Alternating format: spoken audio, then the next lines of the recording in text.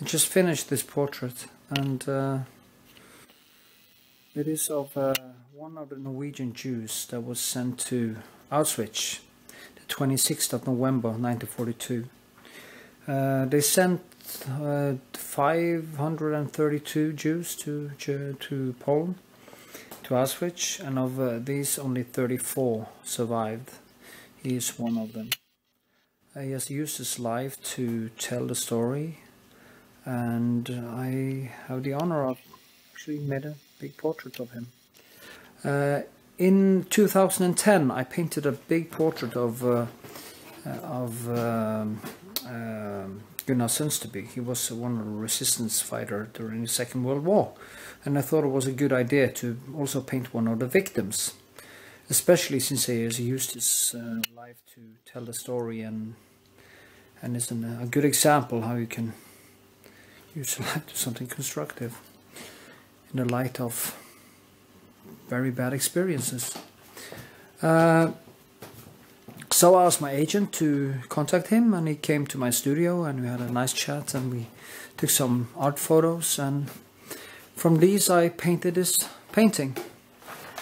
Uh, and it's gonna be unveiled on the 26th of November on Wednesday actually, this Wednesday 2014 uh, and I'm kind of looking forward to it because it's quite nice.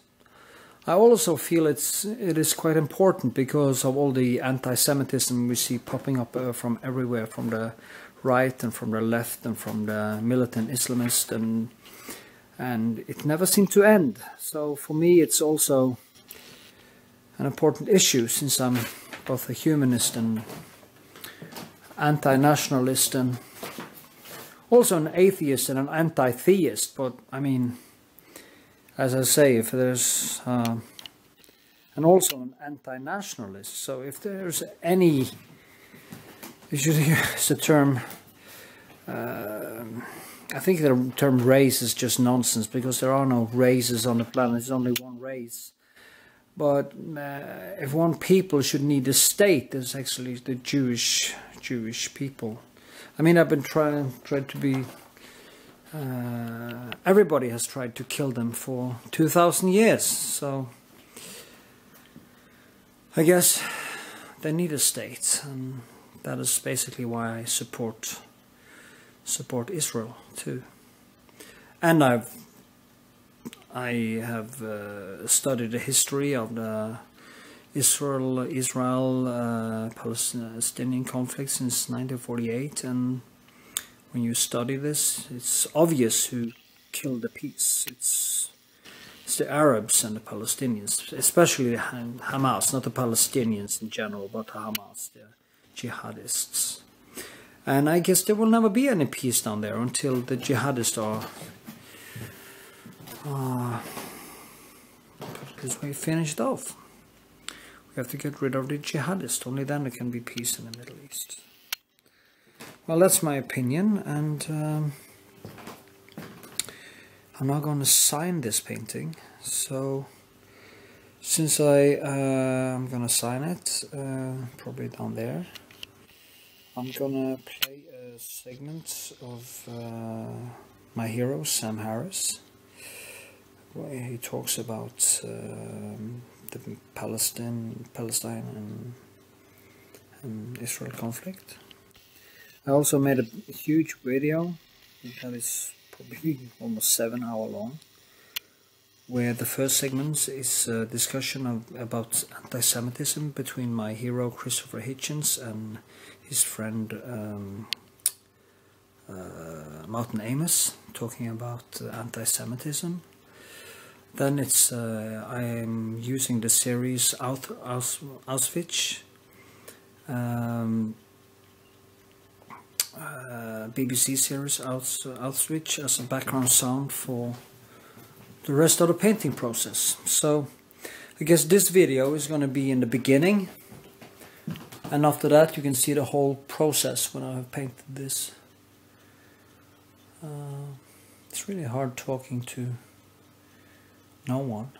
But anyway, uh, yeah. I am quite proud. I think it became quite nice. And it kind of gives my painting some meaning to be able to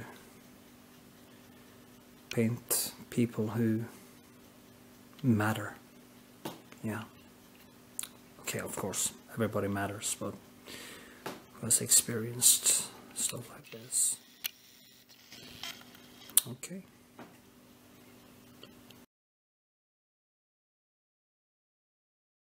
Exactly like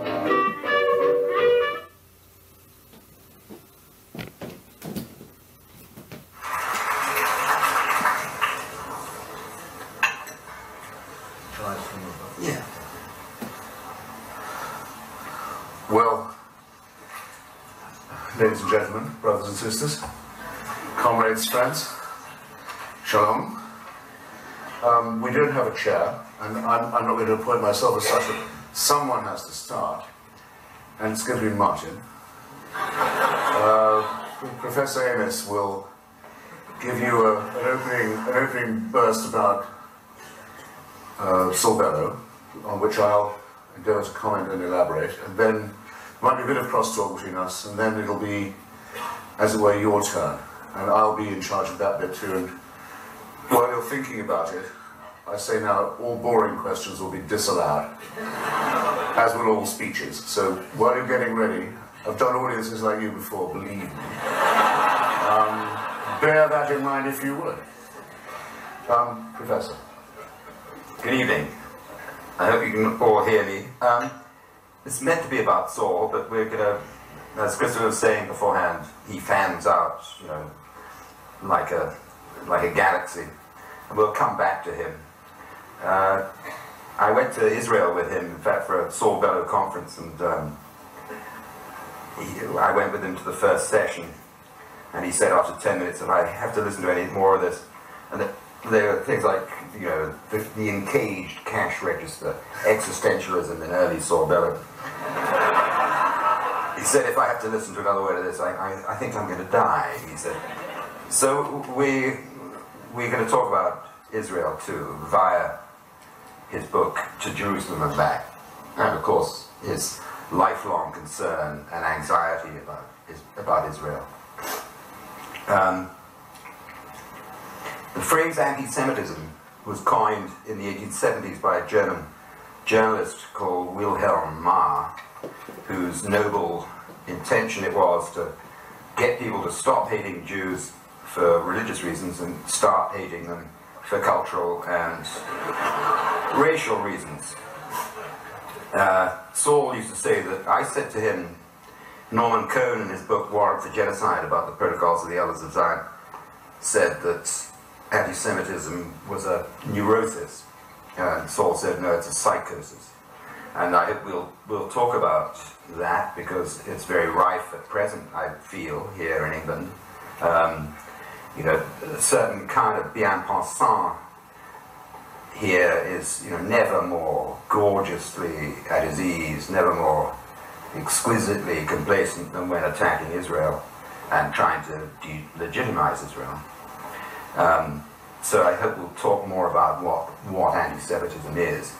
But um, I'm going to cheer you up by talking about philo-Semitism. And the word Semite and Semitism remains problematic, but philo, we all know what that means.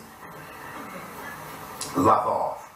Um, I am a philo-Semite, and I will give you a little how-to course on what you have to do to create an anti-Semite, uh, philo-Semite, I beg your pardon.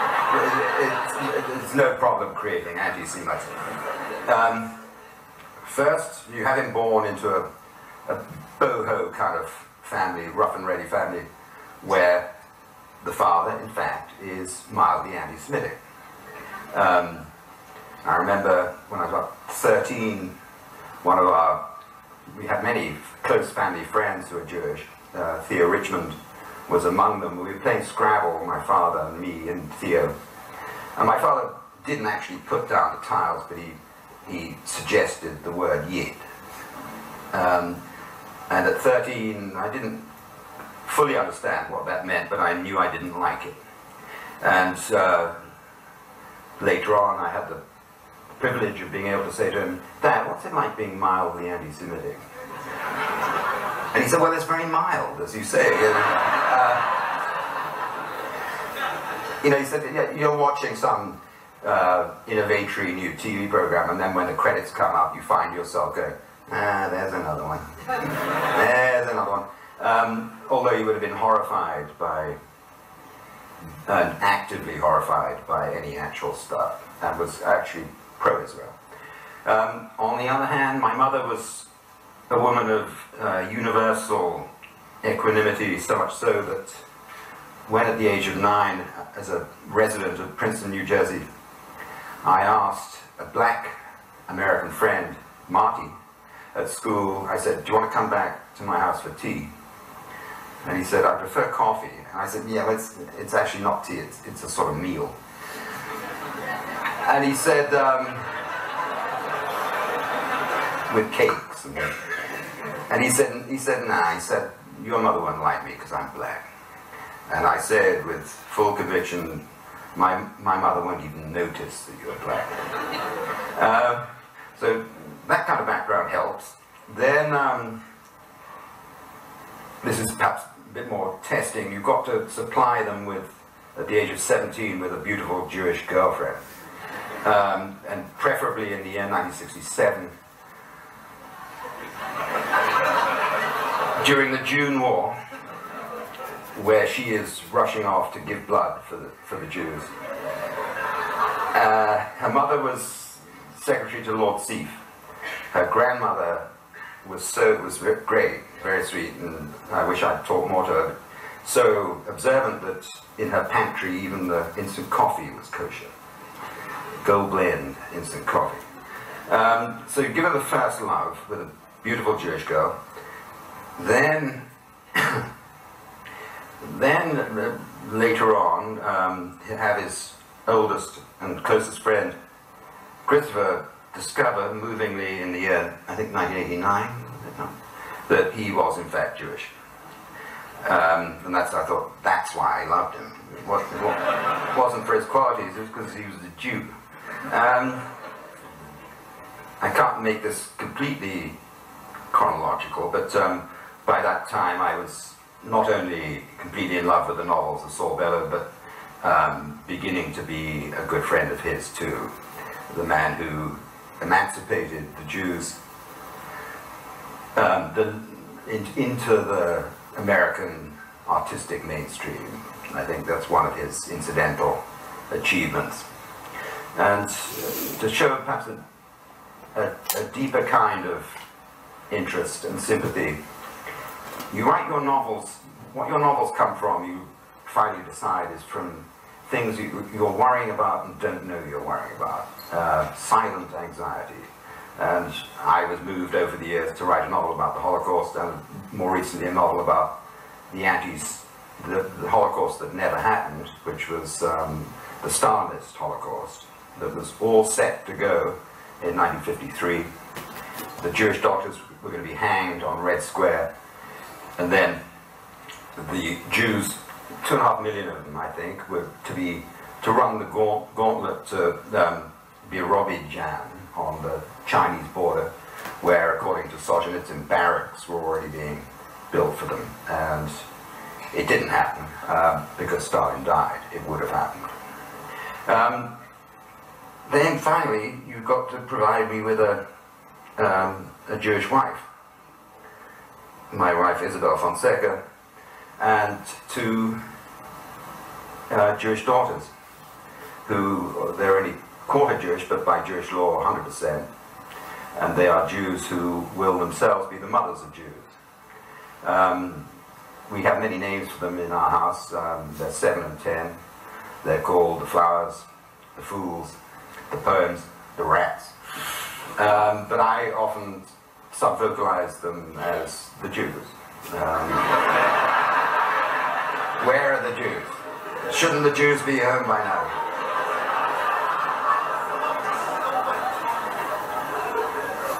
Where are those Jews? where are these Jews? Those lousy Jews. Um,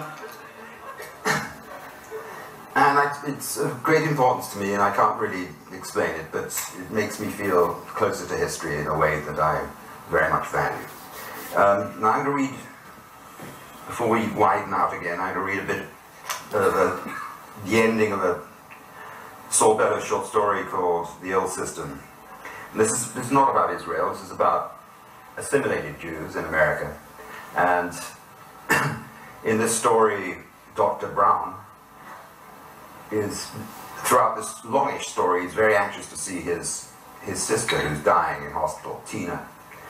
Um, and she says, they've had a froideur for many years, and she says she will see him on her deathbed if he gives her $30,000. Because she feels she was stiffed on an earlier uh, property deal. But then he goes, he goes, he, he's finally allowed in, and she's, all the documents are there, and he's supposed to give her the money, and, and she sweeps it all away. And the, the ring, her mother's ring, which has been much debated about, is produced. The ring she had taken from Aunt Rose was tied to Tina's wasted finger. She's dying, Tina. With dent, uh, was tied to Tina's wasted finger with dental floss. She held out her hand to the nurse. The nurse cut the thread. Tina said to Isaac, not the money, I don't want it. You take Mama's ring. And Dr. Brown, bitterly moved, tried to grasp what emotions were.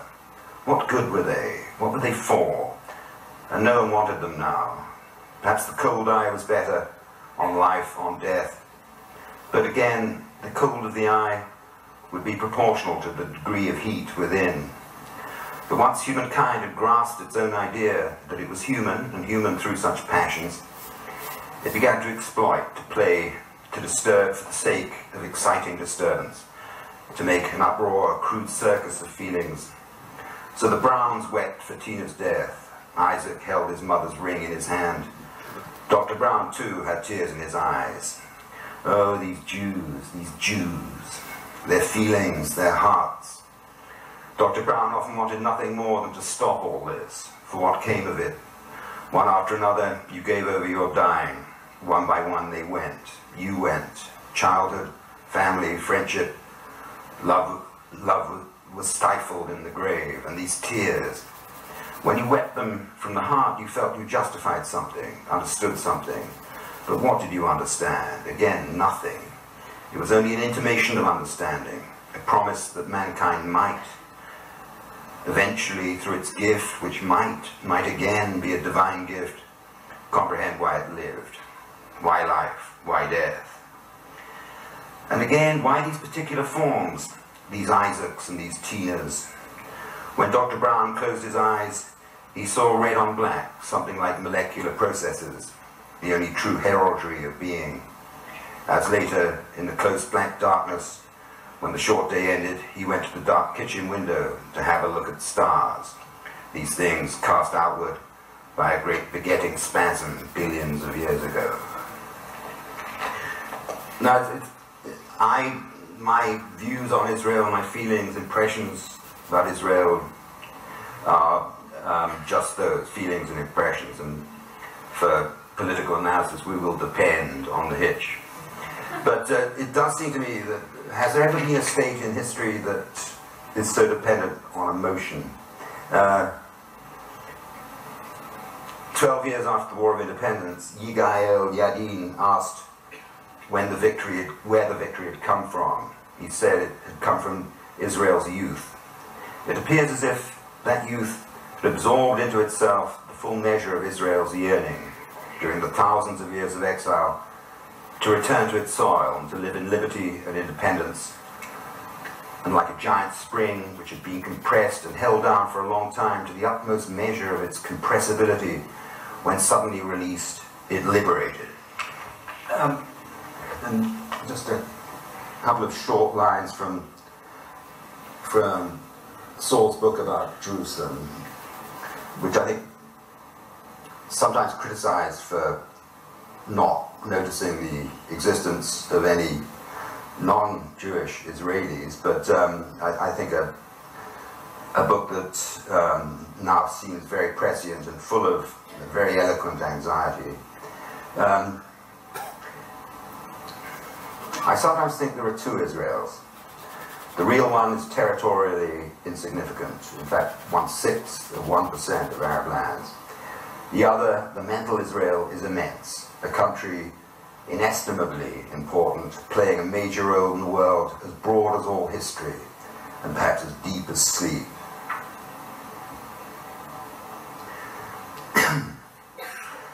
what you do know is that there is one fact of Jewish life unchanged by the creation of a Jewish state. You cannot take your right to live for granted. Others can, you cannot. This is not to say that everyone else is living pleasantly and well under a decent regime. No, it means only that the Jews, because they are Jews, have never been able to take the right to live as a natural right. To be sure, many Israelis refuse to admit that this historic uneasiness has not been eliminated. They seem to think of themselves as a fixed power, immovable. Their point has been made. They are a nation among nations and will always remain so. You must tear your mind away from this conviction as you must tear it from civilized appearances in order to reach reality. The search for relief from the uneasiness is what is real in Israel. Nationalism has no comparable reality. To say, as George Steiner says, that Zionism was created by Jewish nationalists who drew their inspiration from Bismarck and followed a Prussian model can't be right. The Jews did not become nationalistic because they drew strength from their worship of anything resembling Germanic Blut und Eisen, but because they alone, amongst the peoples of the earth, had not established a natural right to exist unquestioned in the lands of their birth. This right is still clearly not granted them, not even in the liberal West. At the same time, Jews are called upon and called upon themselves to be more just and more moral than others. Um, just wind up and pa pass this on to Christopher. Uh, Bernard Henri Levy wrote a piece in the um, New York Times Magazine this last summer saying that when, when these um, twirling spastic rockets from uh, Hamas and Hezbollah land in Israel, of course they're the focus of intense anxiety but that anxiety is also forward-looking in that in 10, 20 years, they will be far more sophisticated rockets with different kinds of warheads. Um, and don't you feel sometimes that the crisis that the world is in at the moment is a crisis of mere weaponry or pure weaponry? The weaponization of all grievance. And how long can Israel, born in war and nurtured by siege, as Abba Eban put it. How long can it live this life of, of intense anxiety? And this has been a summer full of portents, and um, and it was in the, the, pensive setting of of Las Vegas in the summer that Christopher and I admitted to a new order of anxiety about the future of Israel. Well, um, I suppose I also should uh, feel I, I, owe you a statement of um, my own position on one or two things. I, uh, I'm commented from the exact opposite end, I think, from the one that Martin began with.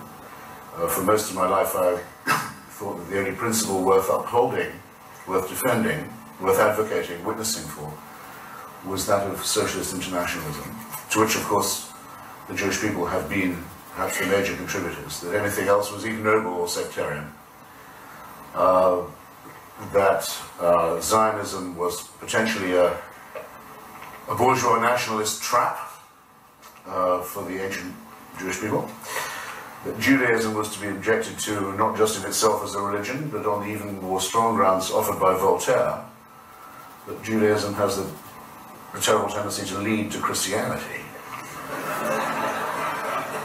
and if you can't dislike it for that, you don't know what it is to feel uh, hatred and suspicion.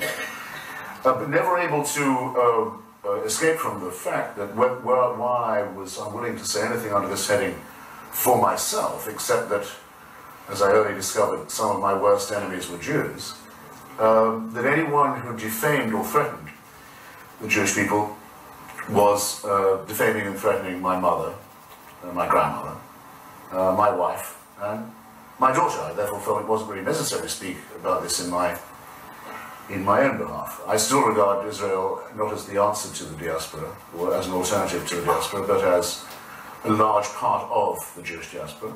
I was asked a very intelligent question by a lady from Jewish Chronicle earlier this week about whether I would feel unease at being Jewish if I came back to England, and I said, well, where she correctly reported that many Jews do feel currently a great unease. I said, unease at being Jewish if I came back to England, and I said, well, where she correctly reported that many Jews do feel currently a great. I said, I, I don't ever expect or actually want to feel at ease.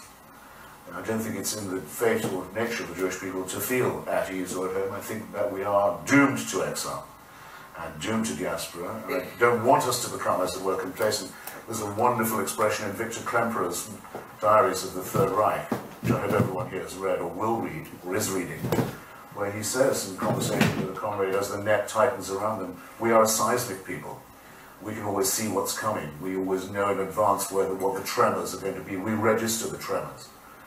It'll never change. It'll always be insecure and unstable. I think that's right. I don't want it to be different. Don't want a quiet life. Also, don't expect one. What drew me to the Jewish tradition that I liked when I was a Marxist, I still am a Marxist, but I'm no longer a socialist, was uh, some of you Talmudists will get this, I think, uh, was not just the fantastic contribution of to modernity of Marx and Freud and Einstein and Kafka and Billy Wilder, um, uh, but the uh, innate tendency to fratricide uh, and disputation and dialectic that was uh, to be found um, among it, among us, as it were, and the and the feeling always wherever you were, you would always be in exile. Okay, fine by me. I don't I don't repudiate this. In fact, I welcome it. Uh, I could go on about this a lot. I will. Actually, I've succeeded. I can't often do this with Martin in surprising him a few nights ago, I can't often surprise him, let's say, on any literary matter. I said that Theodore Herzl was the only person who'd ever written a utopian novel that, as it were, come true.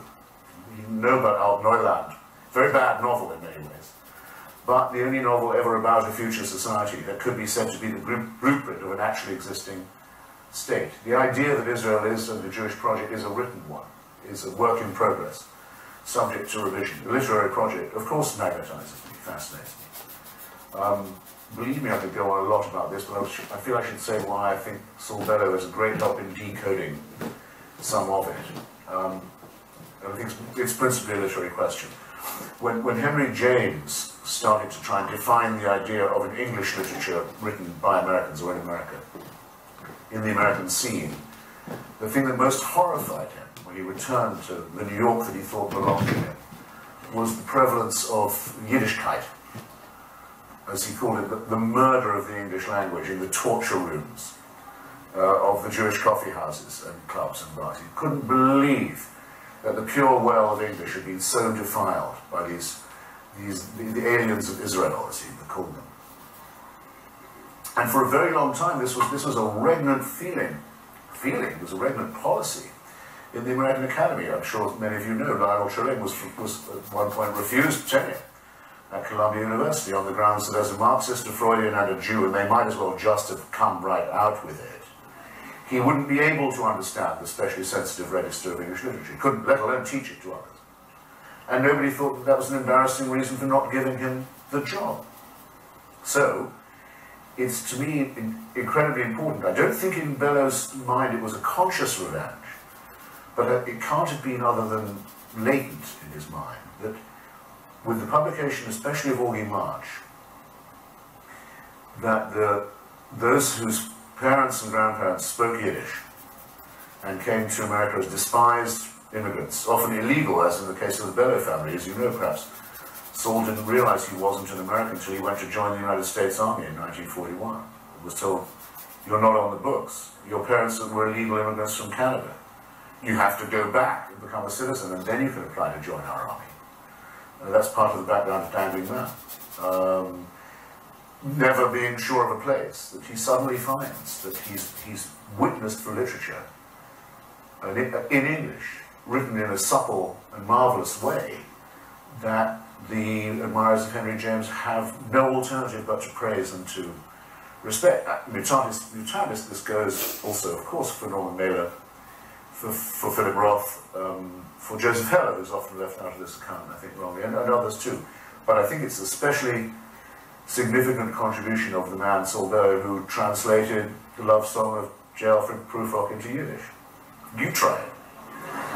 Um, who with Irving Howe and other members of the Dissent magazine and Partisan Review group discovered the wonderful treasure house of the work of Isaac Bashevis Singer, hitherto really only available to those who could buy the Jewish Daily Forward and read it in, in Yiddish, and to, and to make people aware of what an extraordinary presence there already was of this kind on American soil. I regard that really as his most signal uh, contribution. There were those who said that this wasn't really English, that this was a sort of dialect. In fact, even Martin in an early piece on Bellow referred to his occasional lapse into low-life patois, which when I quoted in my book of essays is rendered in the worst and yet best misprint that I've ever had inflicted on me by editor as low-life patios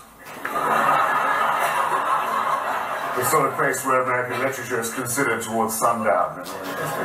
Um, but there it is. Nobody, nobody doesn't talk now with some acknowledgement, not just of Kafka, and so, as it were, of, of Woody Allen. And I guess I should add that's what I always liked again about the Jewish tradition. Even reading the, the to me hateful Maimonides, it's remarkable when he says in Guide to the Perplexed, well, is it necessary to believe that the Messiah will come? Yes. It is necessary to believe that the Messiah will come. And then he adds, though he may tarry. now, you don't get that shrug in any other monotheism, I'm telling you now. And you can read Woody Allen out of Maimonides if you want. Everyone knows what I'm talking about, I think. Bellow ennobled all this uh, in an extraordinary way. but it's not politically without problem. Um, it was said of Camus' La Peste that it doesn't mention any Arabs, just as it's been said of um, Jerusalem. It seems to me that I read Mr. Sammler's Planet before I read Jerusalem back, and I, I, began to recognize in that and some other of Bellow's writings a sort of allegory of something very disquieting that was emerging in America in the 60s and 70s, which was a rivalry between uh, Jewish Americans and black Americans, especially in New York and in Chicago elsewhere too, but particularly there. And that the, the, the, sense of threat that some Jews were beginning to feel in the school boards and districts of Ocean Hills and Brownsville in Brooklyn and in the south side of Chicago was in a sense replicated through the experience of Teddy Kollek via Ed Koch. If you're following me about this, I can elaborate if you like. In, in a kind of allegory of, um, of black Jewish rivalry which worried Bellow very much, which, of which he was. I think it can be easily said, especially sensitive register. But I thought I saw something possibly menacing um, to both parties occurring here. Thought it needed to be analysed. it became, it's even more clarified in, um, because this tendency among Jewish Americans acquired the name of neoconservatism at a very early stage when I think it was Norman Podhoretz pointed out with his customary grace and tact that American Jews had the, uh, this is how he put it, the income pattern of Episcopalians and the voting pattern of Puerto Ricans. I think you can tell the sort of tone of voice that's involved. Yeah. It's refined by Bellow in, in his book Ravelstein, which Martin has never forgiven me for reviewing as if it was in some sense a non-fiction book, as if it was the, the debt he promised to pay to Allan Bloom of a memoir in novelistic form. But in there, as you, some of you will know, there is a figure very recognizable as Paul Wolfowitz, and there's a school very recognizable as the famous Chicago uh, School on uh, Committee on Social Thought, chaired by Nathan Tarcov, a friend of mine, old friend of Bellow's, and Leo Strauss's, and Allan Bloom's, and Paul Wolfowitz's. And in there, it is, just, it is said that the greatest shame of the United States in the recent past is its failure to put an end to the vile regime of Saddam Hussein in 1991. No, no subsequent failure has been as shameful as that, as many of us believe. So that though one must, I think, at all times resist the politicization of literary criticism, the remarkable thing to me about Saul Bellow was the way in which he accepted the challenge of the political critique. I think I've probably said enough on that heading now. Excuse me, Mark. Does that, does that mind you said? Yeah, uh, um, he said once, I don't think he's ever said this in print, but he saw, Bellow once said privately, he said, without Israel, Jewish manhood would be finished, he said. Um, I don't think he meant Jewish men, he meant Jewish self-respect. Uh, but it was a sort of atavistic way of putting it. Um, he, he was he felt that this idea that the Jews we're going to bring it about that the Jews cannot be put to death, as he put it, um, is institutionalized mistake, and um, and he was, I think he was he, he he was beginning to have cerebral difficulties about the year 2000, quite a long time before he died. And uh, when September the 11th happened, he, he didn't take it in. He didn't really take it in, amazingly, because he was uh, just a month before I'd seen him for several days, um, and he seemed, you know, drifting in and out a bit, short-term memory a bit, but um, totally complimented. And I met a 90-year-old lady in New York who's still coming into the office every day as we speak, uh, yet who couldn't take in that event and didn't really try to take in that event. And it's as if um, he, he, one of his unfinished books was called All Marbles Still Accounted For. But um, when the marbles are perhaps under threat, um, there's a certain size of event that you can't assimilate. And I think he knew that he sensed not only that this was an enormous event, but it was a, an enormous event that would redound somehow on Israel. And during last summer, when, when these, these unpleasant port, portents for Israel were emerging, there was a great uh, effervescence of anti-Semitism here.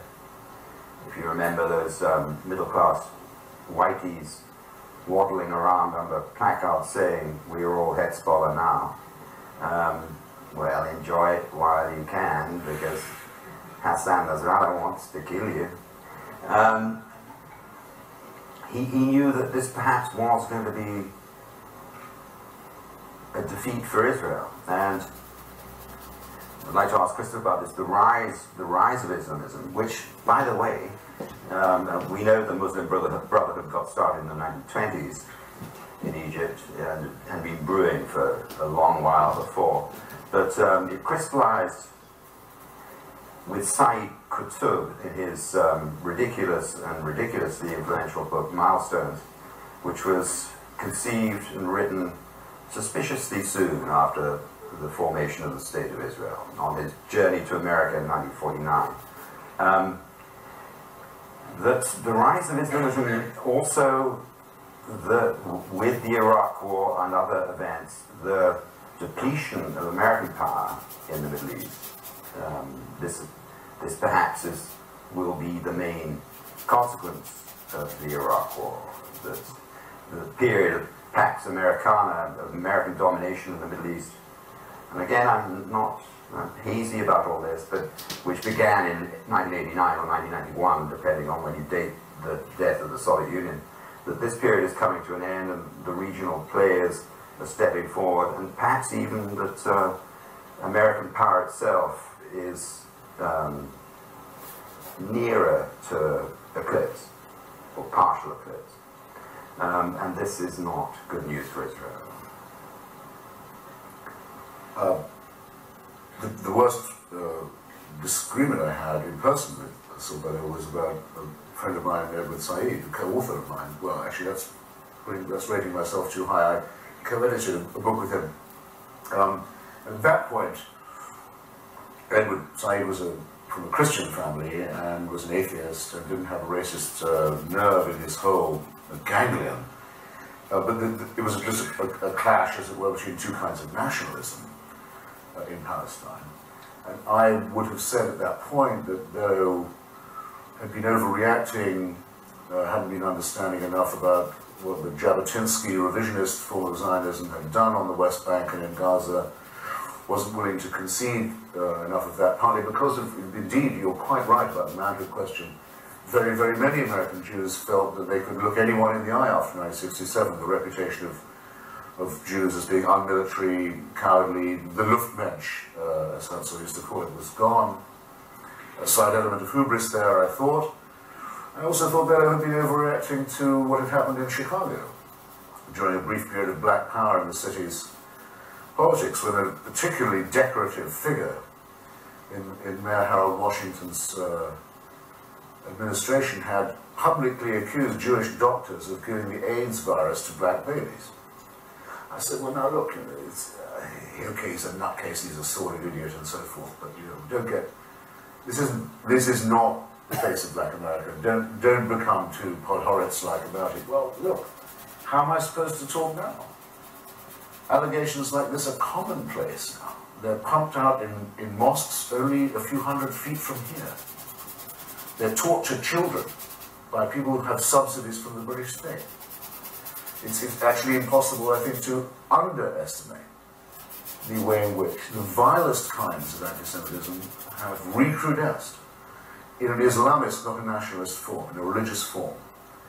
Uh, the only thing I can ever think of to cheer myself up is that these fools have to borrow the, the crummiest sorts of Russian Christian Orthodox fabrication. I refuse to call the protocols of the Elders of Zion a forgery, as they commonly call them. Not a, a forgery is an attempt to copy a true bill. There's no true bill behind the protocols. It's a flat-out fabrication. Okay, perhaps it's nice that Hamas can only think of putting that on its website. They don't have a tradition of Jew hatred quite of their own, but yes, they do, and it's in their holy book, the one that they say is the last word that God ever spoke. So it's, actually, charter. That's in their charter. It's impossible to overstate this kind of now I, now I wish I, as Martin must for many other reasons too, I wish I could have my conversation with, with Bellow back again. Wish I could refine it a bit. Uh, wish I could have uh, made my own points a little sharper and, and more and more sophisticated. Because this is a this is a very very serious cultural danger. It's only a fool who thinks that anti-Semitism is a threat to Jews. And anti-Semitism is is a very very toxic threat to everything we can decently call civilization. And uh, it, it, it confers upon us when we find it even a little bit, because it's quite hard to be, mildness is good, I like, I like it, it's quite, generally quite hard to be a little bit anti-Semitic. And I should just end when you, where, where you started about the psychosis. Of course, Steve Coakley was a psycho. He couldn't stay off the subject of the Jews. Most people who have this prejudice can't stay off it, that's. If someone says they don't like West Indians because of their, I don't know what it might be, their music, or they don't like Indians because of the smell of their cooking, or they don't like um, Koreans for their kimchi, whatever it might be. Everyone, every minority and majority in the world has a version of this kind of prejudice. But as Freud pointed out, they'll all sink their differences when it comes to the Jews. And with the Jews, it's not their cooking or their sex lives or any of this. It's, and it's not just vulgar prejudice about skin color or smell or any of this it's a, it's a theory. It's a paranoid theory that tries to explain quite a lot. It, it, it's fascinated with gold, with secret documents, with missing codicils in ancient treaties, uh, with the idea of an invisible and secret government. It's a, it's a very, very, very dangerous pseudo-intellectual uh, prejudice indeed. And I think Bellow was absolutely right to be seismic about it. And if the cost of that was sometimes exaggerating it, or maybe even conceivably once or twice seeing it when it wasn't there, I now think that's a very small price to pay uh, compared to the risks of being insensitive to it and, its, and the dangers that it poses. And I, that's why I don't apologize for taking such a long time to make this point. Um, we might just talk a little bit more about what anti-Semitism is. Um, you and I, and it, it is. It's it belongs with the, the sort of the shithead conspiracy theory, and um, and uh, there's a marvelous quote from Hitler saying that uh, in the Frankfurter Zeitung, there was a, um, a ringing refu- uh, exposure of the protocols of the Elders of Zion as being a, a fabrication or a forgery, as he would have said. Uh, this alone proves that it is genuine. Um, you know, uh, where do you begin?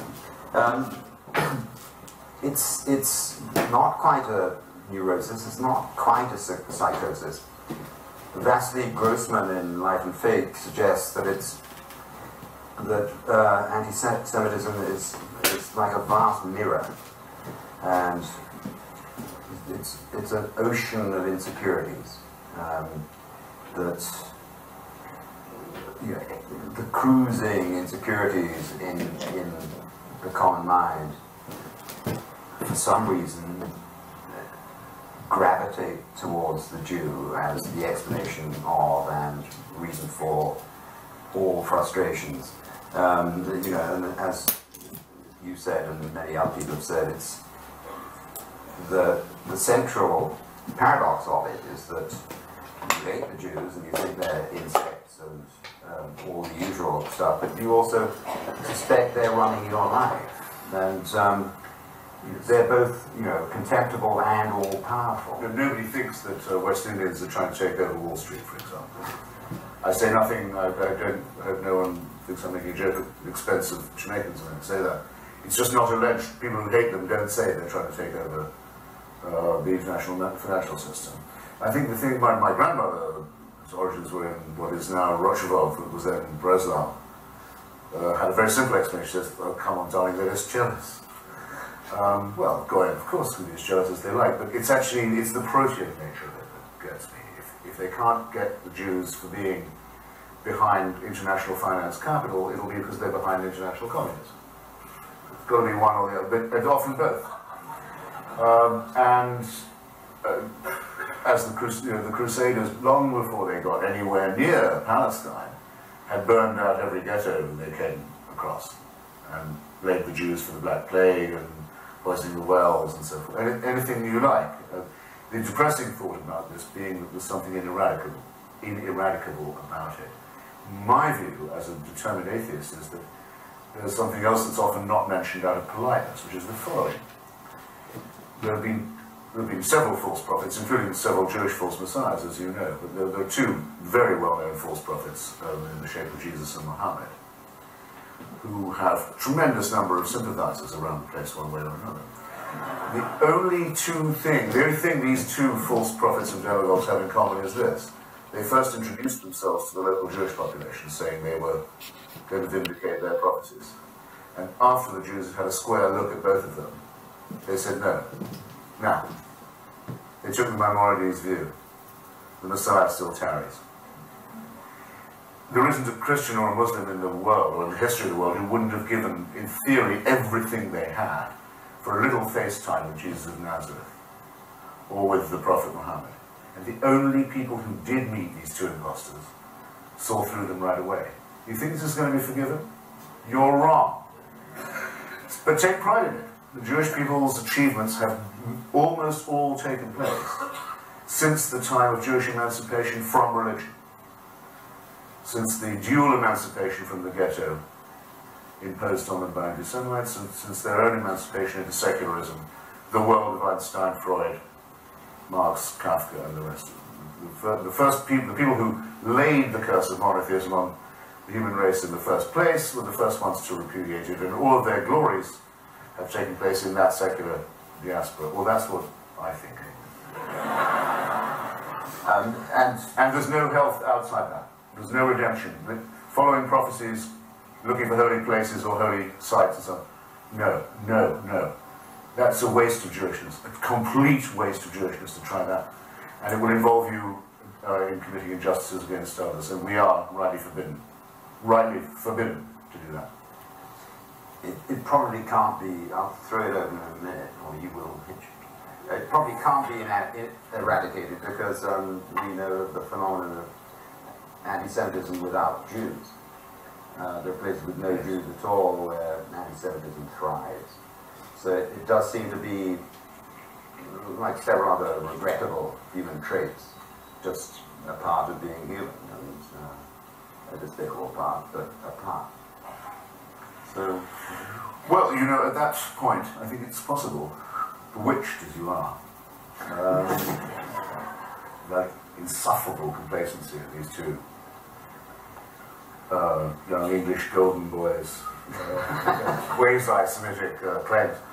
Um, I can't actually see anybody properly, and I don't know if there's a roving mic or not. I'm just going to trust you. Why doesn't someone ask amusing or intelligent question?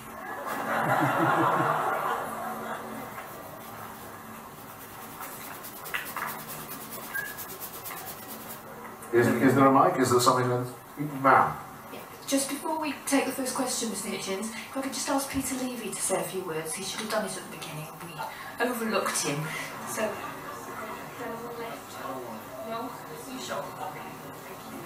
But you wanted to, you wanted to step on my.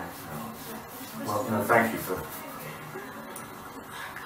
Hi, um, I've got, first of all, I'd just like to say it's really, really wonderful to see you both here and feel really honoured that you're here.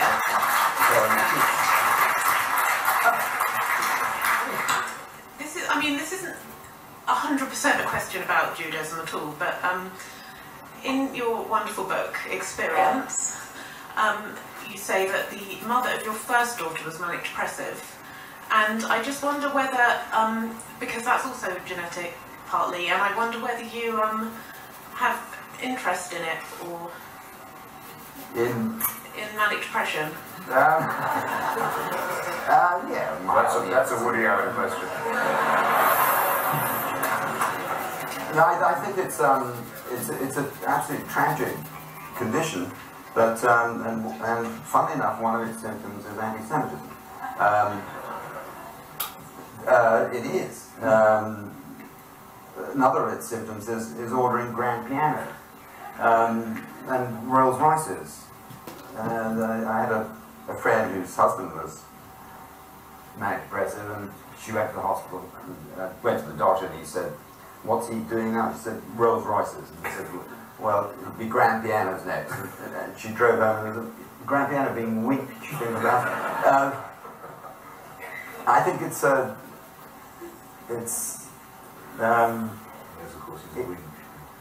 it's it's it's it's very humiliating when you start following a, a kind of schedule of uh, ridiculous behavior, um, reinforcing the view that that insanity is is it's not as if you're going to do anything. You're going to be doing these specific things, and um, you know, nothing seems to be more important than, than not doing what other people do, and not being part of an ideology, not being part of a crowd. Um, this seems you know, more and more urgent to me, not using the, the kind of language that everyone else is using, no-brainer and went pear-shaped, and don't do that. You reveal your low cultural level so starkly when you use these phrases that are, that are skimming around these already aging novelties that you know, some people their whole vocabulary consists of seen it, done it, had a banana. Um, that's a real humiliation. You've got to stress the, the, power of the individual, and of course that's what manic depression, like many other things, completely strips you of. In one of Martin's father's novels, there's a, a, a very arresting and haunting description of someone whose mind is becoming unraveled, and an unfailing predictive sign of that, and I've seen it myself in many cases, is, is the feeling of anti-Jewish persecution, or the feeling that Jews are pervasive in everywhere. It's, and any, anyone who's uh, professionally involved in this phenomenon will tell you the same. It's an, another universal concern of the manic depressive is electricity. They're always leaning into the light bulb to get some message beamed down from them from another world. But it's extraordinary that in this pentagram, Mick Jagger is another element in this. Um, you always think he's trying to be you or you're trying to be him. Jews, electricity, Mick Jagger, um, you know, what could be more humiliating? It's like a company, I mean, in the right way. Uh, but, but the fact that the, the Jews are, are wired in even to this well-mapped and miserably predictable uh, psychosis is, I think, a, you know, almost a poet- poeticism, but also again showing us that it is, it is uh, universal and eternal. This, this terrible recourse in the human mind. Do I see another hand? In the background. There we are.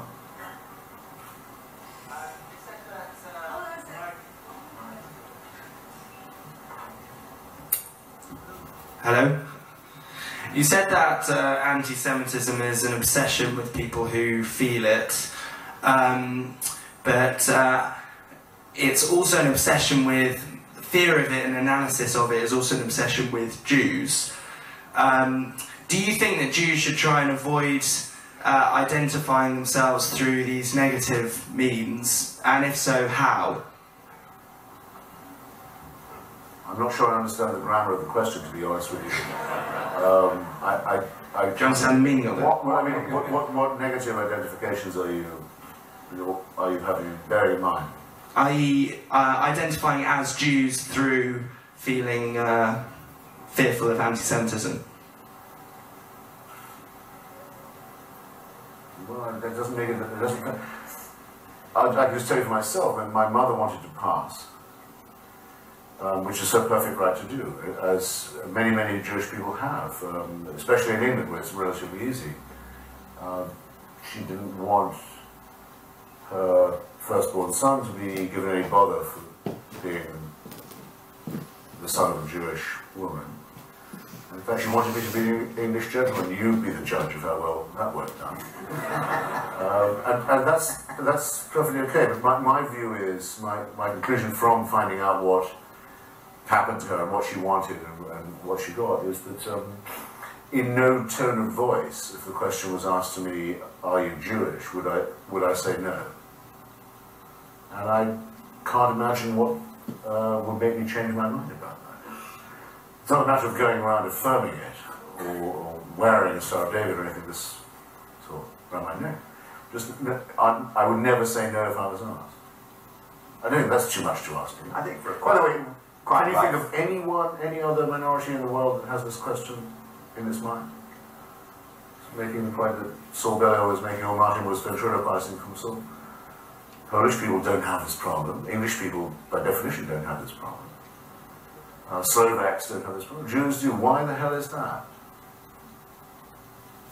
That They should keep, keep a low profile and not earn any, any, money and not make any contribution to the arts or the. Stay away from nuclear physics above all. Yeah.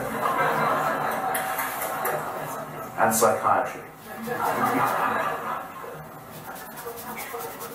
It's, it's actually said, and this is an extraordinary thought, that the great uh, efflorescence of irrationality around the early decades of the last century was a reaction to the weirdness of science. Um, you know, Hitler and Lenin and Stalin would never use the word reason without putting some insulting adjective in front of it, like cowardly or miserable or abject. That's because uh, Jewish science had shown had shown the essential weirdness of many things about the human condition. Einstein showed the weirdness of space, Freud the weirdness of, of, of human psychology, and that- caused a revolt against reason. Absolutely. uh, Sorry, uh, that reminded me of something. I used to be friendly with Jacobo Timerman, who some of you will have, I hope that have maybe read his book about being the editor of La Opinión, the best paper in Buenos Aires when the fascist dictatorship took over Argentina in the uh, 70s, and he was um, disappeared, as they used to say in Argentina, desaparecido. And when he gave an account, it's a wonderful book if you haven't read it, Prisoner Without a Name, Cell Without a Number. He gave an account of the way in which he was tortured, not just the methods, but I mean the, the, the, the questioning. And they, his uh, fascist uh, said, you know, we know what it is to be a Jew. Uh, Senator Timerman, you who claim to be an Argentine, said, you've ruined our entire lives. He said, your, your Einstein has ruined Christian cosmology and replaced it with chaos and speculation. We used to know, how the heavens worked, now we spoiled all that. Your Dr. Freud has ruined our family values and our certainties about uh, the, the decencies of uh, the organic uh, Christian family, and your Dr. Marx has made uh, Christian economics impossible. Uh, this is between blows of the cattle prod. They're getting, they're getting the point. they're getting there uh, in their primitive way. It was actually quite an insightful thing for them to say, as it is for, for, for Christians and Muslims to never forgive the fact that uh, Jewish people were the first to see through their false claims of prophecy. Be proud of this. I would. I am.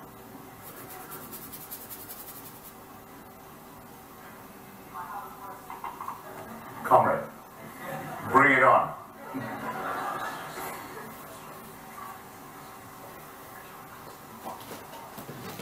Martin, I wondered if you could share with us the most amusing, insightful moment that you shared with. Can you give it some welly, sir?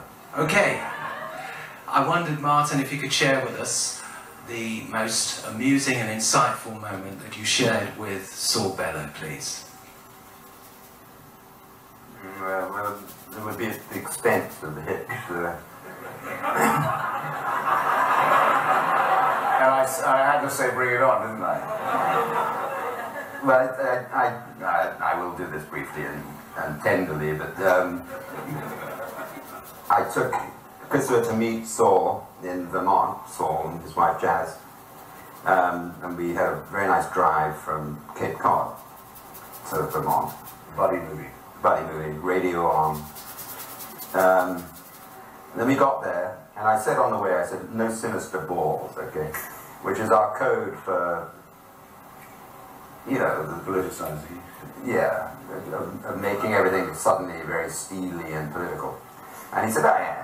And um, then went into a four-hour Fuck off. uh, blue streak of parachute about about Israel, and uh, and it was it was. I mean, I, I can't understand why they didn't hit it off immediately because they're both both Jews, both ex-trots, um, both rebels above all.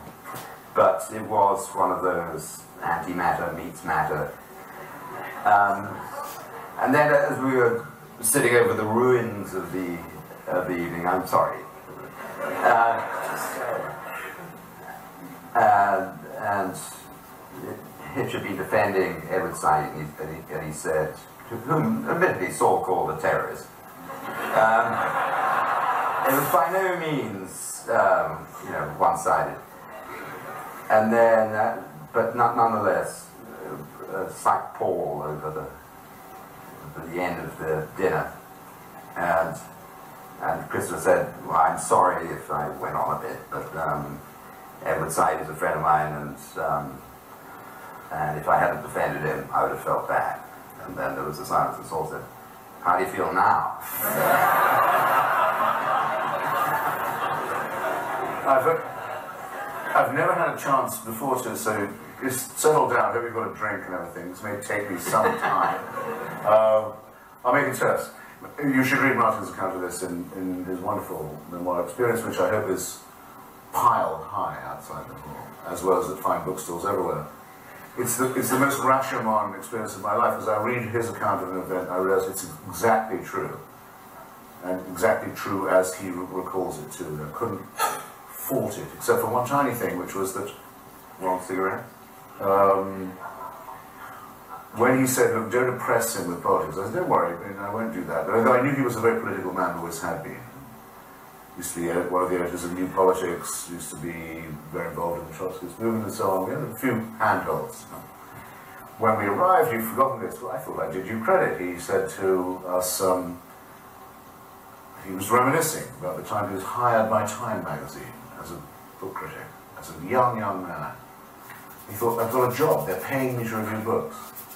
He arrived at Time magazine, he was told, have you, um, on his first day at work, have you had your interview with Whittaker Chambers? He was told, have you, um, on his first day at work, have you had your interview with Whittaker Chambers yet?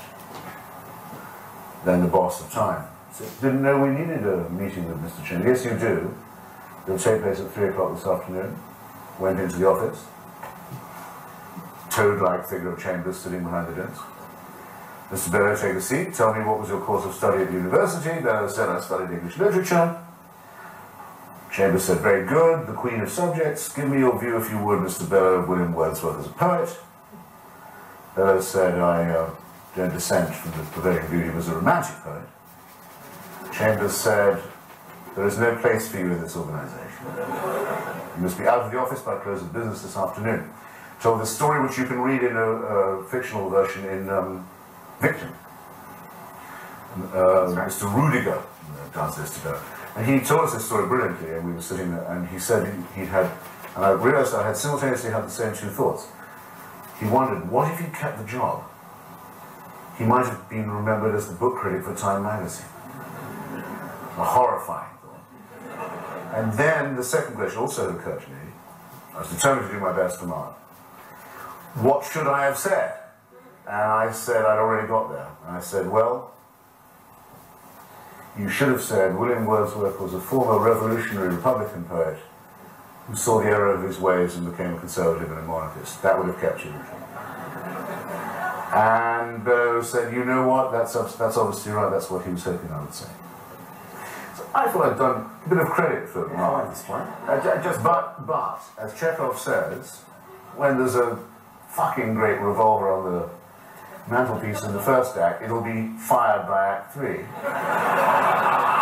and the and the only, in this the house of this consummately literate man, and all his books, where we were sitting on the low life patios, um, or outside having a drink, was only one thing to read on view, and it was Commentary magazine, and the cover story read Edward Said, Professor of Terror.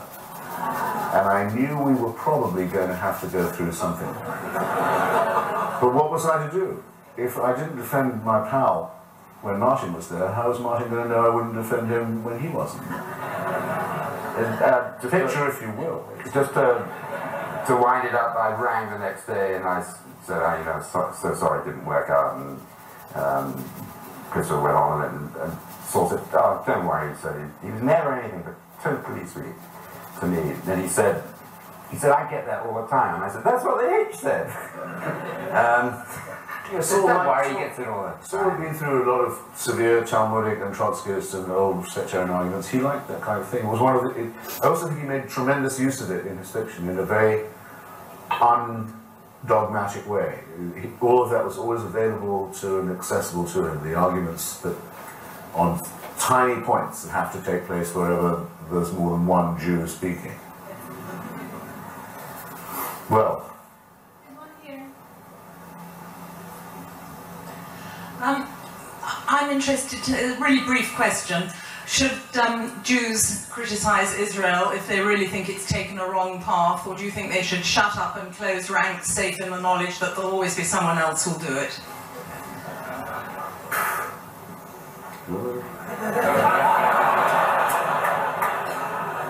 No, I think they should. Look, there's, um, that's it. Yeah. You don't want to step on any of your lines. there is there is a very old, um, as you know, Jewish anti-Zionist tradition. I mean, and the used, the only anti-Zionists used to be Jews. The, the Muslim world didn't know there was an argument going on between Herzl and others. The Christian world barely cared, and many Christians thought, well, if they insist on going to Palestine, we certainly wish they would go somewhere else. Madagascar would be fine, Uganda, uh, and so on. There was a there was a feeling. That's why Arthur Balfour was um, the great enemy of Jewish immigration to Britain was the king of Zionists, and so on and so on. But there was an old Jewish critique that said this is not going to come to any good. You only replace the question of anti-Semitism if you move it to Palestine, and you may do an injustice to the existing inhabitants there. And it's messianic, which can't lead to anything but grief. And I have a great sympathy for the founders of that argument, back to Abraham Leon in, in Brussels and many, many others. I think that they were quite prescient. It only replaces, it hasn't made Jews safer, it hasn't made them more popular. Um, it isn't the alternative to diaspora, because if every Jew in the world was to move to Palestine, the state would have to be at least twice the size it currently is, and I can imagine quite a lot of argument about that. Uh, really quite a lot of argument. And it wouldn't just be from people who don't like Jews. Some people would have to move out. So, and as I say, I think Israel is part of the diaspora, not a not a, an answer to or an alternative to it. So uh, that's the first overarching uh, point. The second is that I don't think one can take part in the argument about Israeli policy less vigorously than Israelis do. And there's absolutely nothing unpublishable on this point in the Israeli press, which is one of the things that makes the Israeli press and the Knesset debates a pleasure to read. They, it's central and recurring point in Saul's book that the, the Jews hold themselves to a higher standard. They have been they they've been reminded of that, and they constantly remind themselves of that. And um, reading reading Martin Gilbert's history of Israel, which I recently did, there's there's definitely a drift away from the moral the moral standard that Israel set itself around 1977 with the switch historic switch from Labour to Likud. And then you do immediately get um, Sharon calling for censorship um, with that shift, with Begin and so on. Um, and, you know, Saul says that Israel should have been a sanctuary. That was the idea, and not um, the Holocaust Museum equipped with an air force, which is what it's often in danger of, of becoming, it seems. Um,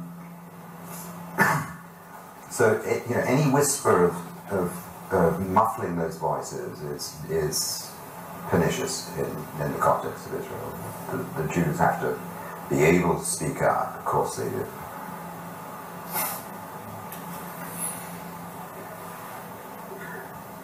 Um, Christopher, uh, you said earlier that something. I'll stand up. You said earlier that something was a tremendous waste of Jewishness, and uh, it sounded like a challenge. So I just want to ask you, what is Jewishness for? Well, I think I, I, I, want to argue against myself. This is a beautiful question. I mean, I want to argue against myself in a way in that I don't think these things are really in the genes or can be, but there's something in the, in the history and in the culture, and the tradition, if you want, that is very uh, reverent for learning, which means almost by definition uh, very insistent on skeptical inquiry, free inquiry, and very aware that there's no such thing as natural justice. That, as Bertie Wooster puts it, we're not put on this earth for pleasure alone. And if you like, some of that is innate. If it isn't innate, it's obviously not genetically it's, it's encultured. And I, I'm very suspicious of anything that contradicts or dislikes that. And I certainly think that any, any Jewish voice that's either uniform politically or confessionally messianically is, is to that extent a negation of what is valuable and wonderful and terrible about the collective experience in all countries and at almost all times. I, yeah, That's, that would be it's a waste of Judaism to be like that.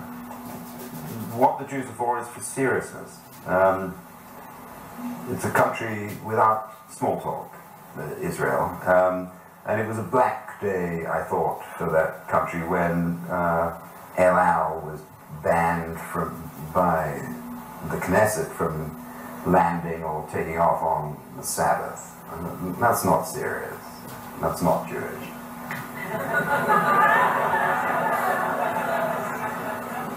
no, you have, we have lawyers to do that. Mm. Employee guys yeah. to do that. Uh, so what else do that?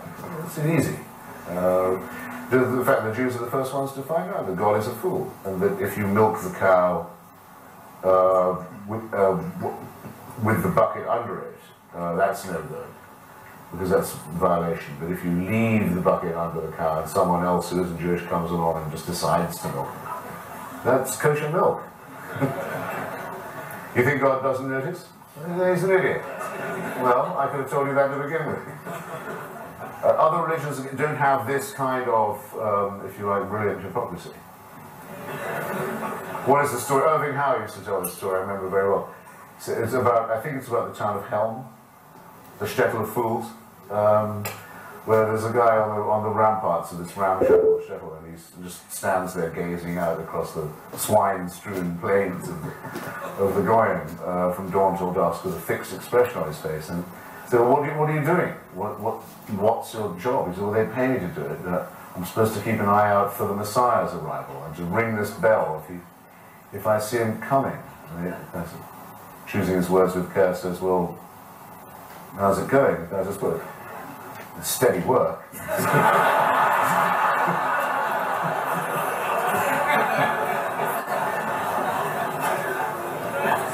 There's a great Israeli rock group, I've forgotten its name now, it had a big hit a few years ago. At the time of the missile, actually, saying, the Messiah is not coming, he's not even going to call.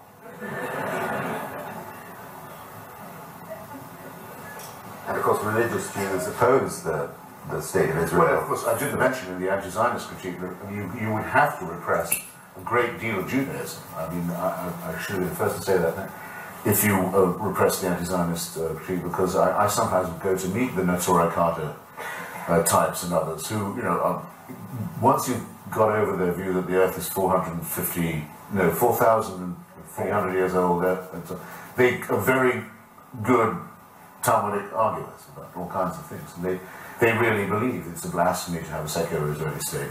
Nothing like that can be allowed. It's condemned uh, until, the, until the Messiah comes. And there are quite a number of such sects, and there always were.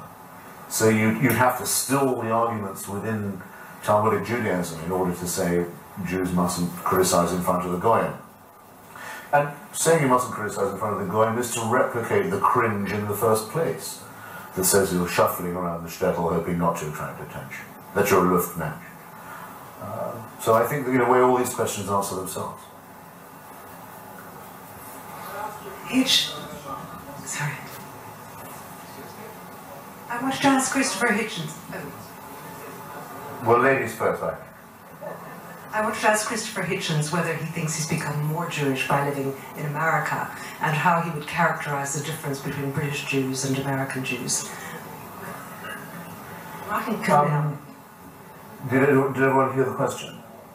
Uh, well, the answer, oddly enough, is in a way yes. I mean, if I, I think if I'd been brought up in the United States, I would not have lived as long as I did, wondering why my grandmother looked like a gypsy, which is what I thought she looked I would have recognized her more swiftly as a Philip Roth character than Dodo, uh, Mrs. Levin, than, than, uh, than I did in England, where these things are much more reticently dealt with. Yes, it's a very, it's a very, it's a very forward thing, including in my, not just in my favorite city of New York, but my hometown of Washington D.C. It's a, the, the question of who is and who is and who is not Jewish and what the implications of that are is an everyday, very major frontal discussion. My impression was when I lived here, I haven't done it for a long time, that that's not so much the case. And I don't know which I prefer, by the way. I think I prefer the American.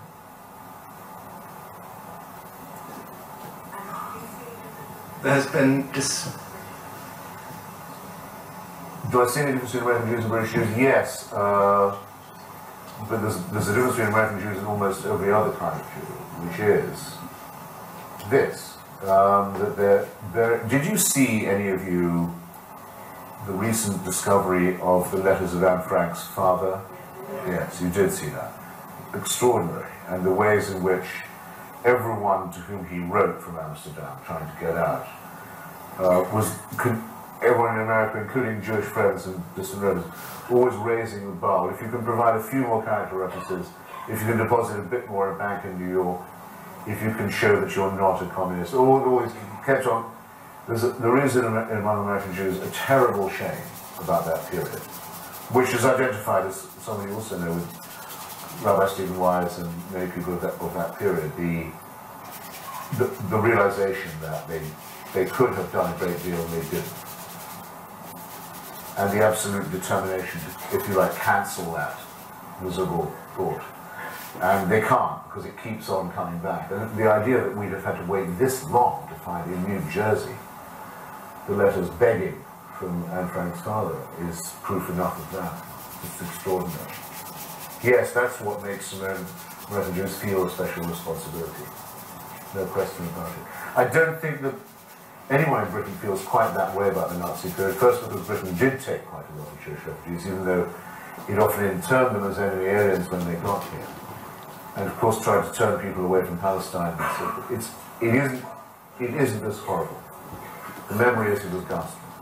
Also, we have a more shameful history in that we banished them for four centuries in the Middle Ages. And there's no equivalent period in American history.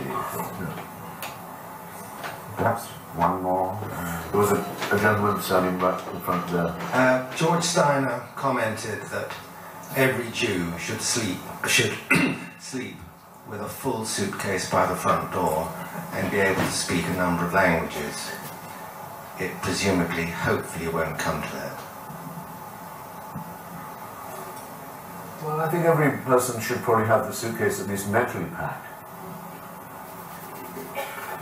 And to be polyglot, there's no there's no shame in the problem is, where are you going to go with this suitcase? For example, people say to me, "Well, why critical Zionism? What if you know the fascists took over the United States? You know, what if it, what if there was a big movement of what if it all happened? It never has uh, been a big movement in America. But what if it did? I say, well, I would consider it my duty not to abandon my post and re- resist, by all means, any challenge of that kind to the American Constitution.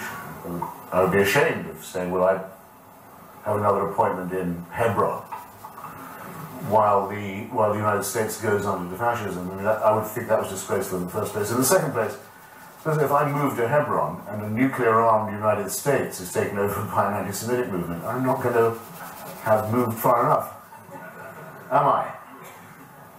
So if you my my doubts about Zionism are, so to speak, existential in that way, and, and but they also involve the question of principle. Would it would it be right to say, well, you guys live under fascism, I'm going off to the Holy Land? I can't think of a more uh, wasteful attitude towards Jewishness. Philip Roth's novel, um, The Plot Against America, um, imagined this um, the, the rise of a fascist administration in America and the marginalization of the Jews as a prelude to sterner measures. But um, as Guy James ended his review of that book, he said that uh, as Roth must have felt halfway through the book, that uh, the trouble with it, with the plot against America is that America is against the plot. Uh, the traditions just aren't there. No, though it's quite noticeable that there are two very prominent Americans now um, who both derive from Charles Lindbergh's America First movement, and both from opposite directions converge as strong opponents of the intervention in Iraq, for example, and American policy in the region, Pat Buchanan and Gore Vidal. Both explicitly say that Charles Lindbergh is their political role model. Political role model and hero. A role model is a word I would never use in any other context, I promise you. But it sometimes has to be used. Pat, Pat Buchanan says, brought up to worship as, as a hero, and Gore Vidal says he was the hero not just of himself, but of the family in which he was brought up, and they were both mem- Gore was old enough to actually be a member of America First. Lindberghism is, is one of the great practical jokes on the American anti-war movement. People go and hear these guys thinking they're anti-imperialist speakers. They don't realize what they're listening to is America First isolationists, whose movement was founded by someone who was very indulgent to anti-Semitism and who took a, a medal from Goering and accused the Jews of being the authors of the Second World War.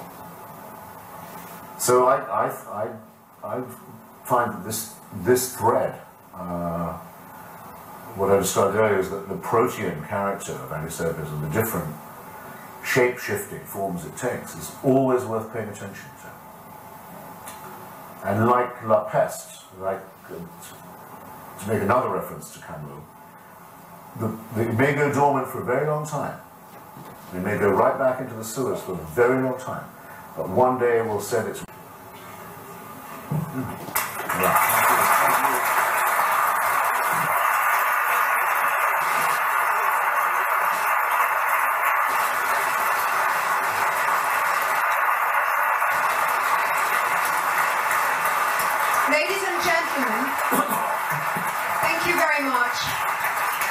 I will ask you to remain seated for a few more minutes. We've got a special announcement to make, and Peter Levy, chairman of the JC and our sponsor, would like to personally thank uh, Martin and Christopher and make this uh, special announcement. Thank you.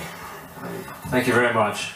Uh, firstly, since I'm speaking now, can I, uh, on behalf of everybody and on behalf of the Jewish Chronicle, thank uh, uh, you, Professor Amis, and you, Christopher Hitchens, for a most interesting, enjoyable, and uh, interesting insight into uh, Judaism and uh, Jewish, the Jewish world. I think that we've been privileged this evening for uh, listening to this dialogue and uh, very much appreciate your being here. Thank you very much indeed.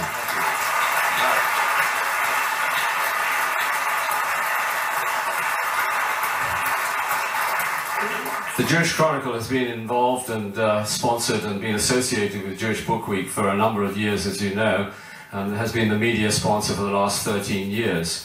And we've always uh, enjoyed uh, that. This is one of the consistently most successful Jewish cultural events in the calendar uh, for London and always has a tremendous response and a tremendous audience, and we're delighted to be associated with it. This evening, um, we are announcing, in conjunction with Jewish Book Week and the Jewish Book Council, uh, the launch of the Chaim Bermant Journalist Prize. Many of you will remember Chaim Bermant as a, an author and a journalist and a columnist at the Jewish Chronicle for, I don't know, 40 years or so, uh, whose witty insights into uh, the community and as a chronicler of the day uh, were not to be missed. And anybody who associated themselves with the Jewish Chronicle uh, read Chaim Bermant, and we're delighted this evening that his widow Judy Bermant is with us. This prize uh, we're initiating in conjunction with the Jewish Book Week um, has two parts. Uh, one for uh, any journalist, and secondly for young aspiring journalists. Um, this prize uh, will be uh, looked into by a panel of judges, uh, one of whom will be the uh, editor of the Jewish Chronicle, David Rowan. Jonathan Freedland is another, and there are others who will be participating in this. Um, the first submissions will be required by the end of October this year, and all information and details and terms and conditions uh, can be found either on the Jewish Chronicle website or on the Jewish Book Council website or communicating directly with them. I think it's um, taken us a long time, Judy, to get to this point, but I think that in memory of Chaim Bermant, this is an appropriate thing to do, and we very much look forward to the interesting responses which we hope to get from it and hope that it will be uh, worthwhile and beneficial towards Jew journalism generally and particularly Jewish journalism. I'd like to say that uh, the Jewish Chronicle has always appreciated very much and enjoyed its association with Book Week, and we look forward to many further years together and to the success of Jewish Book Week continuing as it, as it clearly seems to be this evening. Thank you very much.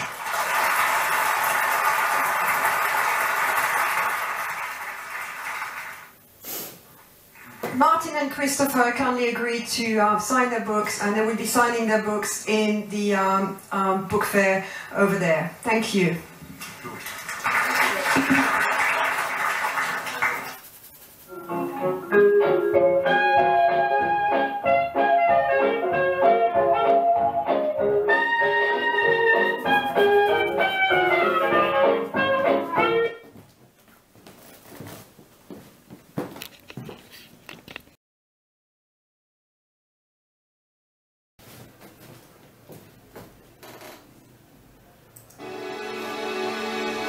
Site of the largest mass murder in the history of the world.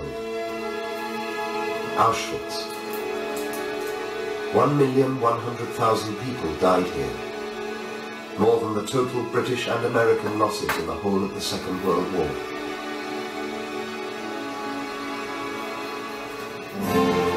This is the story of the evolution of Auschwitz and the mentality of the perpetrators. Materiallieferung zehn weitere. It's a history based in part on documents and plans only discovered since the opening of archives in Eastern Europe, and informed by interviews with people who were there, including former members of the SS. And if you ask yourself if this is really necessary, you say to yourself, yes, of course. We've been told that these are our enemies and there is a war on.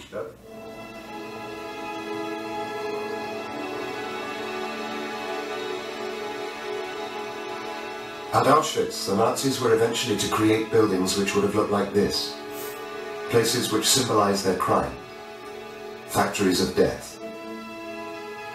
There were the people screaming, all the people, you know, they didn't know what to do, crying, until the, the, the gas took effect.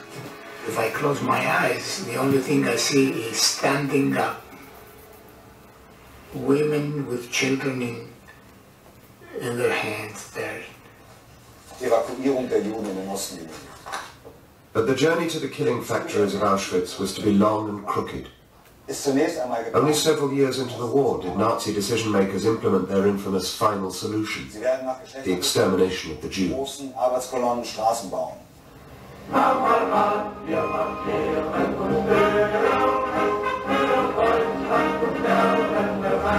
It was not at Auschwitz, but elsewhere in Eastern Europe, during one of the most brutal military campaigns of modern times, that the Nazis would first murder innocent civilians in huge numbers.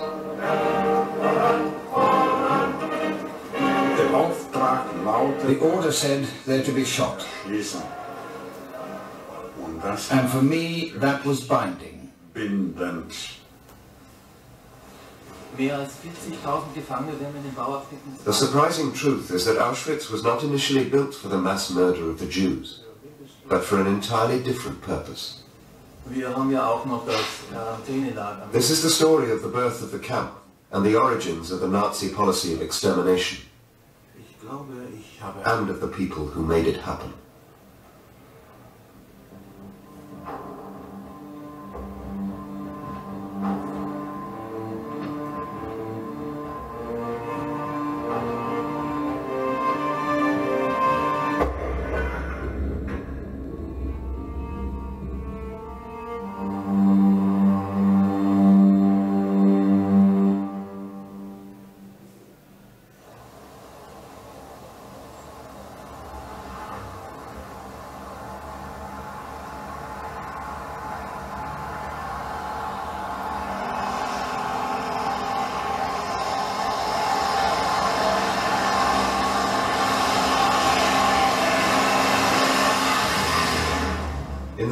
1940, Captain Rudolf Höss of the SS journeyed through Poland to take up the job of commandant of a new Nazi concentration camp.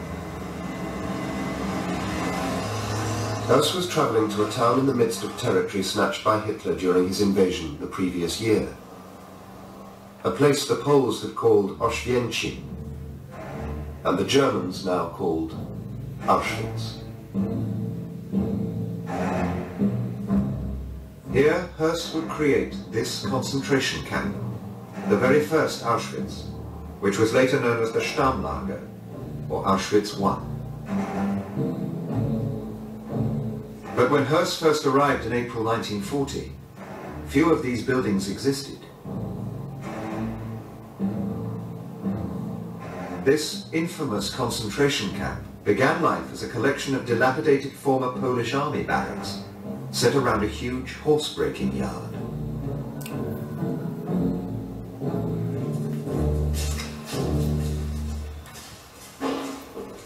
The task wasn't easy. In the shortest possible time, I had to create a camp for 10,000 prisoners using the existing complex of buildings, which were well constructed but were completely run down and swarming with vermin. And this first Auschwitz was built not to hold Polish Jews, who were to be confined elsewhere in ghettos, but chiefly Polish political prisoners, anyone the Nazis considered a threat to their occupation. True opponents of the state had to be securely locked up. Only the SS were capable of protecting the National Socialist state from all internal danger. All other organizations lacked the necessary toughness. The Nazi occupation of Poland was to be brutal. They wanted to make the Poles a nation of slaves, and it was to help them achieve this aim that the Nazis first built places like Auschwitz, modelled on concentration camps they'd already established in Germany.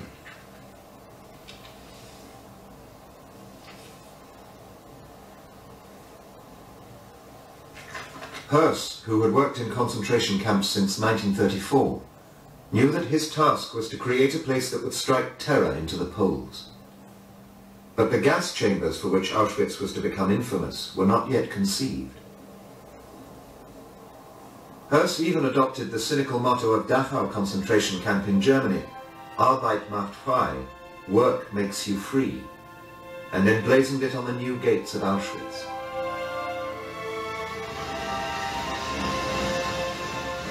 The Polish prisoners now arriving at the new camp were subject to appalling treatment from the SS. Over half the 23,000 Poles first sent to Auschwitz were dead within 20 months.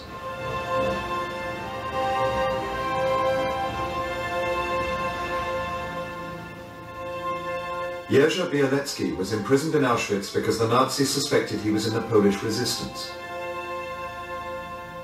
Once there, the SS sentenced him to hanging torture, a punishment favoured in other concentration camps as well, where the prisoner was made to carry his full body weight on arms pulled back into an unnatural position.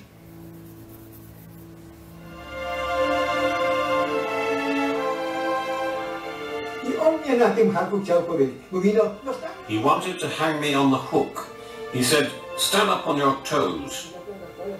Finally, he hooked me, and then he kicked the stool away without any warning.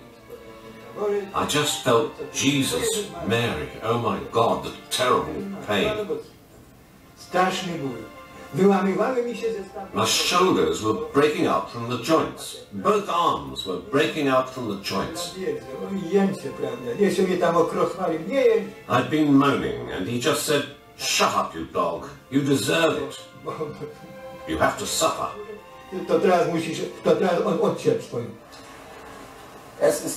Appallingly violent as life was at Auschwitz, the camp itself was not yet a major priority in the Nazi scheme of things.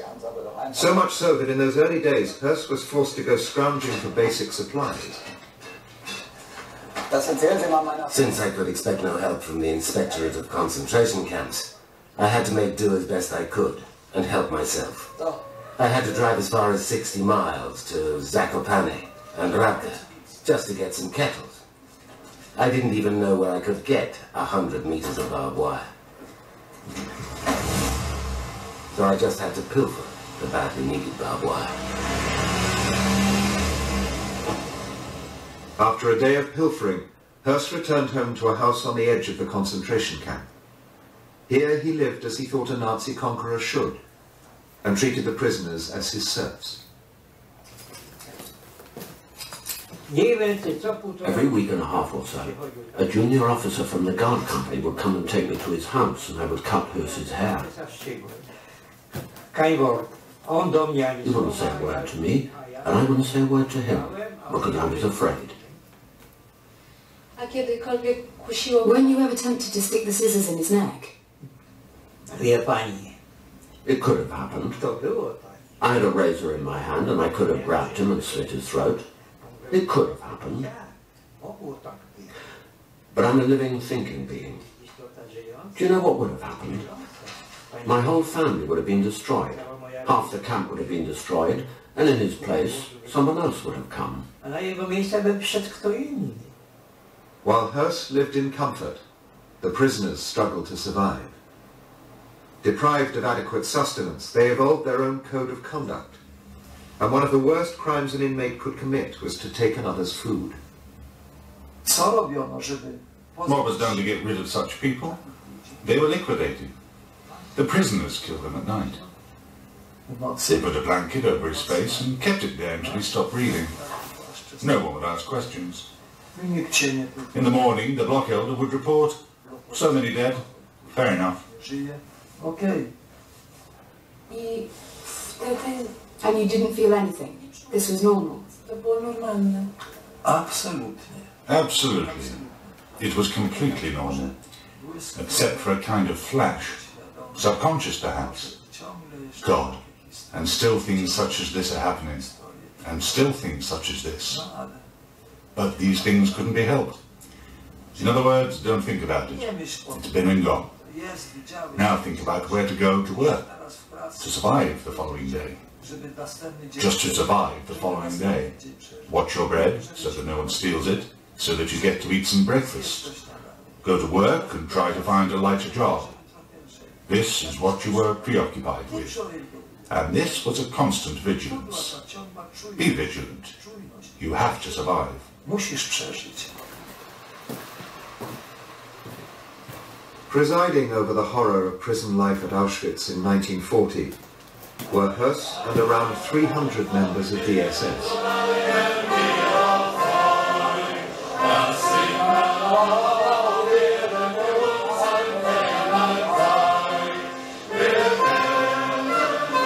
They held comradeship evenings for themselves and their families to foster a sense of solidarity.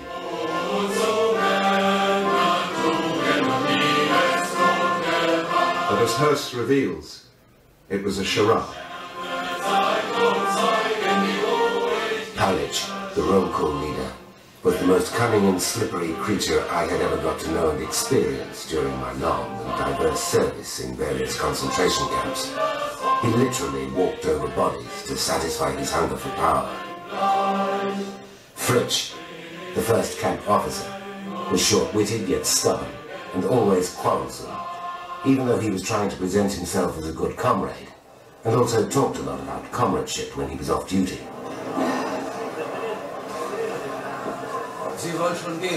His behavior was, in reality, anything but comradely. Höss's memoirs reveal him to be a hard-hearted, petty-minded man, always wanting to shift responsibility for his mistakes onto others. And in his own admission, Auschwitz was, from the first, a concentration camp where great brutality was practiced.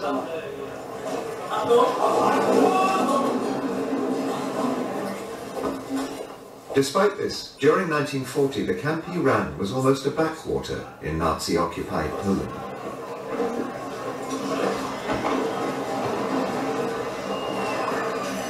All that was about to change.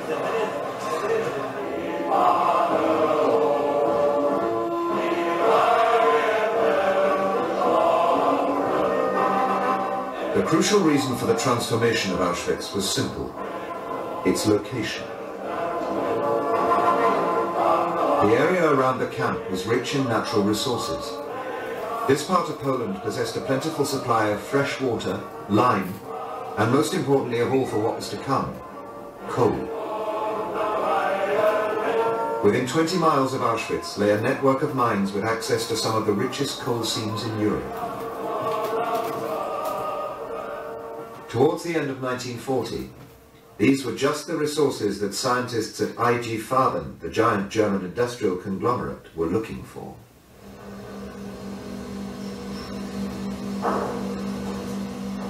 They'd been experimenting for years in how to make synthetic rubber and fuel, essential raw materials for the German war effort. Water, lime and coal were the most important ingredients they needed. Now they found that Auschwitz was just the right place to site their new factory in the east.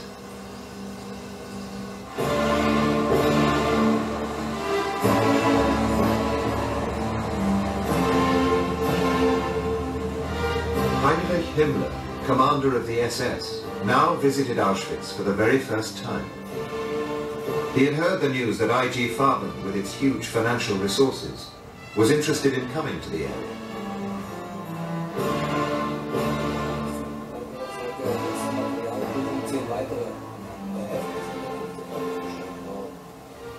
Sind Mannschaftsunterkünfte geplant. Himmler was accompanied on his tour of inspection by Höss, the regional Nazi leader, the Gauleiter, and other senior members of the SS. Und die Häftlinge werden fachlich geschult. Himmler told them that he wanted Auschwitz tripled in capacity from 10,000 to 30,000 prisoners. The camp would be a backwater no longer, but the biggest concentration camp in the Nazi state.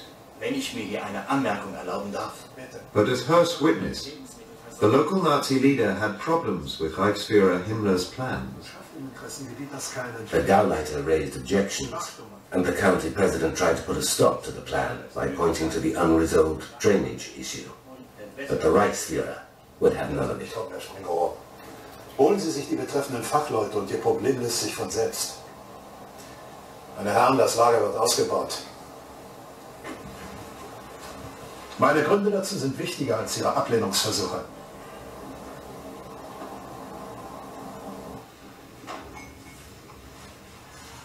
Unsurprisingly, Himmler got his way. A whole series of plans was drawn up over the succeeding months and years, detailing the grandeur, almost megalomania, of the new Nazi vision for Auschwitz. Hidden for decades, the detailed drawings surfaced only shortly before the death of the original German architect.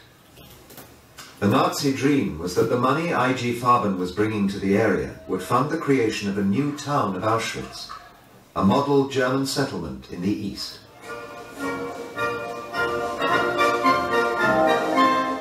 Ethnic Germans would now live here, with those who currently lived in the town thrown out of their homes and deported.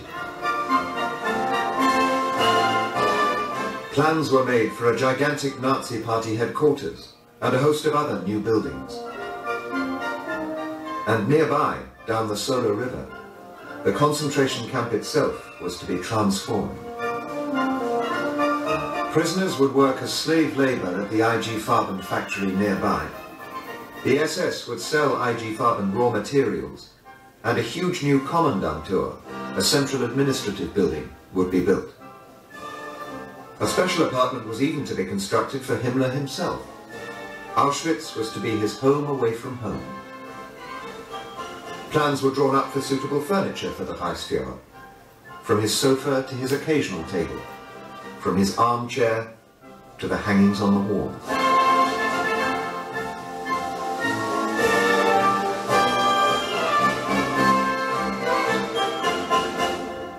Himmler's vision for the new Auschwitz was certainly grandiose.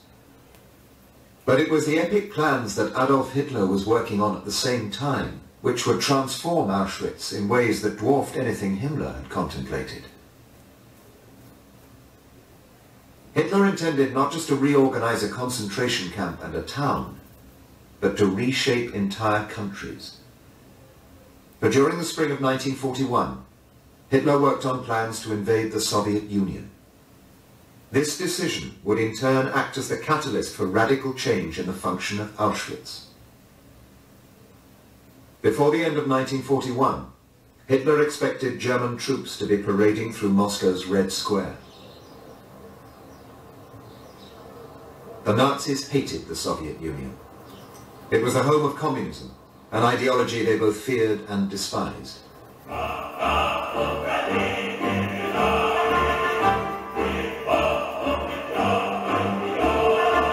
The Nazis believed that it ought not to be hard to defeat Stalin and his Red Army.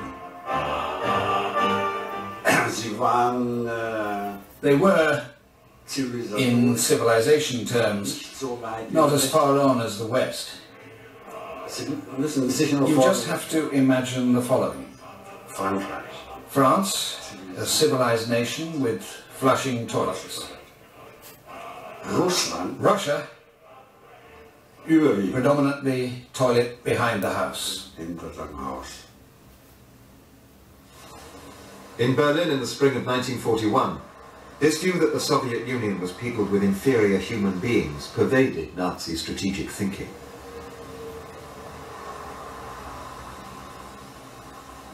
Nazi economic planners worked out how the German army could be fed once the invasion was launched. Thought it legitimate to plan mass starvation. sollten wir uns über eines im Klaren sein. Die Überschüsse Every word spoken here is taken from Nazi memoranda and minutes of economic committees held just before the war against the Soviet Union began. Das heißt, wenn wir irgendetwas aus Russland herausholen wollen, muss der Konsum entsprechend herabgedrückt werden. Armut und Hunger erträgt der russische Mensch schon seit Jahrhunderten. Sein Magen ist dehnbar, daher kein falsches Mitleid. Und machen wir uns nichts vor. Zig Millionen Menschen werden verhungern, wenn von uns das für uns Notwendige herausgeholt wird. Wir haben keine andere Wahl.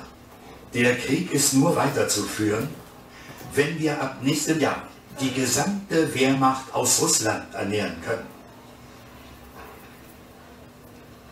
So ist es. So even before the war started, the Nazis envisaged the extermination of large sections of the Soviet population. Sie würden die Durchhaltemöglichkeit Deutschlands im Kriege unterbinden. This was to be a war of annihilation. Darüber muss absolute Klarheit herrschen. In the weeks after their invasion of the Soviet Union, the Germans took three million Soviet prisoners. Within nine months, two million of them were dead. Many starved to death in German captivity.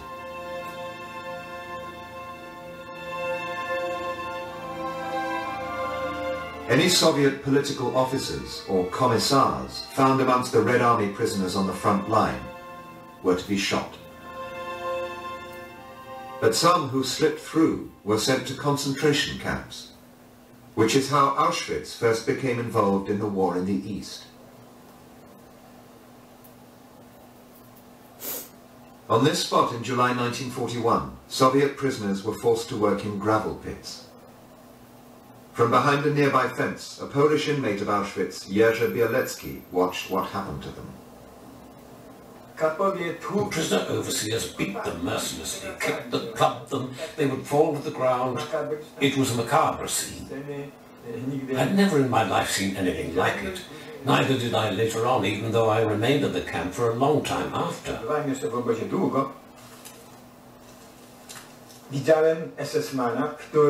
I saw an SS man, a junior officer, walking around the gravel pit with a pistol in his hand. It was sadism. You dogs, you damn communists, you pieces of shit. Horrible words like these. And from time to time, he would direct the pistol downwards and shoot. It wasn't just the Soviet prisoners of war who were to suffer as the Nazis moved east. It was the Soviet Jews as well. The Nazis, hardened anti-Semites, believed that the combination of Slavs, Jews and communism was particularly dangerous. There were connections between Jews and Bolsheviks. There was sufficient evidence for the fact that there were connections between the two. The Nazis spouted any number of similar prejudices about the Jews, even claiming there was an international Jewish conspiracy against them, and that the Jews had somehow lost Germany the First World War. Their delusions knew no bounds. Das sind jene Ostjudentypen, die besonders nach dem Weltkriege die Großstädte Mittel- und Westeuropas überschwemmten, wo sie als Parasiten ihre Gastvölker zersetzten und tausendjährige Kulturen zu vernichten drohten. Wo sie auch auftauchten, brachten sie Verbrechen, Korruption und Chaos mit sich.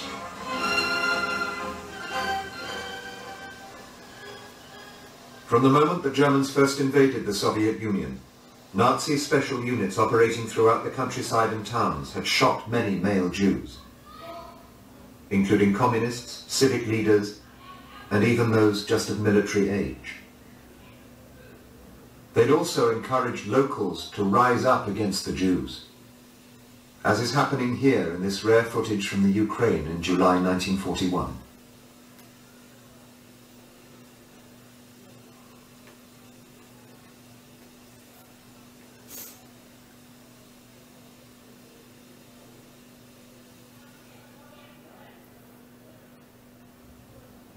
After a series of meetings between Hitler and Himmler in the summer of 1941, there was an escalation in the persecution of the Soviet Jews.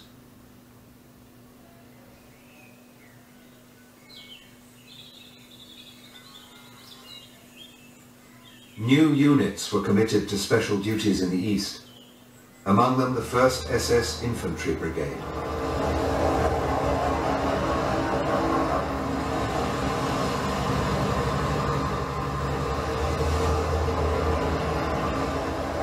In a typical action, they approached the town of Ostrog in the western part of the Ukraine on August 4, 1941, where over 10,000 Jews from the surrounding area had been gathered together. Among them were 11-year-old Vasil Waldmann and his family. They were now at risk. The Nazi killing squads in the east had now begun to target Jewish women and children as well as men. We knew something would be done to us here. When we saw people hit and driven along here with spades, even small children realized why people were carrying the spades. One of the members of the 1st SS Infantry Brigade at the time was Hans Friedrich. He claims not to recall exactly which actions he took part in that summer, but he does admit to participating in killings like the one in Ostrog. Die waren ja dermaßen. They were so utterly Geschockt. shocked and frightened. You could do with them what you wanted.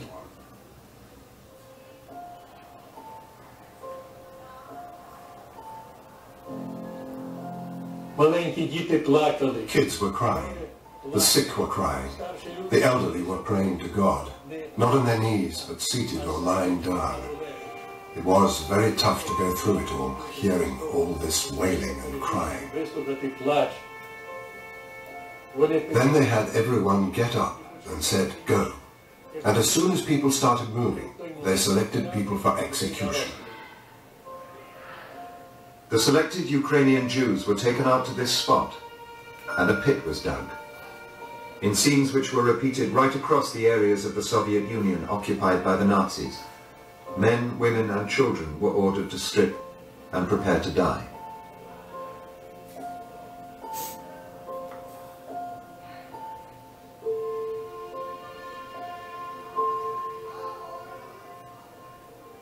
Versuchen sich vorzustellen, da ist ein Try to imagine there is a ditch with people on one side and behind them soldiers. Und dahinter stehen. That was us and we were shooting.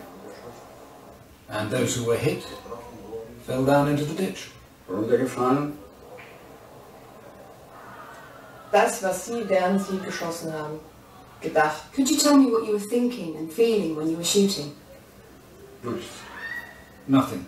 Ich habe nur I only thought überlegt,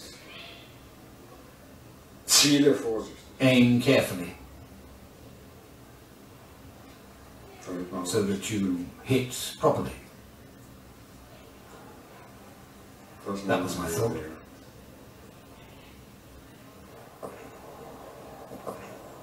Das war die einzige Überlegung. This was your only thought. During all that time you had no feelings for the people, the Jewish civilians that you shot? No. And why not? Und warum nicht? That's Because my hatred towards the Jews is too great. Und ich gebe zu, mein Denken ist... And I admit my thinking on this point is unjust. I admit this. Aber was ich von frühest... But what I experienced from my earliest youth, when I was living on a farm, what the Jews were doing to us, well, that will never change. That is my unshakable conviction. As he grew up in the 1930s in an atmosphere of vicious anti-Semitism, Hans Friedrich came to believe that local Jewish traders had cheated him and his family. Was in Gottes Namen hatten die Leute... What in God's name did the people you shot have to do with those people who supposedly treated you badly at home? Hause schlecht behandelt haben. Sie waren... They simply belonged to the same group. What else? Was sonst? Was hatten die What else did they have to do with it? Nothing. But to us, they were Jews. waren für uns Juden. Though I was a small boy at the time, I understood what Nazis were. I had no idea before, But afterwards, I was thinking all the time, what makes these people so cruel? What makes them beasts? The killings went on into the evening. Vasil Waldmann and his mother managed to escape and hide in a nearby village. But the SS killed his father, grandfather, and two uncles. That's how it was, the first execution, the most horrible one.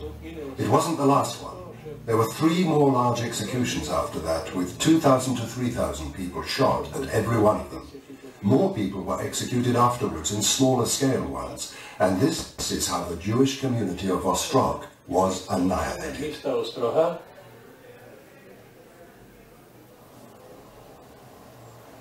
At the same time as the mass shootings of Jews in the Soviet Union, there was also an escalation in the killing of Auschwitz prisoners. Yeah. For the first time, inmates of Auschwitz were to be killed by gassing, but not in the way for which the camp was eventually to become notorious. Aber das muss ich Ihnen ja nicht erzählen. Höss received news that doctors from the so-called adult euthanasia program would visit the camp. They were looking for those prisoners who could no longer work. Wird ja wohl nicht lange dauern. Jawohl. Jawohl, ich kümmere mich darum. Heil Hitler. Members of the Nazis' adult euthanasia program had up to now been targeting the mentally and physically disabled, many of whom lived in asylums like this. They were a section of the population long demonized by Nazi propaganda. Das deutsche Volk kennt das ganze Ausmaß dieses Elends wohl kaum.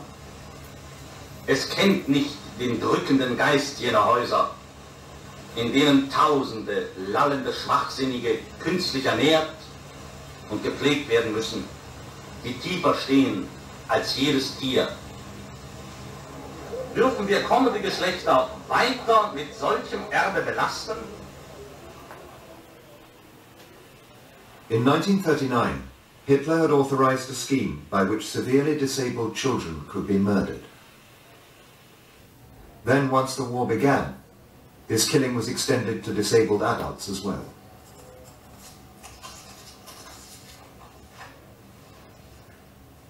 The selection was straightforward. A doctor would examine a report on the patient, and then if he thought they were suitable candidates for the scheme, he would mark the form with a red cross. Two other doctors separately marked identical forms, and a majority vote decided the patient's fate. The doctors met neither each other nor the patient before reaching their verdict. Those selected to die were taken to special institutions inside Germany, like this one, the Sonnenstein Clinic near Dresden.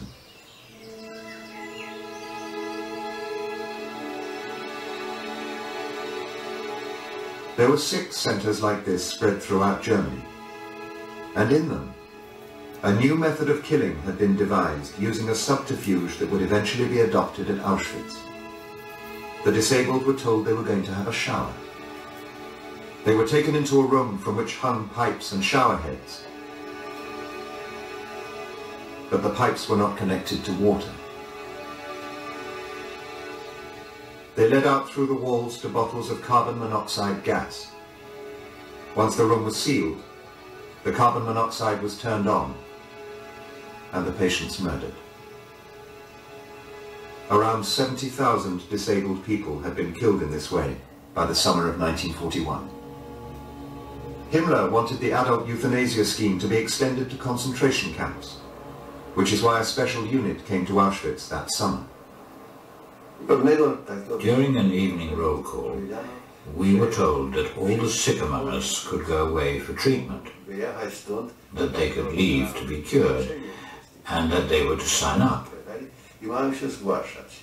Of course, it was said that they would be going for treatment, and in the camp, some people believed it.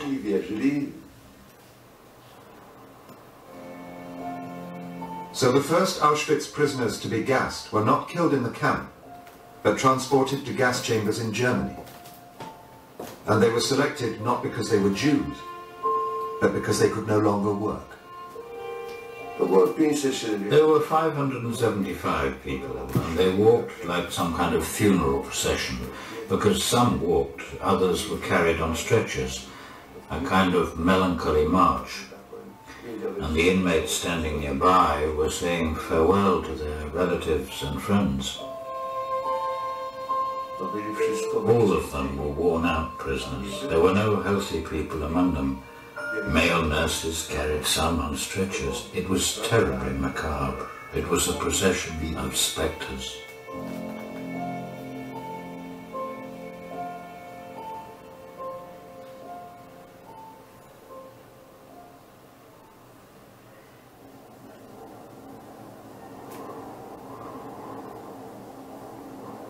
Two weeks after the sick were taken from Auschwitz, Heinrich Himmler visited the Soviet Union. A visit that was to be of great significance in the development of the Nazis' extermination program. The discovery in the 1990s of Himmler's appointment diary for this crucial period allows his precise movements to be tracked. He drove to the outskirts of Minsk and on the morning of Friday, August the 15th, 1941, he watched an execution of Jews and alleged partisans. The sight must have been similar to this execution, filmed around the same time on the sand dunes of Liepaja in Latvia.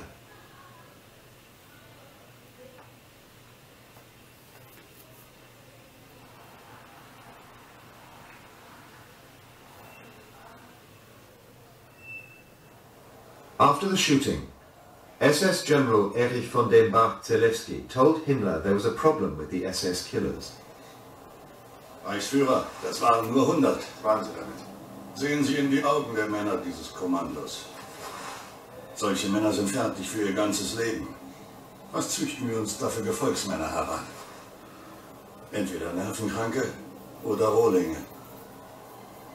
Bach-Zelewski knew that all over the Soviet Union in the summer of 1941, the Nazis and their collaborators were murdering women and children at close range and in cold blood.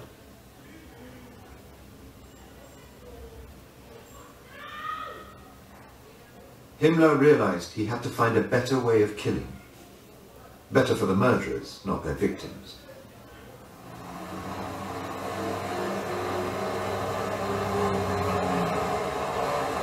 Which is why SS Lieutenant Dr. Albert Widmann of the Technical Institute of the Criminal Police travelled into Eastern Europe. Widmann and his colleagues had been involved in the experiments which had led to the use of bottled carbon monoxide to kill the disabled. But he knew that it would be expensive and difficult to send canisters of carbon monoxide all the way to the new killing locations far from Germany. So he had to find a new way forward. Which is why he drove into the Soviet Union, followed by a truck carrying boxes of high explosive.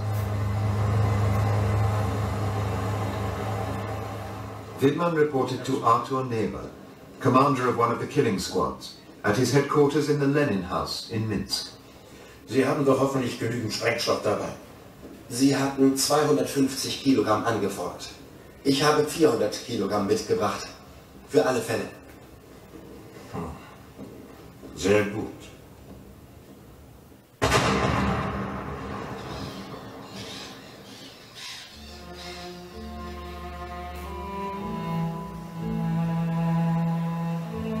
The bunker totally collapsed.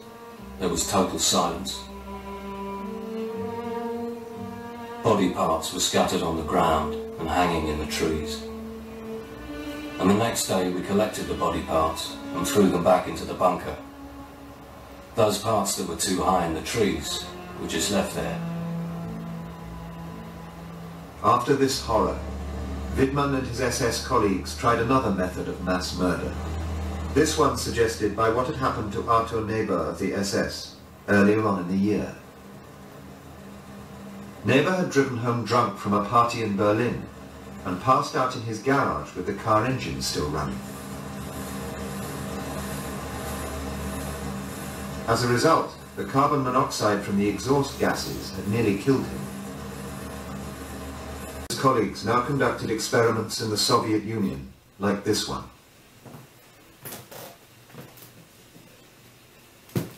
This film is believed to show patients from a Soviet hospital being locked in a room which was connected to the exhaust pipes of a car and a lorry.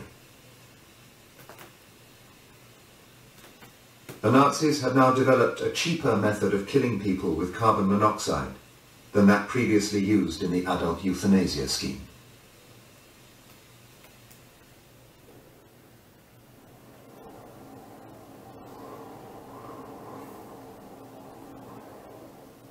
Around the same time as these gassing experiments were being conducted in the East, the authorities at Auschwitz were innovating new ways of murder as well.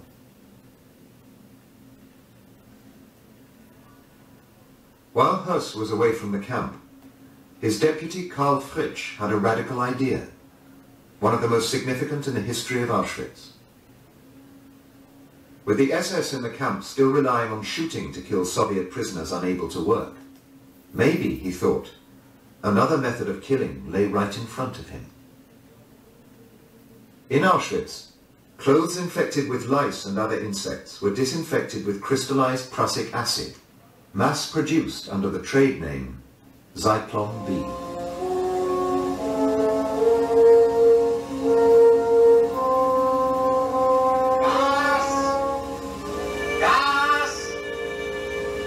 Das Zyklon dient der Schädlingsbekämpfung und damit unmittelbar der Erhaltung volkswirtschaftlich wertvoller Güter, insbesondere auch der Erhaltung unserer Volksgesundheit.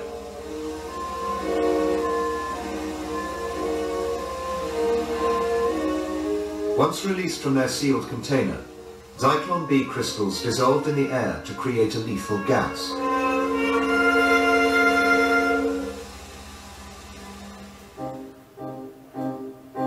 Fritsch chose Block 11 in Auschwitz to conduct his first experiment with Zyklon B. This was the most feared location in the camp, a prison within a prison.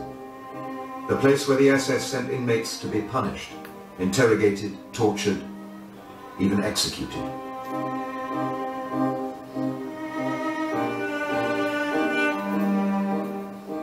In Block 11 were standing cells where prisoners would be crammed together, scarcely even able to breathe, and starvation cells where inmates would be locked up, deprived of food, and left until they died. Everyone in Auschwitz knew of the reputation of Block 11. I personally was afraid of walking past Block 11. Personally, I was afraid. Although it was closed off, I was really scared to walk past there. Whether it was the avenue when I was walking there or what, I was afraid. Block 11 meant death. On a day in late August or early September 1941, Fritsch ordered that the basement of Block 11 be prepared for the use of Zyklon B. Doors and windows were sealed. The whole block locked down. Our attention was drawn, many of my colleagues saw this, by SS men running around with gas masks. The windows of the bunker had been covered up with sand. And in the bunker, the cells of the bunker in the south. Soviet prisoners of war were assembled. And it turned out the following day that the SS, actually it was Palitzsch in particular who attracted attention, because he was running around like crazy. It turned out that the gas hadn't worked properly, and that many of the prisoners, the people, were still alive. So they increased the dosage added more crystals, and finished the job.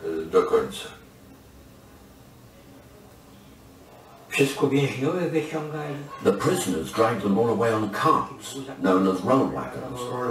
They took them to the crematorium because the crematorium was already being used.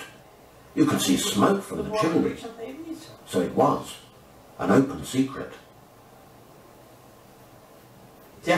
How does a person feel?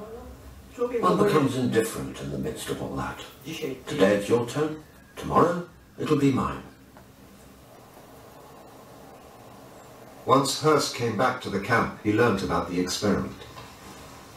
Ich habe eine Entdeckung gemacht, die Sie interessieren könnte. Uh-huh. When I returned, Fritsch reported to me about how he had used the gas. He used it again to kill the next transport of Russian prisoners of war.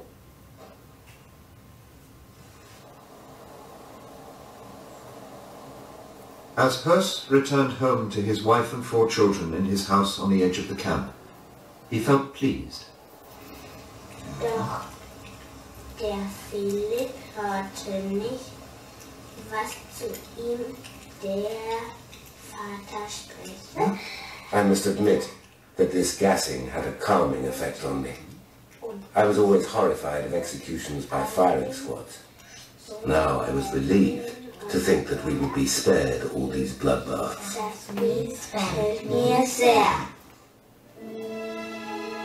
Höss was wrong. He was about to oversee an even greater bloodbath.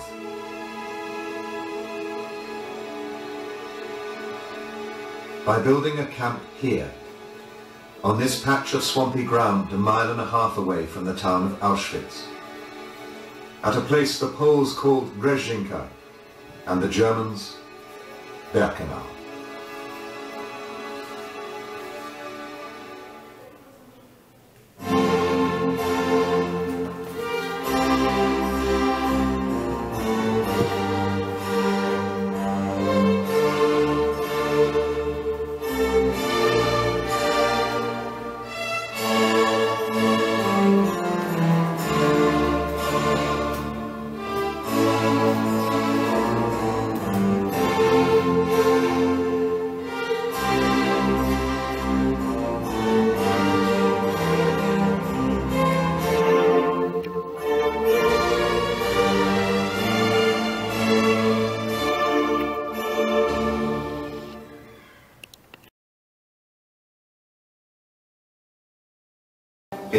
1941, Auschwitz concentration camp in southwest Poland was still a place where the vast majority of inmates were Polish political prisoners. But all that was about to change. Over the next few months, the Commandant Rudolf Höss began to transform the camp. Hauptsturmführer, wie geht's mit dem Kriegsgefangenenlager voran? And as new arrivals entered Auschwitz, Höss and his colleagues experimented with new ways of killing in buildings like this. I could see everything that was going on, as though it were laid out in the palm of my hand.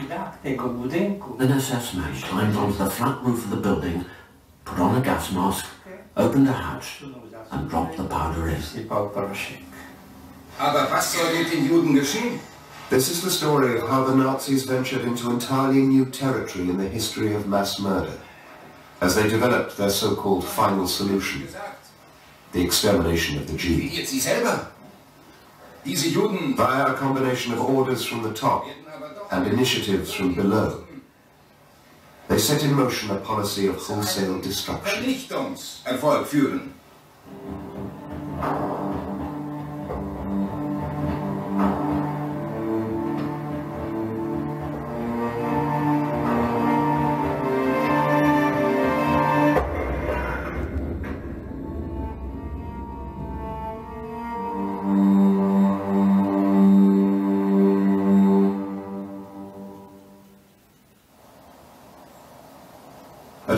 Concentration camp in October 1941, a radical initiative was being implemented.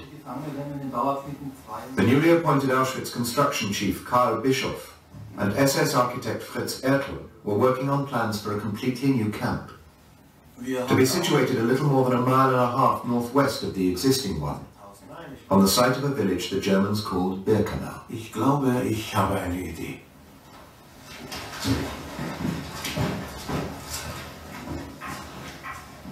This new camp was to be the size of a small town, capable of holding 100,000 people.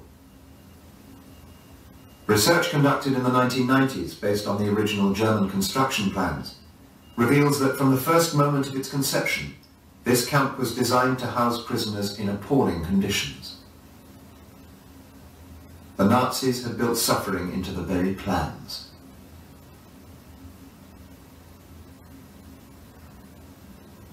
A concentration camp in Germany, this was the total space three inmates had to live in. Here at the new camp in Auschwitz, the original plan was to cram nine prisoners into the same space, 550 in every barrack. There was no running water, no proper flooring, and jamming so many people together in each hut meant that this was the perfect breeding ground for disease.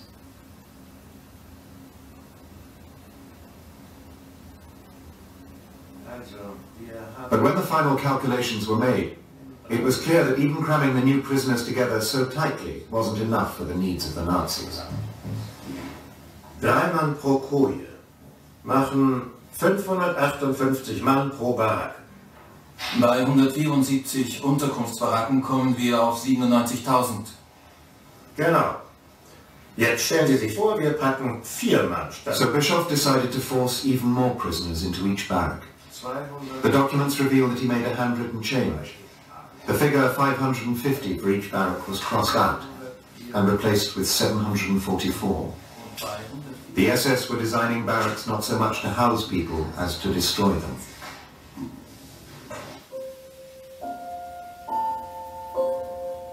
Surprisingly, the new camp they were designing at Auschwitz wasn't initially intended to take Jews at all, but people like these, Soviet prisoners of war. The Nazis considered them subhuman.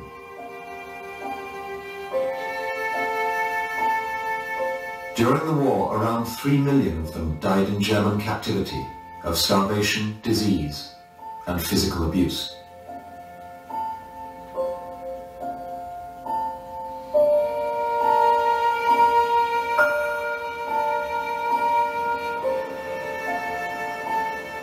Autumn of 1941, 10,000 Soviet prisoners of war arrived to begin construction of the new camp, Auschwitz-Birkenau.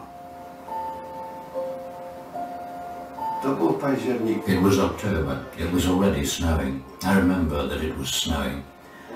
They were unloaded at the railway ramp at the goods station. They were exhausted. It was difficult for them even to move. It is hard to imagine a human being in rags, dirty, starved, sick. It was simply a caricature of a human being. Only a few hundred of the 10,000 Soviet prisoners of war survived until the following spring. One of those who did was Pavel Stenkin.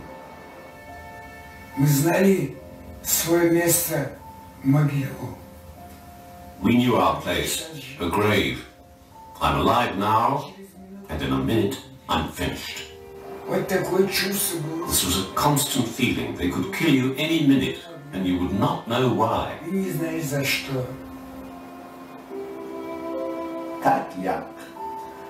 The way the Germans, the SS and the overseers amongst the prisoners tormented the POWs, they didn't even beat us as hard. I don't know why, but if a prisoner overseer didn't kill seven or ten a day, he probably couldn't sleep. That's how we interpreted it. Люди помирали от голода, от болезней, People were dying from starvation, from diseases, and from beatings. You'd go to bed and you were still alive. And by morning you were dead. Конечно, трудно. Смерть, смерть, смерть. Ночью Death, death, death. Death at night, death in the morning, death in the afternoon. смерти. Death. We lived with death. How could a human feel? Dies wird doch wohl erst möglich sein, wenn die Probleme von Wassermangel The man in charge of all this suffering, Rudolf Höss, commandant of Auschwitz, held routine meetings at 9 o'clock every Tuesday and Friday morning to discuss the running of the camp with his senior officers. Zwei Baracken in Bauabschnitt 1 sind fertiggestellt, weitere zwölf sind fast fertig. From the study of Nazi documents recently discovered in Moscow, it's clear that in the autumn of 1941, Höss and his colleagues were focusing on Birkenau's future role as an immense prisoner of war camp not as a place to murder Jews. Aber unter gegebenen Umständen. It would take several months and many twists and turns before they would wrestle with the task of turning Auschwitz-Birkenau into a place where Jews were gassed in giant killing factories.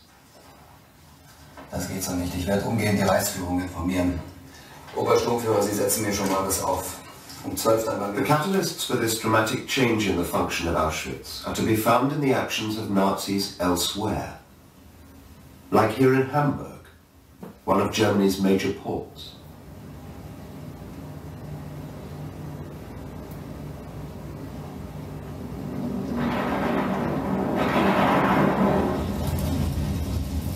Hamburg's most prominent local Nazi was about to use the bombing of the city by the RAF to escalate the persecution of the Jews still further.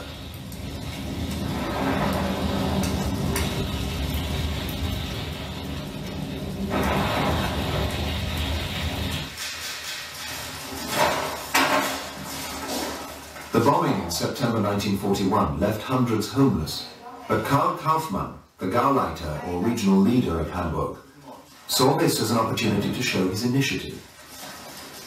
So he dictated a letter to Adolf Hitler. Ich bitte daher um die Genehmigung, die Juden des Gaus Hamburg nach dem Osten evakuieren zu lassen, um zu ermöglichen, dass wenigstens zu einem gewissen Teil den Bombengeschädigten wieder eine Wohnung zugewiesen werden kann. Requests like this one from Kaufmann coincided with Hitler's own prejudices and desires. He had wanted to remove the Jews for years. Like many on the nationalist right, he believed in the delusion that the Jews had lost Germany the First World War, and that there was an international conspiracy of Jews against them. From the moment the Nazis came to power, Hitler had ensured that the Jews of Germany were persecuted. They quickly became the scapegoats for all of Germany's ills.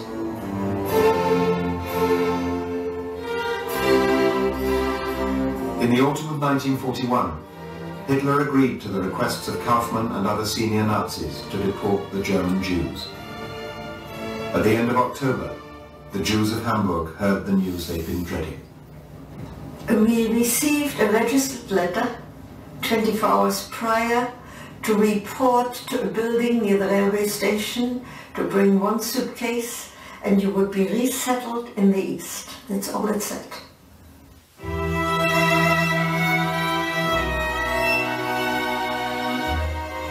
In scenes that were eventually to be repeated right across Germany, the German Jews packed their belongings and prepared to leave, in full view of their non-Jewish neighbours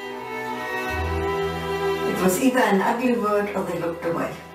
It made us angry, but more than that, it made us terribly afraid.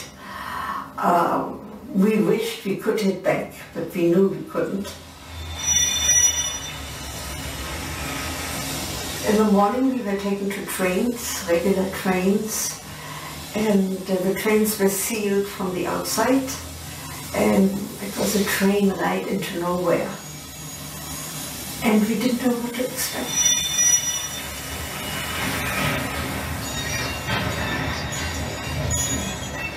None of these German Jews was sent straight from Hamburg to Auschwitz.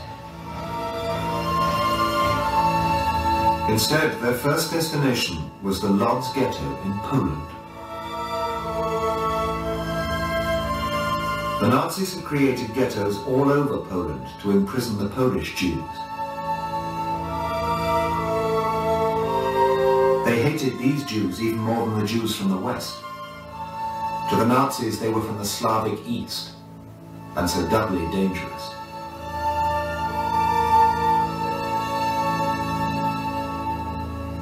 This was the shocking new environment into which the Hamburg Jews were now placed, as they arrived in Lodz on the morning of the 26th of October 1941. There were 1,150 people with the Jewish ghetto police walking us into the ghetto and it was a two-hour walk. We saw people within the ghetto. They looked ragged, they looked tired, They looked drawn and they paid us no attention. We saw an area that resembled a slum, except none of us had ever seen a slum. But we assumed this was it.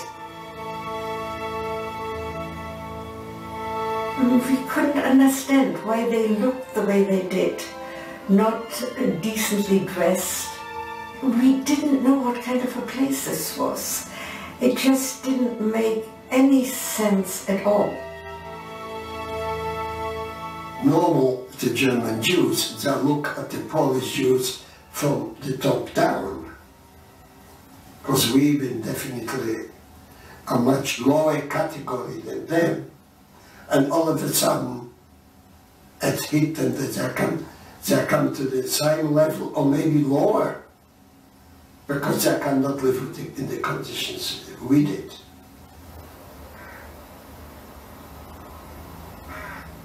With the arrival of the German Jews, the Lodz ghetto became more overcrowded than ever, and the local Nazi authorities sought ways of reducing the ghetto population. Which is why, in the autumn of 1941, Walter Burmeister of the SS drove his boss Herbert Lange across Poland. Burmeister later recalled what Lange had told him about the purpose of the trip. Um das von vornherein klarzustellen, es besteht absolute Schweigenpflicht. Ich habe Befehl, in Kulmhof ein Sonderkommando aufzustellen. Dazu werden dort noch andere Mitarbeiter aus Posen und von der Stabostelle Litzmannstadt eintreffen. Es steht uns eine harte, aber wichtige Aufgabe bevor. Herbert Lange had until recently been employed in the Nazis' adult euthanasia program, murdering the disabled.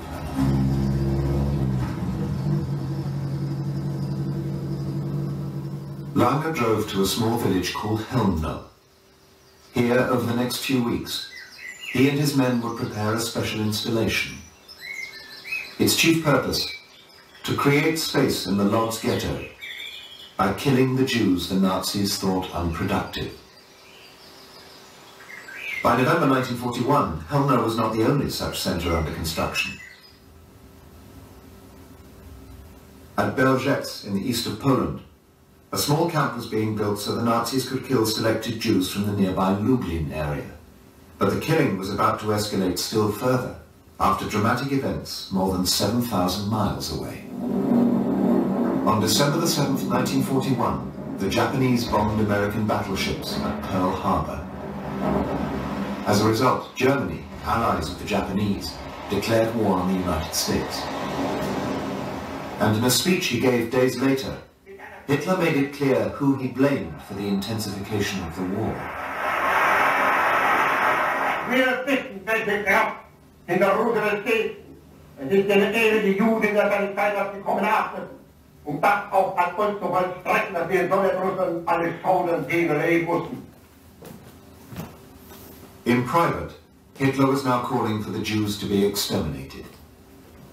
And one of the leading Nazis who heard him speak of mass murder lived here in Krakow in Poland. On December the 16th, 1941, just days after meeting with Hitler, he spoke to a carefully selected group of senior army officers, SS and local Nazi party administrators.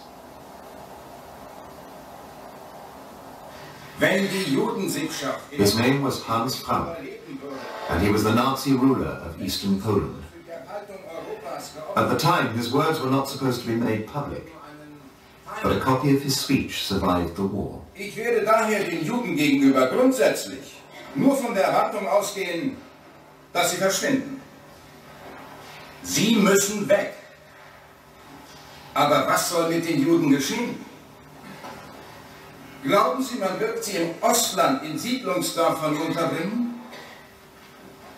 Man hat uns in Berlin gesagt, liquidiert sie selber. Diese Juden können wir nicht erschießen, werden aber doch Eingriffe vornehmen müssen, die irgendwie zu einem Vernichtungserfolg führen.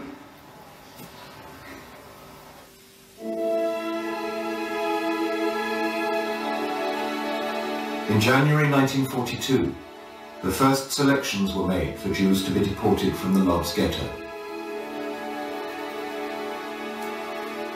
We did not want to leave, or most people in the ghetto did not want to leave, because you figured the misery you knew would be better than the misery you didn't know. The selected Jews were taken here to Herbert Lange's new improvised extermination facility at Chełmno.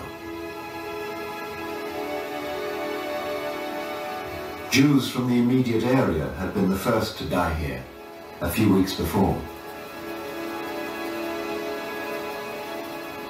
The Nazis blew up the large house which was the center of the killing operations in order to hide evidence of their crime. This is one of the few photos that remain of the house itself. But evidence gathered after the war allows a picture to be constructed of what the Nazis did here. The Jews from Lodz were told to undress. They were then pushed down a corridor in the basement of the house, up a ramp, and into a small windowless chamber. Doors were then slammed behind them. They'd been locked in the back of a van.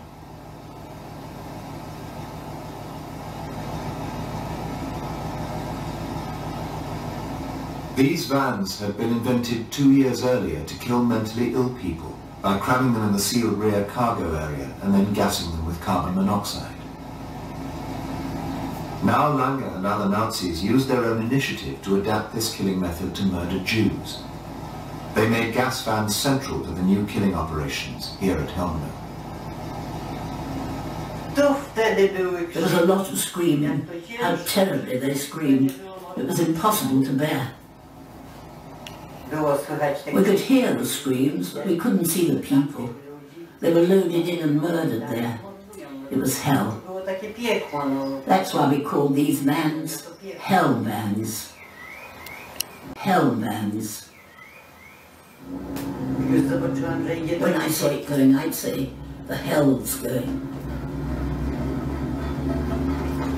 The vans carrying the bodies of the Jews who had been gassed were driven two miles through remote country roads to a nearby forest and buried in a clearing. Many of the Germans who worked here at Chełmno believed what they were doing was perfectly legal. As the post-war testimony of Kurt Möbius, one of the SS guards, reveals. Verbrecherische Befehle handelte? Hauptschirmführer Lange hat uns gesagt, dass die Befehle zur Vernichtung der Juden von Hitler und Himmler kamen. Und wir waren als Polizeibeamte so gedrillt, dass wir alle Befehle der Staatsführung als rechtmäßig ansahen.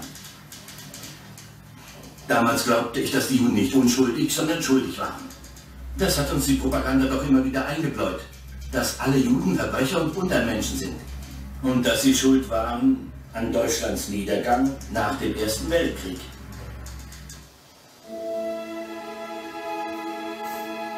Motivated by such anti-Semitic delusions, the Germans created here at Chełmno the first systematic process for the mass gassing of the Jews. But up to now, local Nazi killing operations like this didn't seem to be part of a fully developed strategy.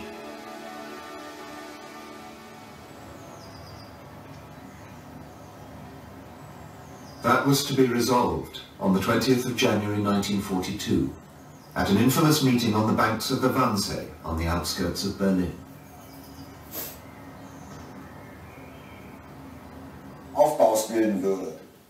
The meeting was called to coordinate the extermination of the Jews, the Nazis' so-called final solution.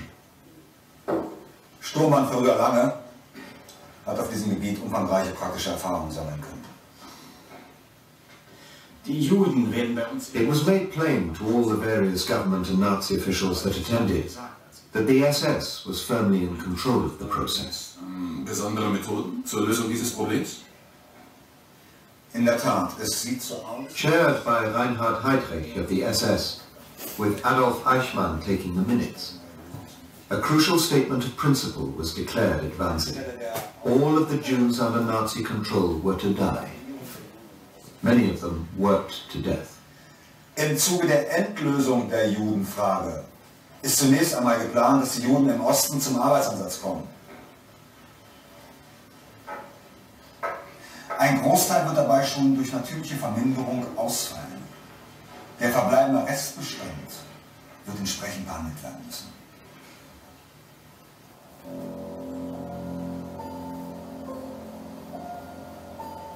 In ghettos like Lodz, the Nazis were pursuing the policy, as Heydrich put it, of eliminating a proportion of Jews through work and then dealing with the rest appropriately.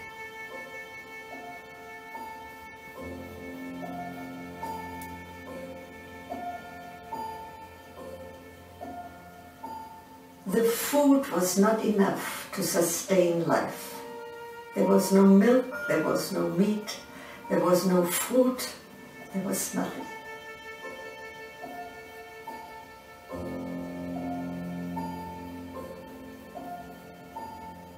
Uh, the local Jews wanted to trade against a pair of shoes or uh, anything else that we had.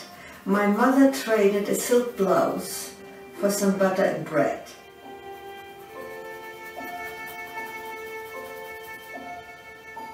In the ghetto, everything was paid for. You had to have somebody's shoulders to stand on. Or protection, which meant connections. And that's how life, how business was conducted. You do me a favor, I do you a favor.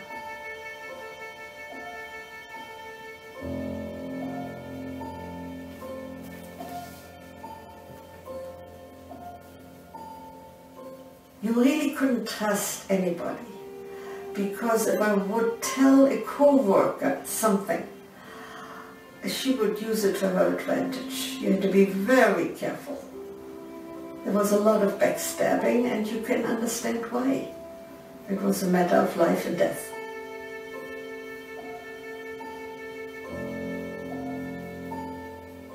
But that was ghetto life. This is what, what life had done to human beings. Whether they were the same before the war, I doubt it very much. One of the most disturbing aspects of how the Nazis ran the ghettos is the way they forced the Jewish leadership to make many life and death decisions. Like how the inadequate supply of food and jobs should be distributed.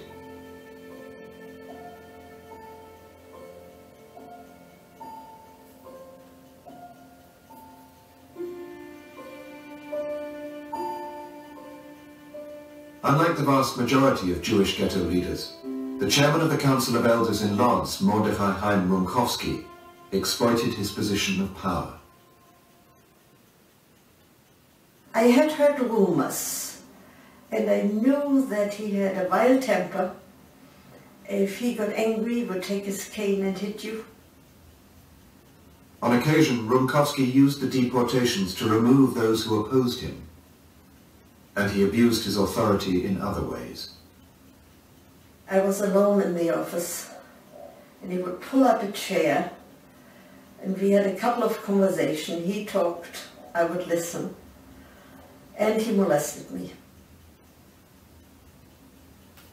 I kept moving away and he kept moving closer and it was a, it was a frightening relationship.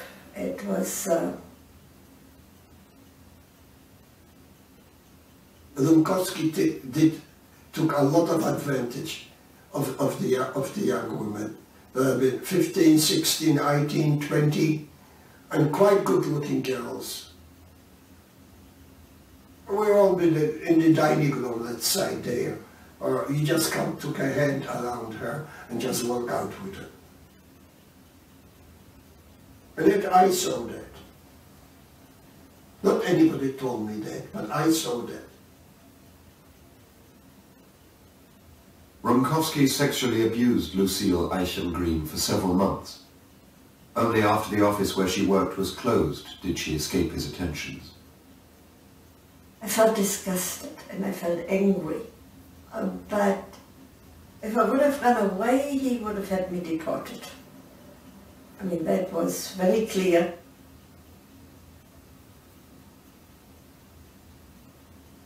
The ghetto left a permanent mark. It showed humanity at its best and at its worst. It made me what I am today. We all sustained damage um, during those years. Eventually, when the ghetto was liquidated, Rumkowski and his family suffered the same fate as 200,000 other Lodz ghetto Jews. They were murdered by the Nazis.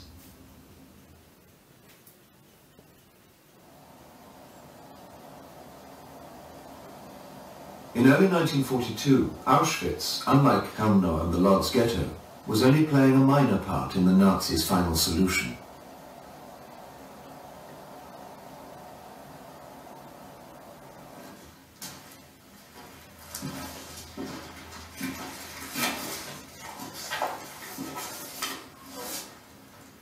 Since September 1941, Höss and his colleagues had been experimenting with the use of Zyklon B, prussic acid, to kill Soviet prisoners of war and the sick in the crematorium of the camp, just yards from his office.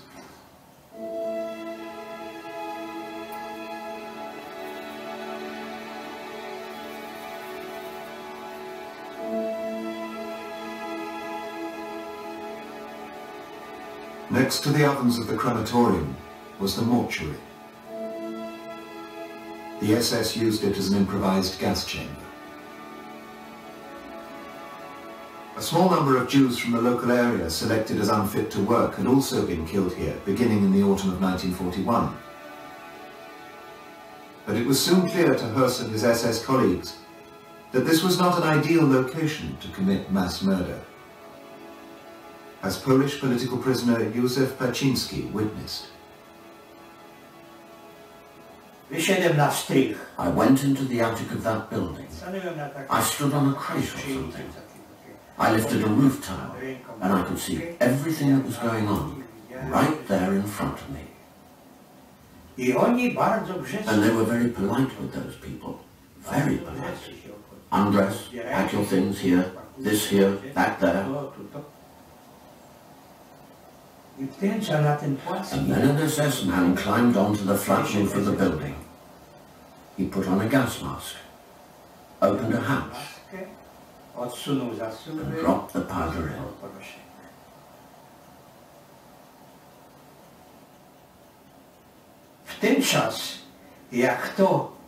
When he did this, in spite of the fact that these walls were very thick, you could hear a great scream from within despite the thick walls.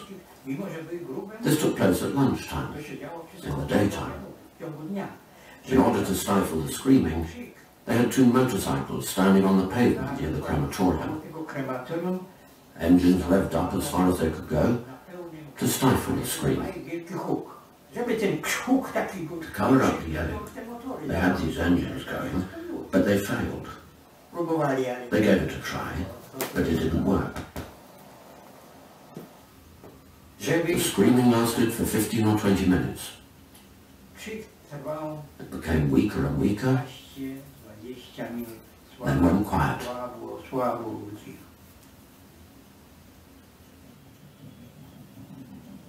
These horrors were only the beginning.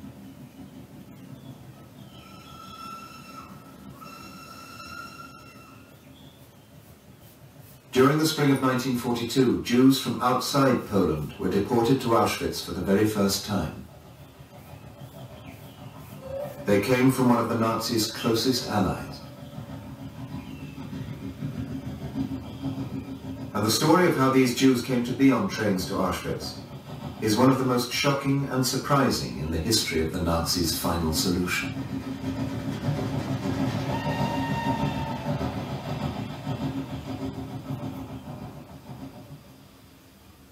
The people on these trains were from Slovakia, many from the capital, Bratislava. Slovakia was a new country, created only in 1939, and the majority of the Slovaks were now fiercely nationalistic.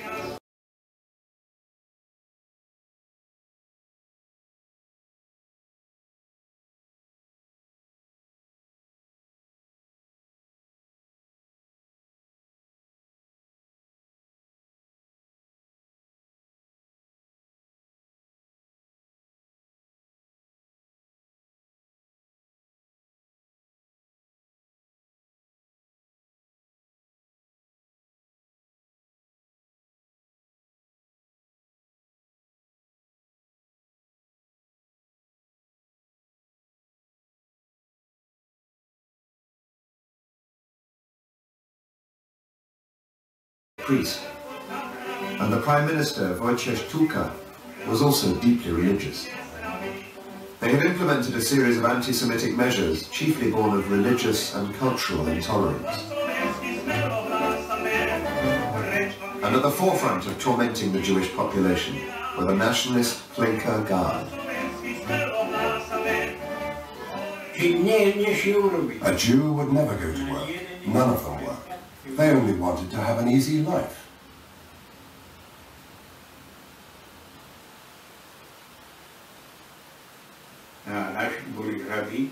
Our people were happy to receive their stores.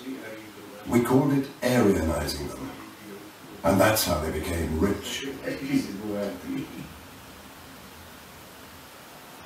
Before the war, Slovakia had a thriving Jewish community of around 90,000.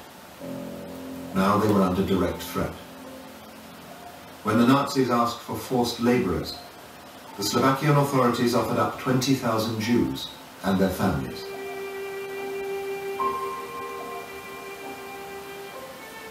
But early in 1942, conflict arose between the Germans and the Slovaks. The Nazis, lacking the necessary extermination capacity, at first didn't want to accept anyone who couldn't work.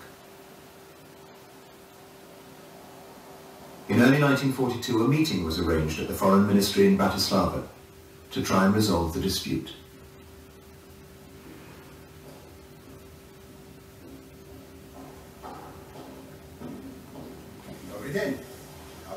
SS Captain Dieter Wisliceny arrived to meet with Prime Minister Tuka and a Slovakian official, Dr. Koso.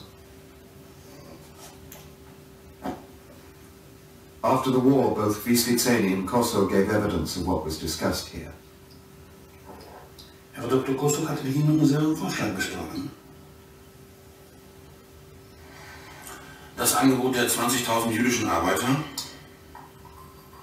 Die slowakische Regierung möchte jüdische Arbeiter zusammenkehren, Familien besiedeln. Wir sehen eine Trennung der Familien als unchristlich. Könnte es sein, Herr Ministerpräsident, dass hier neben dem christlichen Mitgefühl auch materielle Beweggründe eine Rolle spielen? Wir bekommen die Arbeitskräfte und Sie müssen sich dann um den Unterhalt der Familien kümmern. Aber soweit ich es beurteilen kann, fehlen uns die Unterbringungsmöglichkeiten für arbeitsunfähige Juden. Es würden uns hier Kosten entstehen, die durch keine zu erwartende Arbeitsleistung gedeckt werden. Was Kosten betreffen, können wir bestimmt zu einer Einigung kommen. Heißt das, dass Sie die Kosten tragen würden? Das müssen wir sehen. Reden Sie erst einmal mit Oberschnurrkinder Eichmann. Back in Berlin, a deal was brokered. As this document proves, the Slovakian Foreign Ministry agreed to pay the Nazis 500 Reichsmark for each Jew deported. The Slovaks thus offered to pay the Nazis to take their Jews away.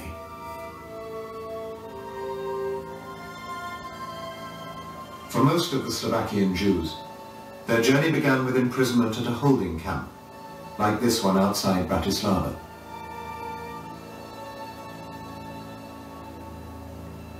Once in these camps, the Slovakian Jews were under the total control of the Hlinka guards.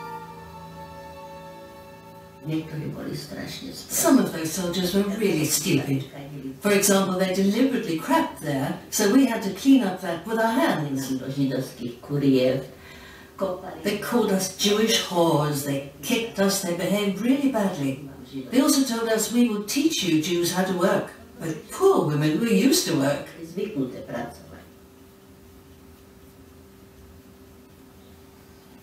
Uh, but Later, when the Jews were coming to the camps, we used to take their belongings and clothes.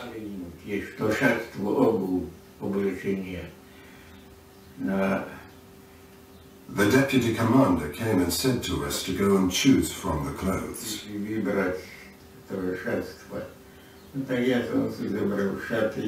I took some clothes. Others did as well.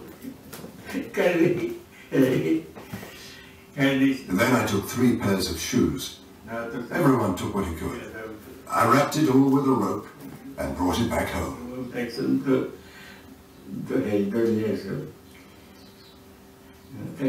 We, the guards, were doing quite well.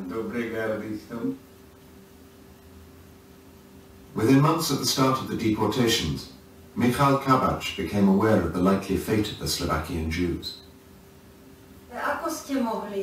How could you personally participate in the deportation knowing those people were certainly going to die? What could I have done? I was thinking both ways. I thought, it will be peace and quiet here. You deserved it.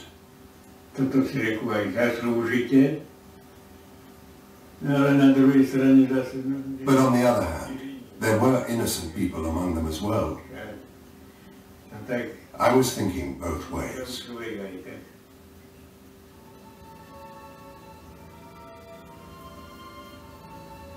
The deportation of Jewish families from Slovakia began in April 1942 and lasted for the next seven months.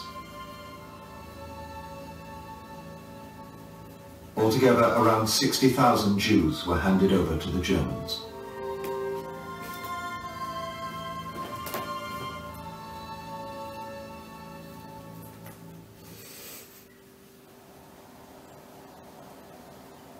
150 miles away at his house just outside Auschwitz concentration camp, where he lived with his wife and four children. Old... The plans from the new camp at Birkenau had changed. Soviet prisoners of war were to be sent as forced labourers elsewhere. Höss now knew that Jews were central to the future of Auschwitz. And it was here, in a remote corner of the site at Birkenau, two miles away from the main camp, that Höss and other members of the SS had found a location for new makeshift gas chambers. In this field stood a Polish cottage which would come to be known as the Little Red House, or Bunker 1. Höss and his SS comrades saw this as a step forward in the killing process at Auschwitz. Two separate gas chambers were quickly improvised by breaking up the windows and door and creating two new entrances. Unlike in the crematorium in the main camp, people could be murdered here in relative secrecy. In this shabby cottage, tens of thousands of people would be murdered. The manner of killing remained the same.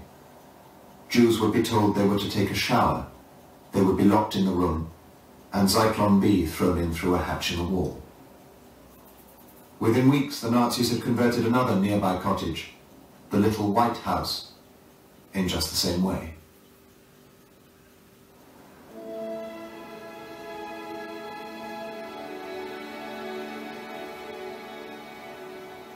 Slovakian Jews arrived at the railway stop two miles from the gas chambers on the 29th of April 1942 and faced selection by the SS.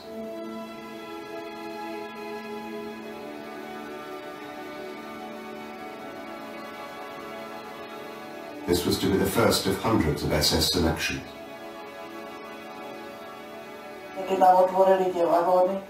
When they opened the train carriages and forced us out, they shouted at us immediately.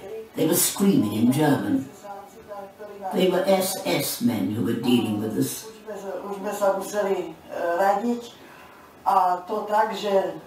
We had to stand in line. Men had to step up first, then women with children, and then old people.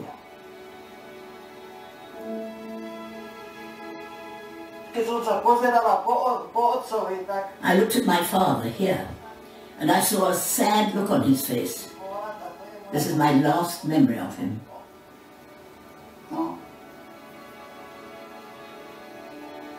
The Slovakian Jews selected to die were taken up past the newly built buildings of Birkenau and towards the isolated gas chambers of the Little Red House and the Little White House. When we were returning from work, we saw people being brought over. They waited there the whole day. They sat there. They still had food from home. And SS men were around them with dogs. They didn't know what was going to happen to them. After the war, while he awaited trial, Rudolf Höss wrote about the process of murder in the converted cottages in the spring of 1942. It was most important that the whole business of arriving and undressing should take place in an atmosphere of the greatest possible calm. Small children usually cried because of the strangeness of being undressed in this way, but when their mothers or members of the Jewish Sonderkommando comforted them, they became calm and entered the gas chambers playing or joking with one another and carrying their toys. Hundreds of men and women in the full bloom of life walked all unsuspecting to their death in the gas chambers, under the blossom-laden fruit trees of the orchard. This picture of death in the midst of life remains with me to this day. I looked upon them as enemies of our people. The reasons behind the extermination program seem to me right.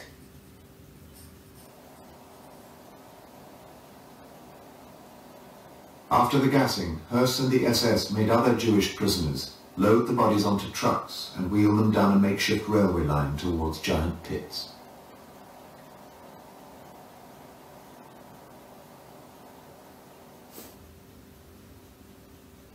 Otto Pressburger was one of the prisoners forced to dispose of the bodies. We were digging holes, and in the beginning, we really didn't know what they were for. It was only when the holes were deep enough that we started to throw the bodies into them. It was appalling. New bodies were lying here every morning, and we had to bury them.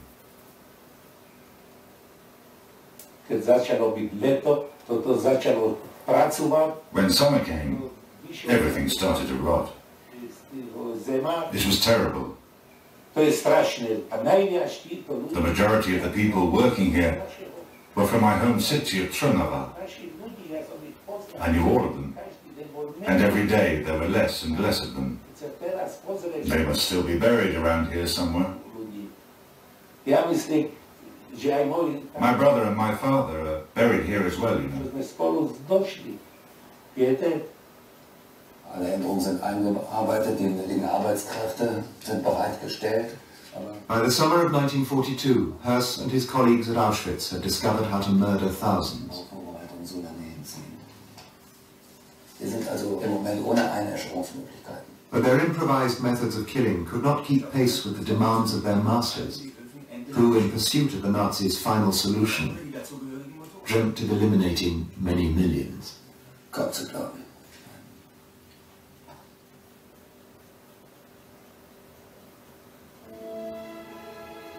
During the next few months, Höss and his colleagues overcame all obstacles and created buildings which would have looked like this, where murder could be committed on a massive scale.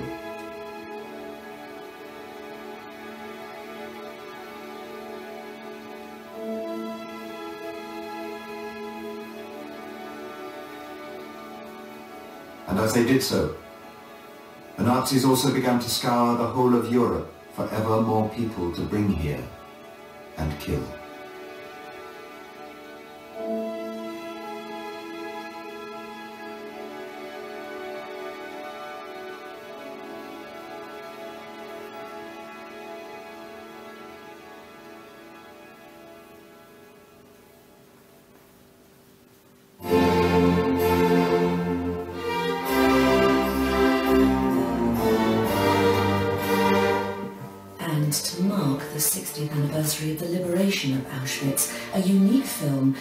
Reflects on the Nazis' use and abuse of music and commemorates the legions who died with a requiem performed in the camp itself.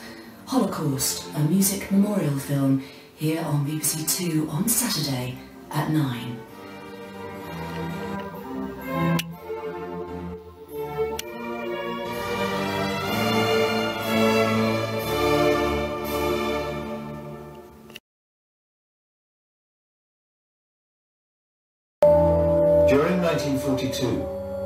Nazis for the first time began to comb the countries of Western Europe in pursuit of their final solution, the extermination of the Jews.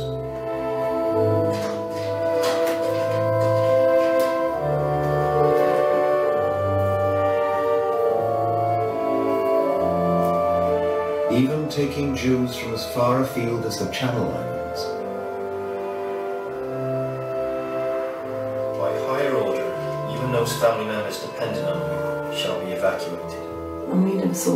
Saw her or heard anything about what had happened to her for 50 years. I mean, it's incredible. At 99. When I knew that, that she died in Auschwitz, I mean, we were, we were, you know, just so upset and horrified. But as the Nazis at Auschwitz and the other camps in occupied Poland were to discover, it was one thing to conceive of mass killing on an epic scale, quite another to be able to carry it out. And how they solved this murderous problem tells us much about their mentality.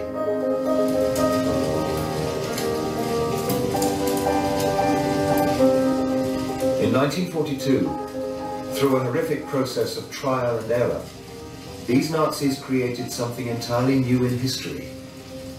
Killing factories capable of murdering millions.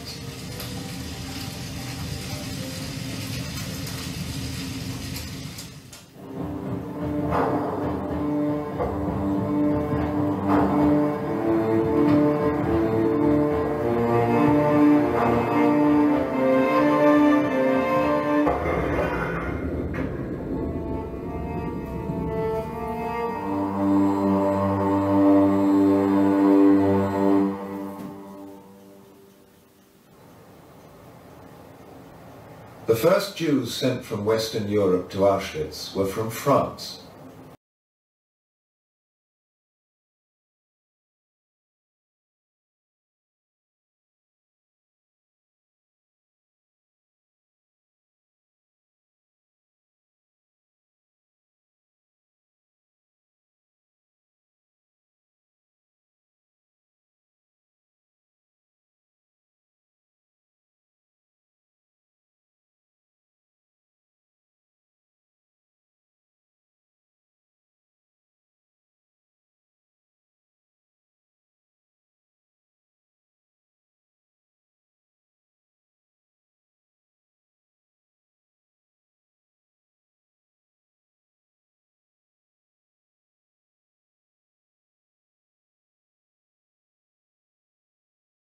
French authorities themselves.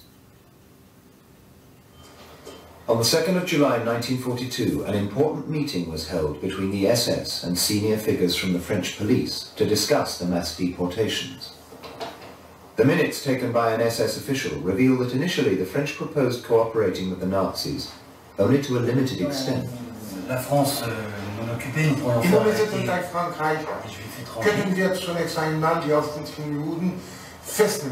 Par contre, euh, des arrestations de juifs par la police française dans les... Aber in besetzte Frankreich wäre die Festnahme von Juden durch die französische Polizei gênant. Si le gouvernement français s'opposait à ces arrestations, il s'attend qu'il n'aurait pas la sympathie du Führer. The French authorities knew that if they didn't cooperate, they faced the anger of the Germans. But they didn't want to hand over French Jews. So this was their solution. Puis-je vous faire une proposition? Nous sommes prêts à arrêter autant de juifs que vous voudrez dans toute la France, y compris dans la zone occupée, mais seulement des juifs de nationalité étrangère.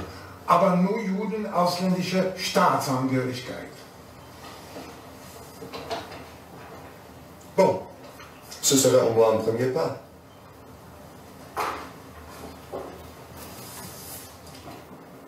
The French authorities, having decided to hand over foreign Jews, organized the first roundup for the early morning of the 16th of July 1942.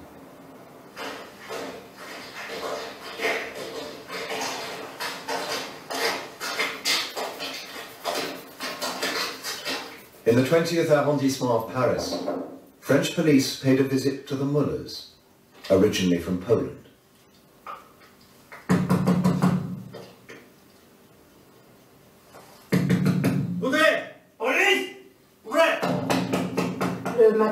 In the morning, we were very violently woken by knocks on the door. And I saw my mother on her knees on the ground, with her arms round the legs of two policemen. Elle suppliait. She was begging them to leave us. De de nous laisser. She was begging them, she was screaming and crying. Elle pleurait.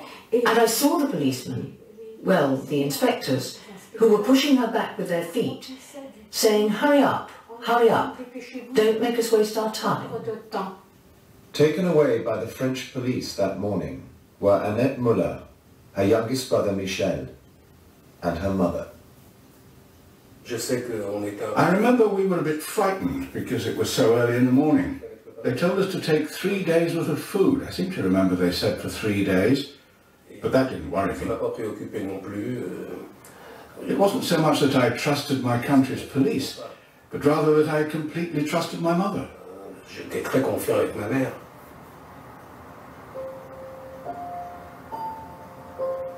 They were taken to a camp much like this one, filled with foreigners, many of whom had previously fled to France in an attempt to escape Nazi persecution.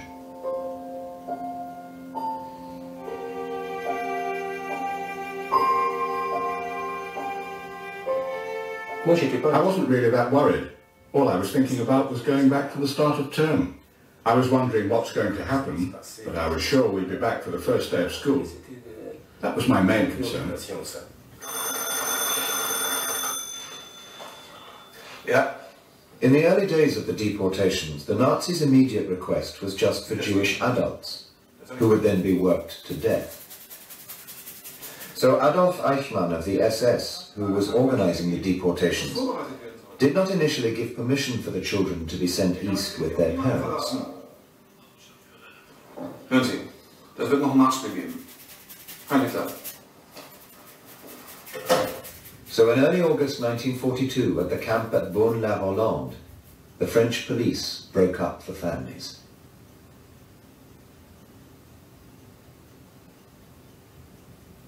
Les policiers ont battu les femmes. Police beat the women back while we children were holding onto their clothing.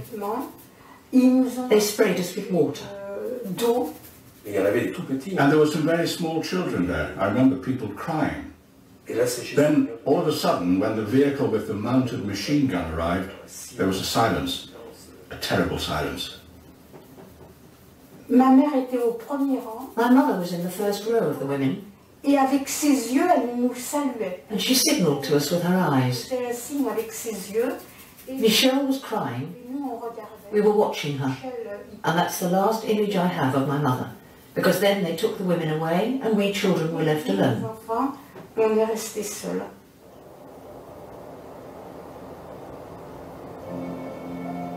Over the next few weeks, the children who had been taken from their parents were...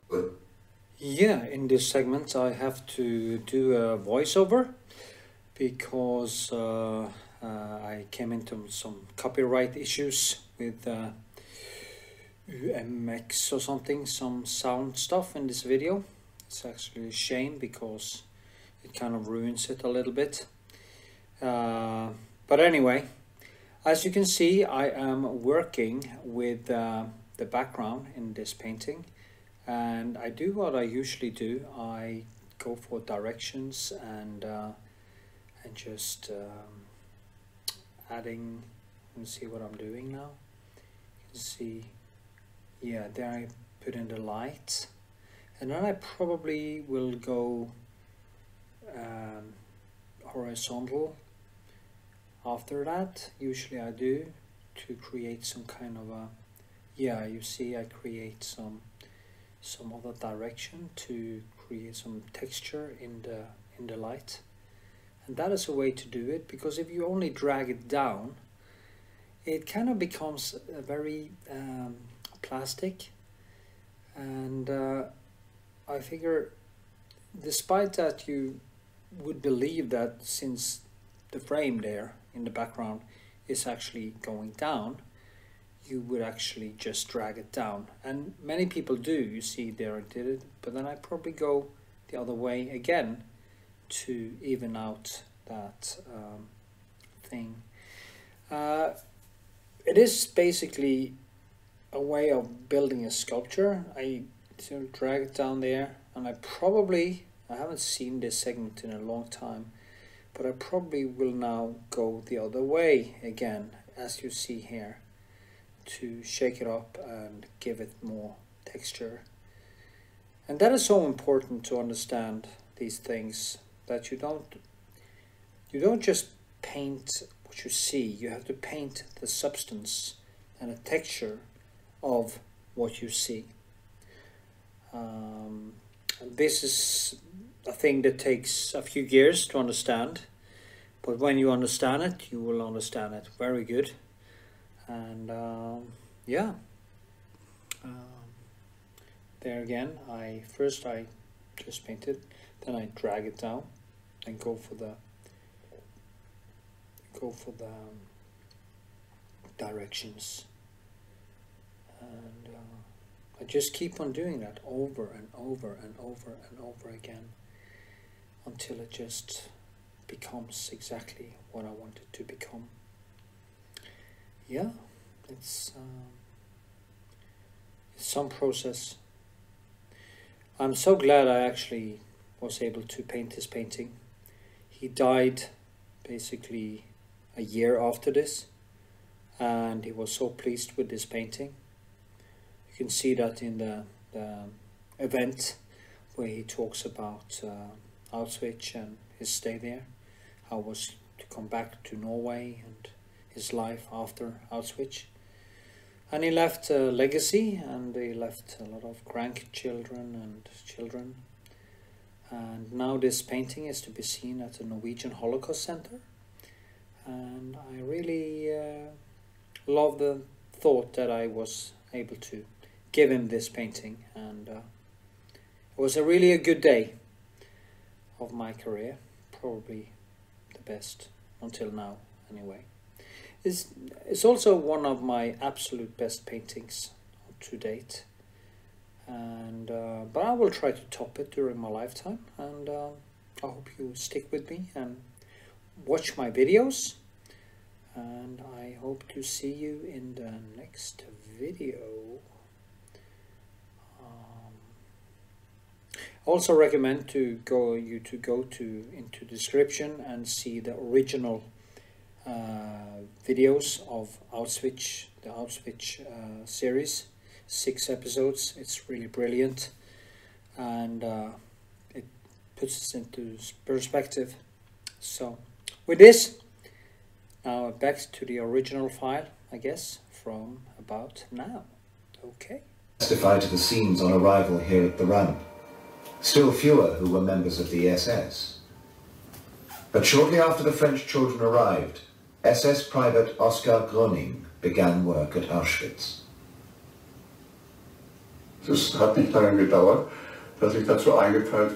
It was not long before I was assigned to supervise the luggage collection of an incoming transport. When this was over, it was just like a fairground. There was lots of rubbish left. And amongst this rubbish were ill people, those unable to walk.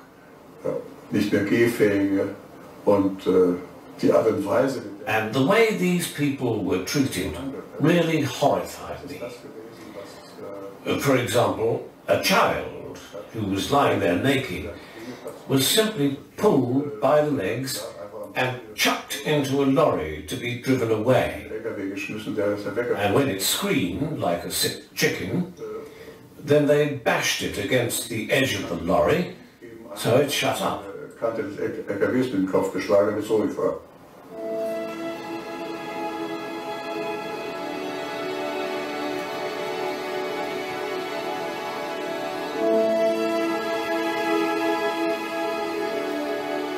The children from France were transported just under two miles from the ramp up to the camp of Auschwitz-Birkenau and onto one of two cottages in the far corner of the complex.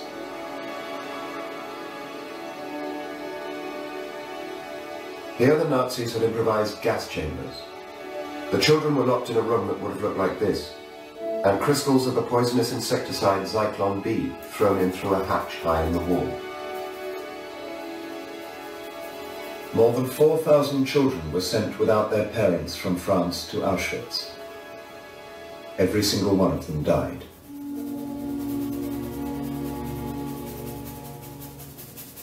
And in the autumn of 1942, Oskar Gröning believed that this appalling crime was justifiable. We were convinced by our worldview that we had been betrayed by the entire world and that there was a great conspiracy of the Jews against us. But surely when it comes to children, you must have realized that they couldn't possibly have done anything to you. The children, they're not the enemy at the moment. The enemy is the blood inside them. The enemy is the growing up to be a Jew that could become dangerous. And because of that, the children were included as well. While Oskar Gröning certainly subscribed at the time to the Nazi delusion of a world Jewish conspiracy, he did not take part directly in the killing. Nor did he want to remain at Auschwitz. Documents confirm he later applied for a transfer to the front, which was refused. So he carried on working at the main camp two miles southeast of Auschwitz-Birkenau. His job here was to sort out and count the money stolen from the arriving transport of Jews and to organize its transfer to Berlin.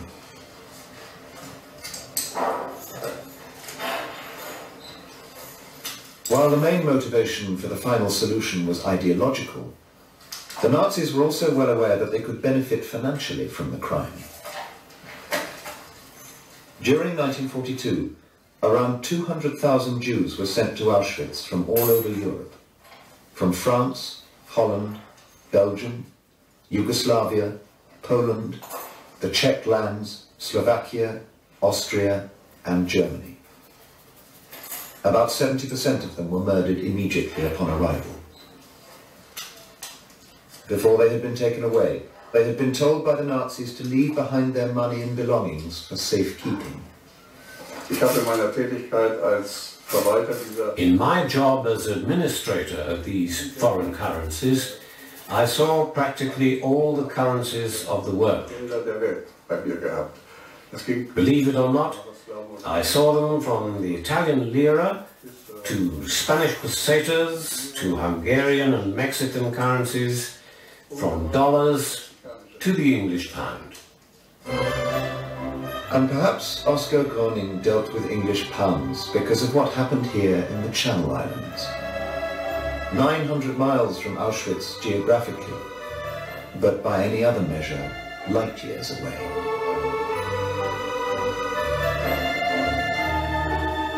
The Channel Islands were famous before the war as a gentle and friendly holiday destination.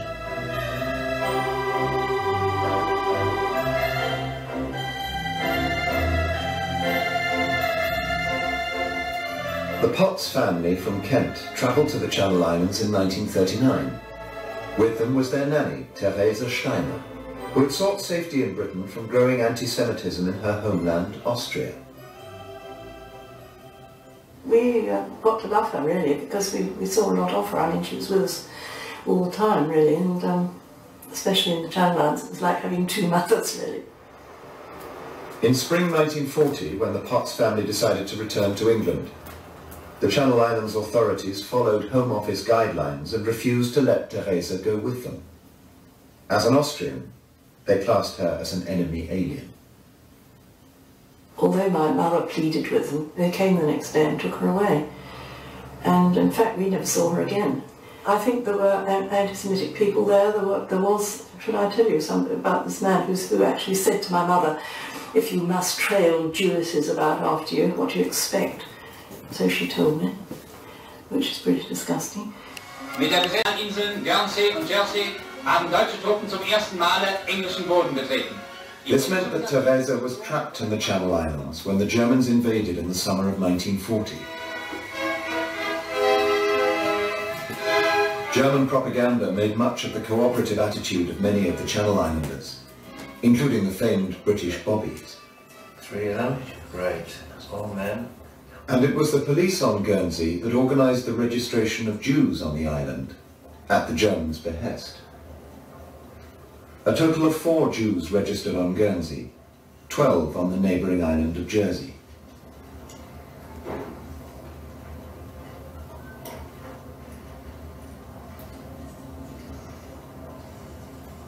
One of the Jews who registered on Guernsey in the autumn of 1940 was Teresa Steiner. Like the others, her card was marked with a red J.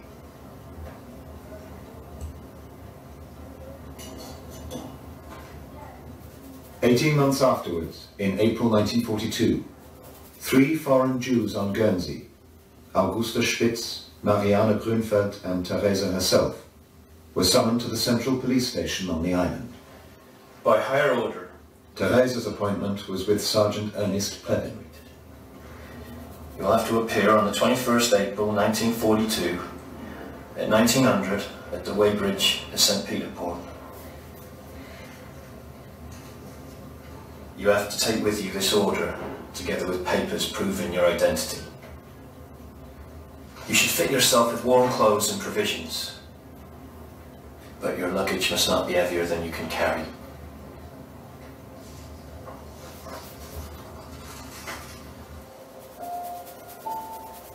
I, have still got a picture in my mind of us taking her down to the White Rock. Two of us went down with her. I think we must have taken the suitcase on a bike. Wheeled it, you know, as one does. And um, uh, we stood there saying goodbye and seeing her go through the, this gateway in the valley and waving as she went, and that was it. It was all a mystery. Where had she gone? And we sort of hoped that she would come back to mention she didn't. It was all outside our experience really, wasn't it? Things like that didn't happen in England. Neither the authorities in Guernsey nor in France knew that the Jews they handed over were to be murdered. But they did know all too well how much the Nazis hated the Jews. After a few weeks in France, the three women deported from Guernsey were arrested during the roundups of July 1942 and transported to Auschwitz. All three of them died there.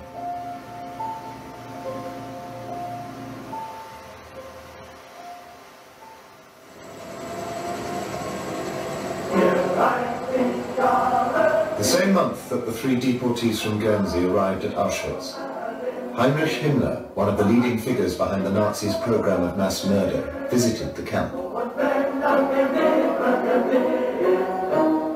By now there were about 30,000 prisoners in Auschwitz, most of them either Jews or Polish political prisoners.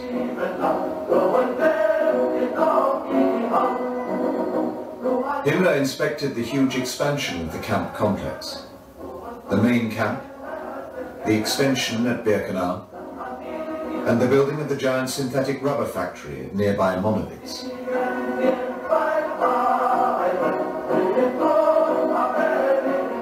He even witnessed the murder of Jews in one of the gas chambers of Auschwitz, a portion of his itinerary omitted from the photographic record of his visit. Himmler was pleased with what he'd seen, so much so that he immediately promoted the commandant of the camp. Rudolf Höss, the man who oversaw all this horror, was made SS Lieutenant Colonel. Mein Obersturmbannführer. Höss had created a comfortable life for himself and his family at Auschwitz. They all lived together in a house on the edge of the main camp.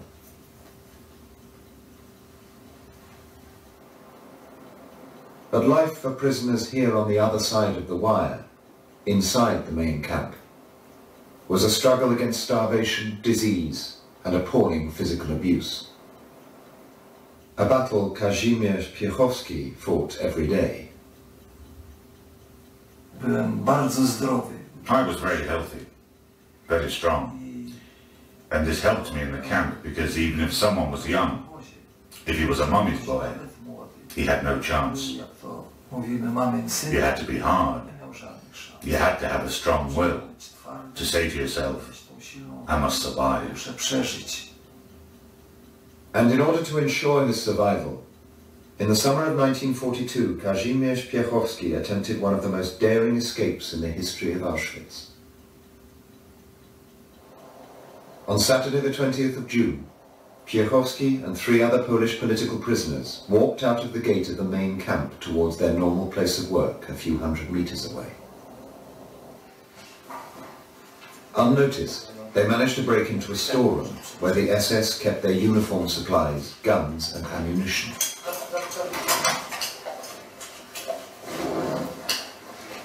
They quickly dressed themselves as SS.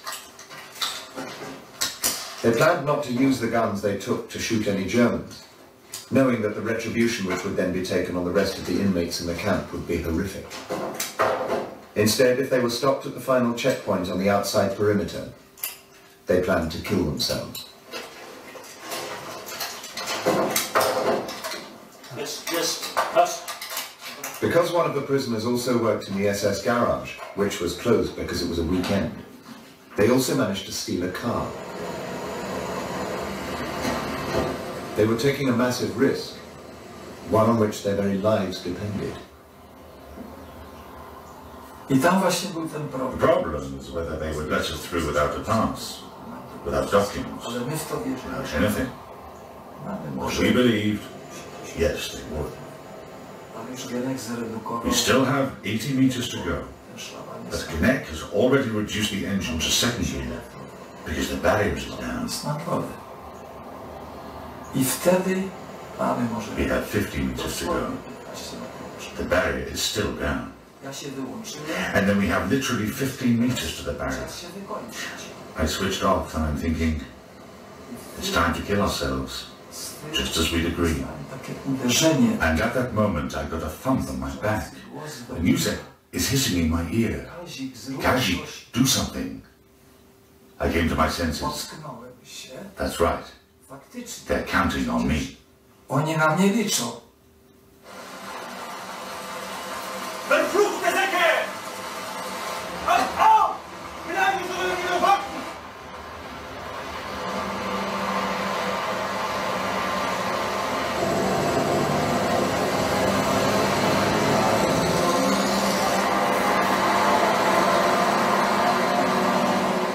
To była, można powiedzieć, euforia. You could say it was euphoria. We were all pleased. Zdawaliśmy sobie sprawę, We were young, free, armed. We realized that it wouldn't be easy to get us back into that hell, into Auschwitz. Auschwitz.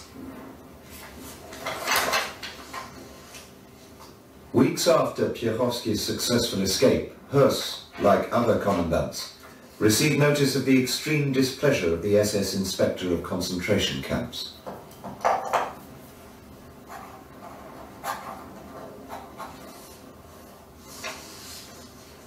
Security had to be improved, especially given what was to come. Das ist wirklich ein Problem. Das stimmt. For in the summer of 1942, Himmler issued a secret order of great significance for Polish Jews, many of whom were imprisoned here in the Warsaw Ghetto.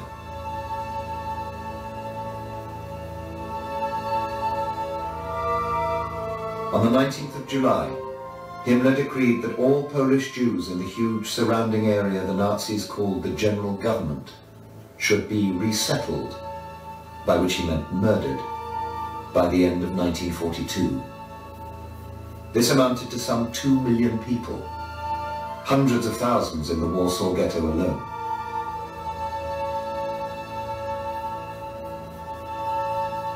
Himmler did not use Auschwitz to murder so many people so quickly, but turned to more recent creations, places which, unlike Auschwitz, were pure factories of death.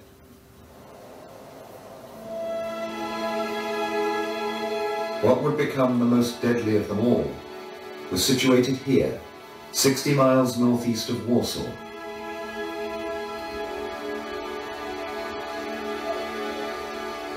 About 900,000 people were killed at Treblinka.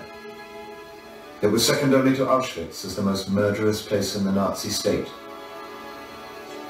All that's left today is a clearing in a forest. This secret place was destroyed by the Nazis before the war was over.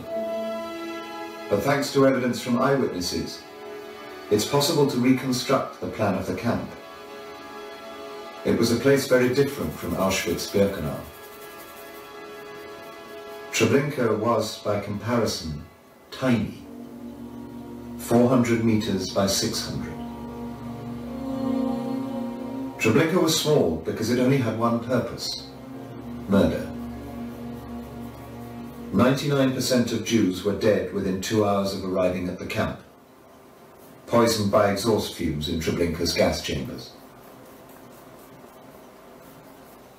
I'll never forget what I saw, not till my dying day. Those little children, those people, what did they ever do to anyone?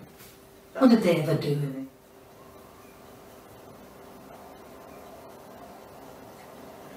It was a terrible thing.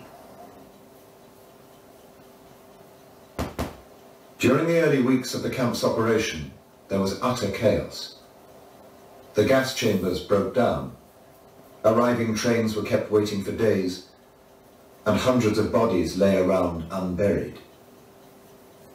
The decomposing human corpses caused such a stench. It was just terrible. You couldn't go out into the yard. No way could you open a window or go outside. The situation at Treblinka was spiralling out of control. Which is why at the end of August 1942, senior SS officers travelled towards the camp.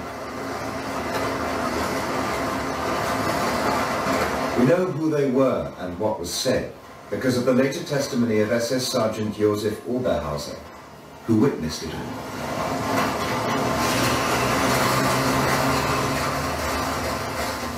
The officers were Christian Wirth, who had been appointed inspector of the death camps, and his superior SS Major General Odilo Globocnik.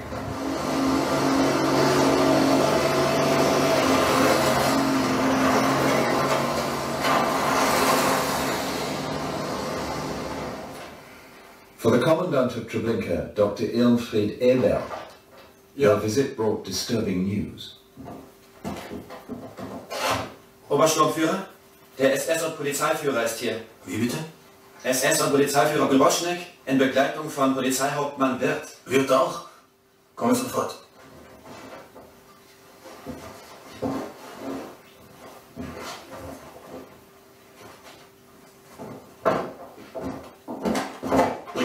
The Nazi leadership had embarked upon their program of mass killing with minimal preparation.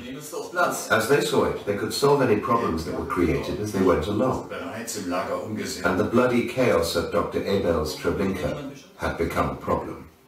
Obersturmführer, Sie sind mit sofortiger Wirkung Ihres Postens enthoben. Bis Ihr Nachfolger seinen Posten antritt, werde ich mich persönlich darum kümmern, dass hier Ordnung in den Laden kommt. Aber... Dr. Eberl? Ja? Wenn Sie nicht ein österreichischer Arztmann wären, würde ich Sie sofort einsperren lassen und vor ein SS- und Polizeigericht bringen lassen. As Major General Globocnik saw it, Eberl's crime was not that he had committed mass murder, but that he had not pursued the killings with efficiency and in secret. At Auschwitz, Höss faced the same difficulty that had confronted Dr. Eberl at Treblinka, disposing of thousands upon thousands of bodies. At first, he had them buried in this large field.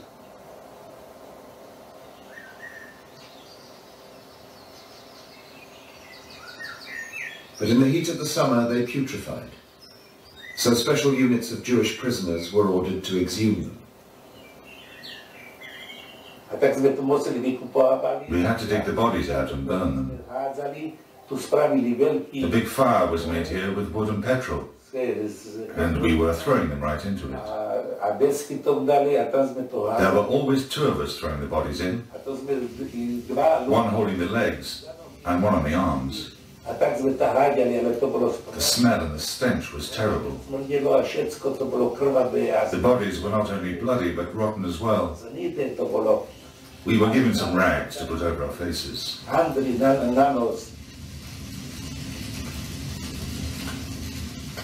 SS-aki som vidjeli oni to The SS men were constantly drinking vodka or cognac or something else from their bottles. They couldn't cope with it either. It was terrible.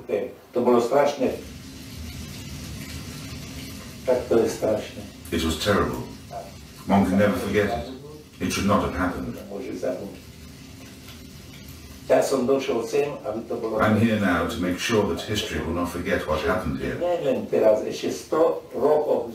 people were killed here. That they were burned and killed here. They were killed worse than animals. Worse.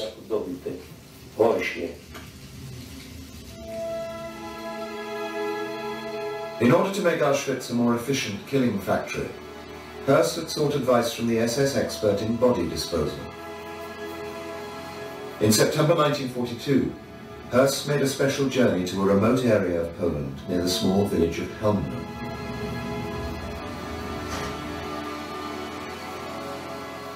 We know the purpose of his visit and what was said from Höss's own memoirs and from other testimony.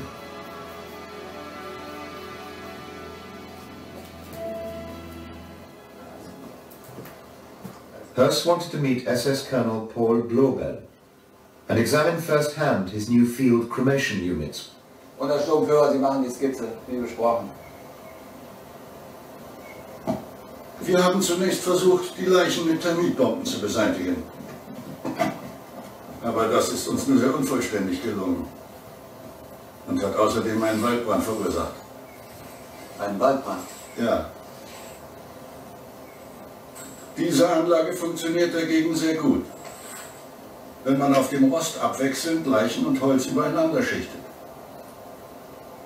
Interessant. Ja. Angefeuert wird mit Benzinrückständen. It was this willingness to overcome the practical difficulties of mass murder that helped the Nazis pursue Himmler's dream to murder millions of Polish Jews by the end of 1942.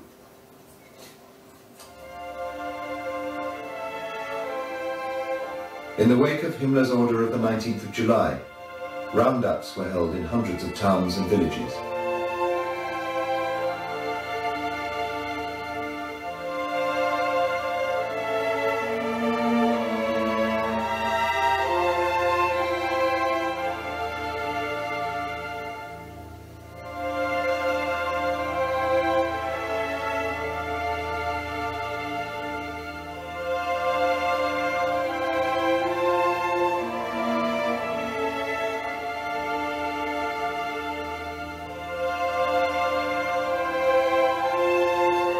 The deportations in Poland did not always go the way the Nazis wanted.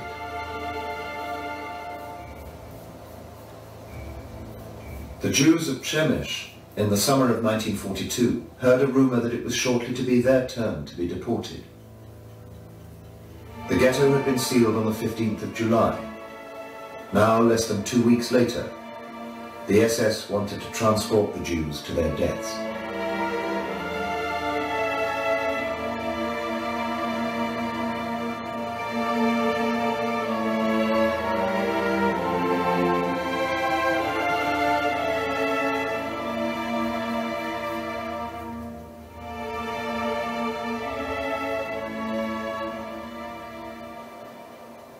The German Army headquarters in Przemyśl, Lieutenant Albert Battel heard the news of the impending deportations. Das ist ja kaum zu glauben. Before the war, Battel, who was trained as a lawyer, had been in trouble with Nazi party officials because he had been decent and polite towards Jews. Now he was furious about the planned SS operation against the Jews of Przemyśl. On the 26th of July, Battel gathered trucks together and drove up to the ghetto to take away the Jews who worked for the army. He had the support of his superiors in the German army to resist the deportation. They were anxious not to lose their source of Jewish forced labor. Auch nicht die Wehrmacht. Dann lasse ich eben einen Zug mit 30 Mann. Once Battel arrived, he harangued the guards on duty. Das können Sie doch nicht machen. He threatened to force entry by requesting that a platoon of soldiers be sent. It was obvious to the guards on duty outside the ghetto. Battel wasn't going to give up lightly. Mach auf!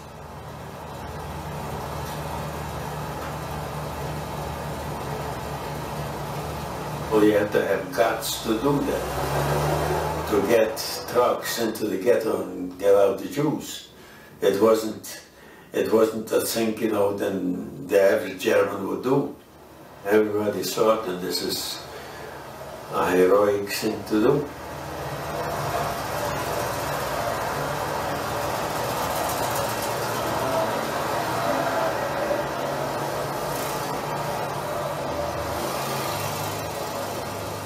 He was a very nice human being. He was a lawyer,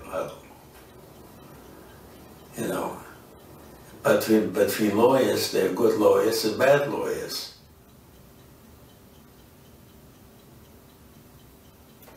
Battel even sheltered many of the Jews in the basement of the army headquarters. Shortly after hiding the Jews, he was transferred from his post. A secret investigation into the incident by the SS reached Himmler, who noted that Battel should be arrested after the war and expelled from the Nazi Party.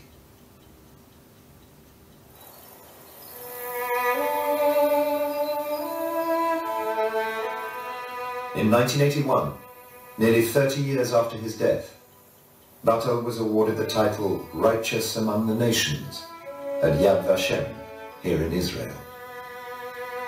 A tree planted in his honor grows in Yad Vashem's Garden of the Righteous, a reminder that not every German, when called upon, participated in the Nazis' final solution.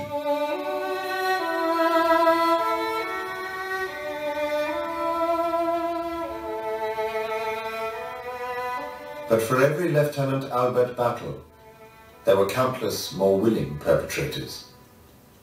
And one of the most enthusiastic worked here at Treblinka. By the end of 1942, the new commandant Franz Stangl had overseen the transformation of the camp. The Nazis' journey at Treblinka to perfect a large-scale method of killing had finally been completed. Gone was the chaos of Dr. Eberl's rule. Now Stangl ran a death camp whose true purpose was even hidden from unsuspecting new arrivals.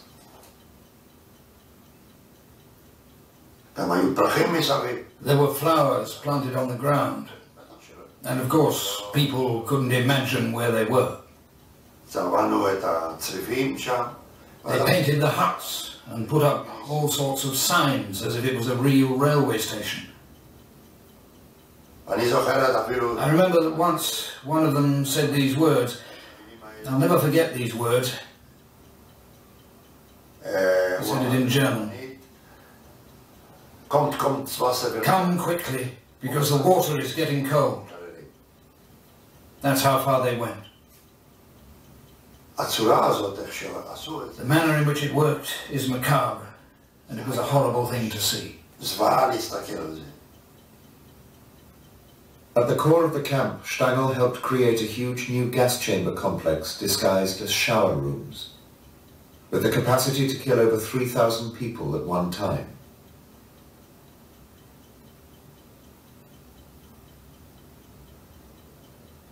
Until recently, no one knew exactly how many people were murdered during 1942 in death camps like Treblinka.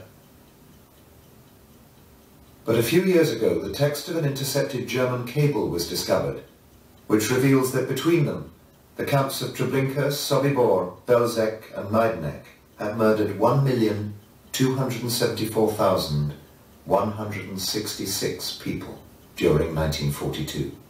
The intercept contains a number of typing errors, but in order to reach this total, the number killed at Treblinka has to be 713,555.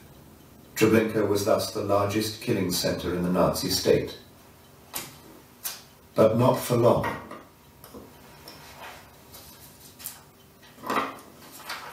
Because planners at Auschwitz had been working hard to change the function of new crematoria which were to be built at Auschwitz-Birkenau. Die Dreiteilung des Leichenkellers 3 ist ja schon länger vorgesehen. Ja, wirklich neu ist eigentlich nur der Verzicht auf die Leichenrutsche, die hier geplant war. Zwischen Leichenkeller 1 und 2. Over several months, the plans were altered. What had been conceived as basement mortuaries were converted. First, a chute designed to allow bodies to be slid down into the basement was suddenly removed from the plans. Next, extra steps were added at the side of the building, a strange addition, since the original function of the basement was to hold the dead, not the living. Then the doors into one of the large underground mortuaries were altered. First to open outwards, and then reformed as one single door, reinforced and made gas tight and with a peephole added.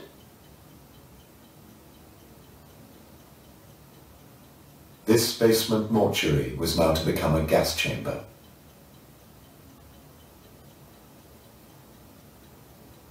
Auschwitz was one of the last camps with large capacity killing factories. But when they opened in the spring of 1943, they would mark the beginning of that phase of the camp's operation that would make the place infamous in history. A moment of transition symbolized by the arrival of a new member of the Auschwitz medical staff.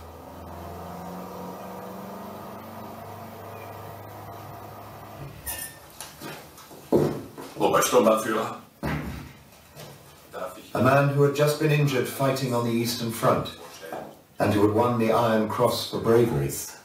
Und zwei und den verwundeten Abzeichen an His name was to become notorious. Wie war noch gleich der Name?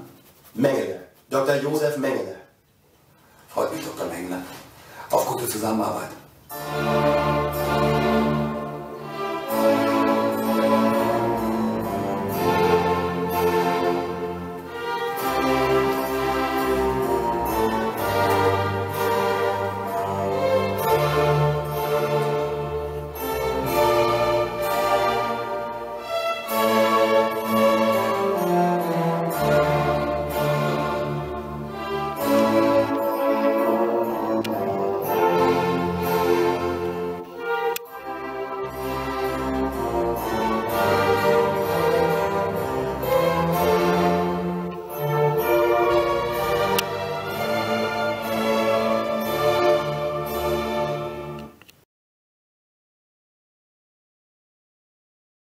Forty-three, Auschwitz was about to enter the most crucial phase of its existence.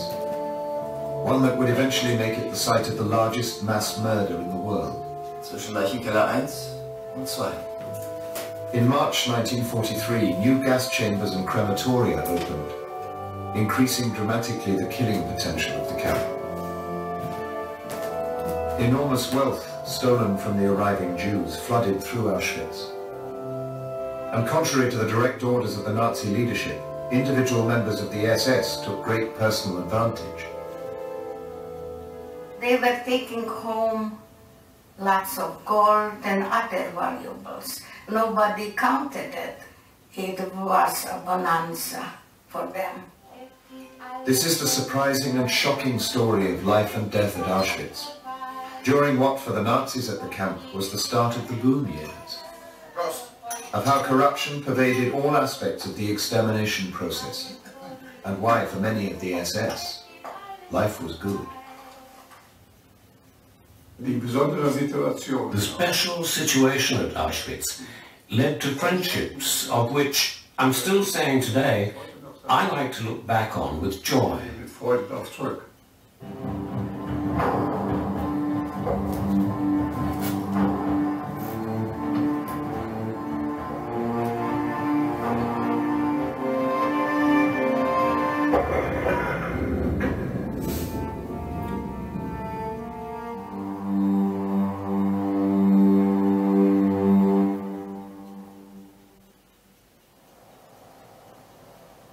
Auschwitz main camp was on the banks of the Sola River in southern Poland. And it was here that the Commandant SS Lieutenant Colonel Rudolf Höss worked hand in hand with businessmen to grow a giant industrial complex. Wirtschaftsverwaltungsamt vereinbart, sollten sie uns umgehend den Lageplan des jetzigen Lagers zusenden. Ultimately, about 60 million Reichsmark, 125 million pounds in today's money, would be generated here for the Nazi state. For there was not one Auschwitz camp, but many. Wiedersehen. Wiedersehen. Eventually there were 45 sub-camps dotted around the region, most providing slave labour for armaments factories and other industrial concerns. And at the centre of this web of slave labour and industry of Auschwitz-Birkenau.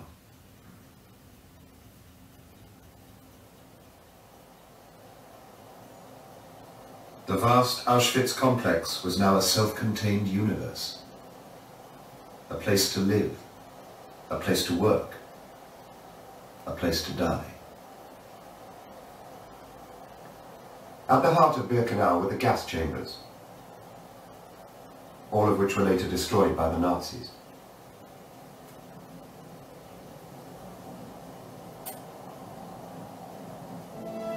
Selections were made from arriving transports of Jews. Those thought fit enough were taken away to be worked to death.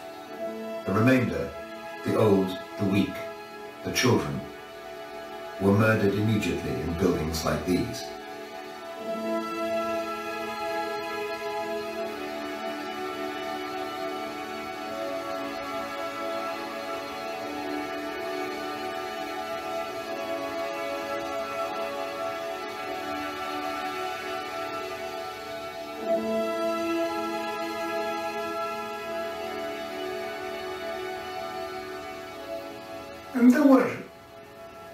People that they were starting to understand that something was funny going on there. But nobody could do anything. The process had to go. You know, they had everything was done from the German point of view. They were all precise. There were the people screaming, the, the Germans screaming, schnell, schnell. The Jews were forced to undress in a room that would have looked like this, and then forced further down the building until they would take a shower. Could you imagine what what was done with the children and the, their families, the thing? They, they didn't know what to do, scratching the walls, crying until the, the, the gas take effect.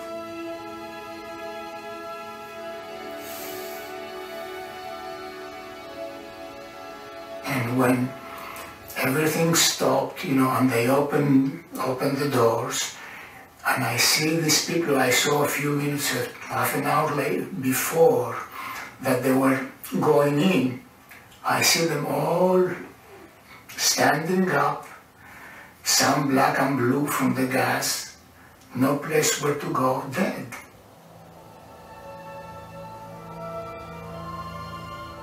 A few hundred yards from the gas chambers was the area of the camp known as Canada, because Canada was thought to be a land of untold riches.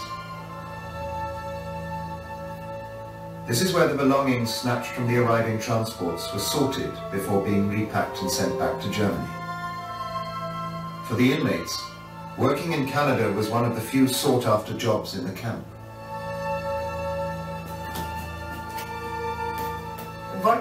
Canada saved my life because we had food, we got water, and that was the best working unit for life for us because we were not beaten. The majority of inmates who worked in Canada were women. They could grow their hair and were able to snatch extra food from the belongings as they sorted them. Against the explicit rules of the SS, friendly relationships could develop in Canada between the German guards and the women prisoners.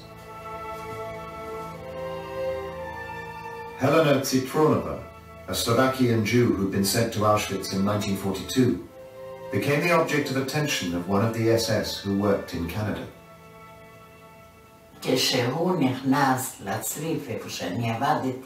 When he came into the barracks where I was working, he passed me by and threw me a note. I destroyed it right there and then. But I did see the word love. I fell in love with you.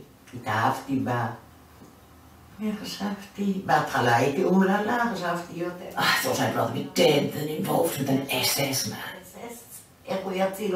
For a long time afterwards, there was just hatred. I couldn't even look at him.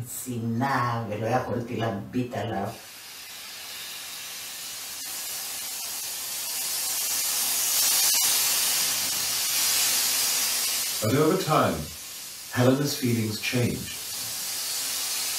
especially with the arrival of one particular train at Auschwitz-Birkenau. Helena's sister was on board, along with her daughter and baby son.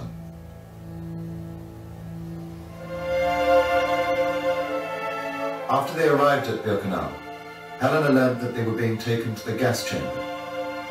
Her SS admirer, Franz Wunsch, ran to see if he could help.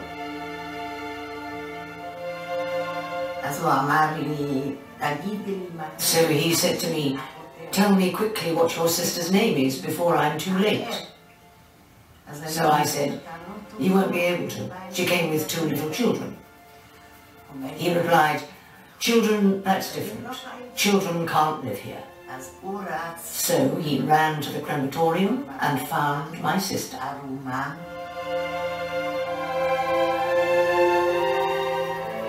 Wunsch could not save the children but he rescued Helena's sister, claiming that she was a member of his work detail in Canada.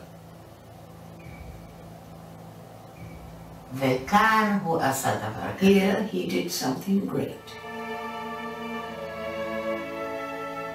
Uh, there were moments when I forgot that I was a Jew and that he was not a Jew. And honestly, in the end I loved him. But it could not be realistic. Both Helena and her sister survived Auschwitz. And although nothing came of her relationship with Wunsch, she did give evidence on his behalf at his war crimes trial many years later.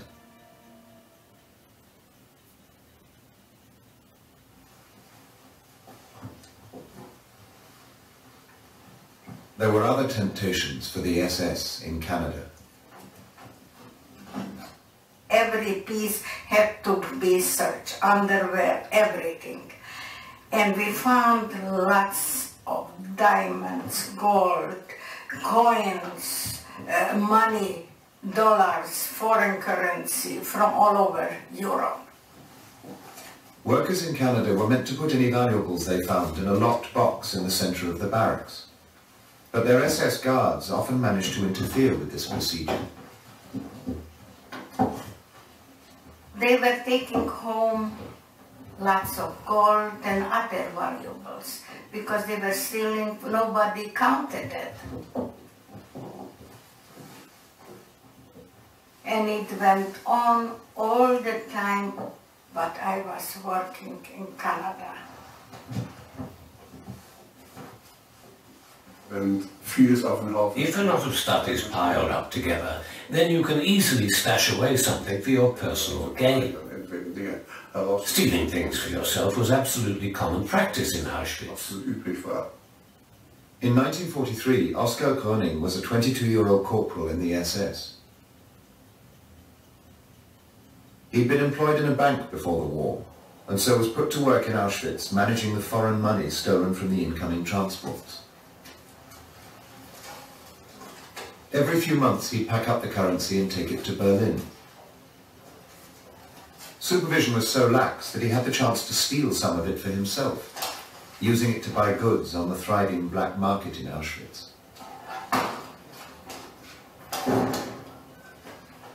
One day, Gröning decided he'd like to buy his own handgun. So I said, my dear friend, I need a pistol with ammunition. And he said, well, how much do you want to spend? I don't know. What does it cost? Well, you, as the dollar king, should pay in dollars. So I'd say it'll cost you $30. And then he came back with the pistol and got his $30. The ready availability of foreign currencies and valuables to pilfer was just one of the reasons that Auschwitz was a surprisingly attractive posting for many members of the SS. Auschwitz was not just a profitable place to be for them. It was also a good deal more comfortable than fighting with their comrades against the Red Army on the Eastern Front.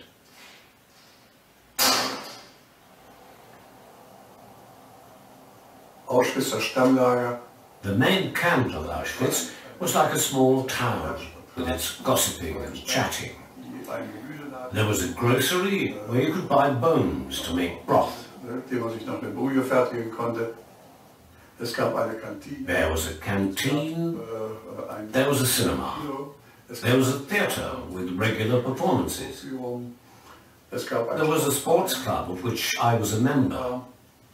It was all fun and entertainment, just like a small town. Alcohol played a big role there. Every day we were allocated a ration of alcohol, which sometimes we'd all collect to have a really big drinking bout.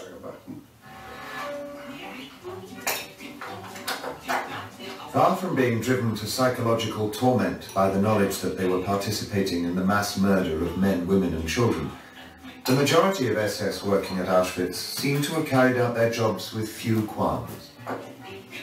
Prost.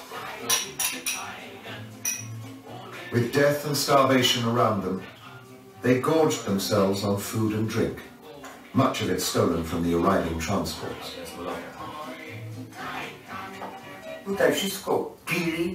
They drank everything there. It was like some kind of gangster's feast. They drank, they sang, they patted each other. There was an assortment of alcohol on the table. A whole variety of French cognacs. And we served them food. It all looked so disgusting, this feast, that when the prisoner overseer, Pashka, saw one of them vomiting, he said, with contempt, these pigs sure know how to vomit. It was only the prisoners who were to be starved to death. Being at the camp was a slow execution through starvation, beatings, and hard labor. The SS, however, lacked for nothing. And when we look at this feast, they had everything. Throughout Auschwitz, military discipline was actually very loose. The lack of discipline meant that we went to bed completely pissed. And we had our pistols in their holsters, hanging off the bed frame, and when somebody was too lazy to turn off the light, we just shot it out. And nobody said anything about the bullet holes in the walls.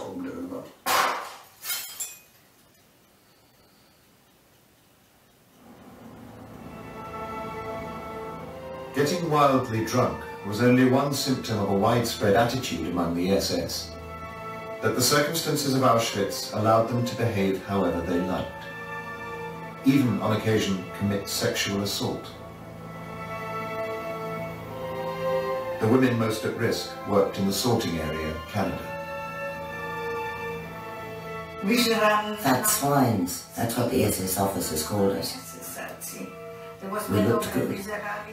We looked as though we were from the normal world, not like the others.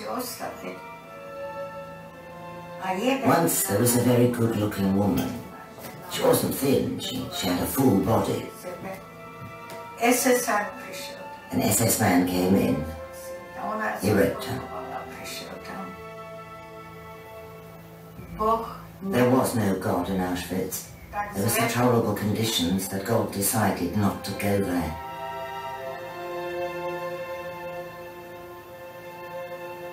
It wasn't just men who exploited the situation they found themselves in. Women did as well. Irma Grese was one of 170 female SS staff at Auschwitz.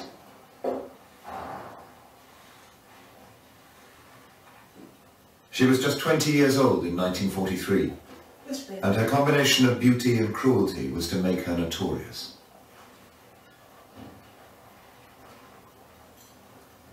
But there was nothing in her background before she came to the camp to give any hint of the monster that she was to become. She didn't go to school. She was a farmer's daughter. I thought she was a small, silly country bumpkin.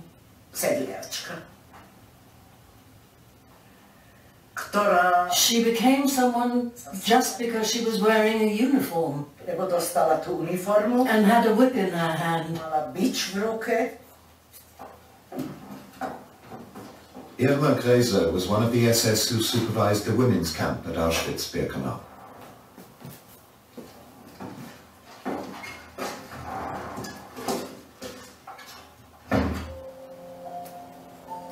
By the end of 1943, in the southern part of the camp complex, there were 30,000 women housed in 62 barracks in some of the worst conditions in the whole of Auschwitz.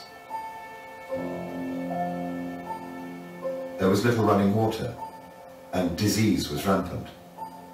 For Irma Grese, the women's camp became a sadistic playground.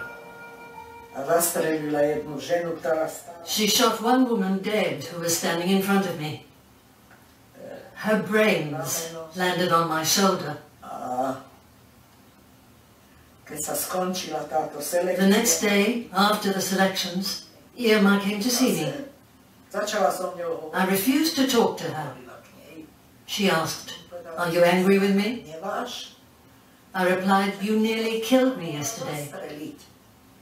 She answered, one down, it doesn't matter.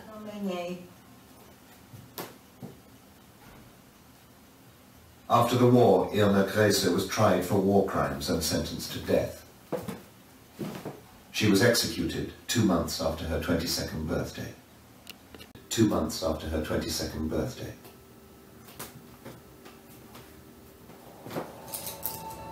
But it was a member of the SS who worked on this site, where Crematorium 2 in Birkenau once stood, who became most infamous for exploiting the opportunities Auschwitz had to offer.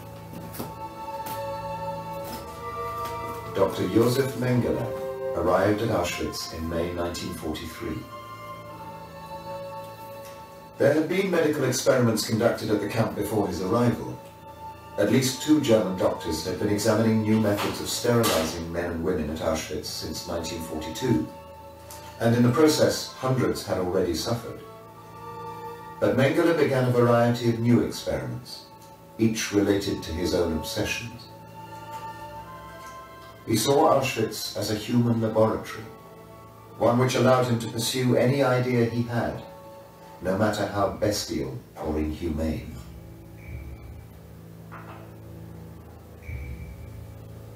He experimented on children, particularly on twins.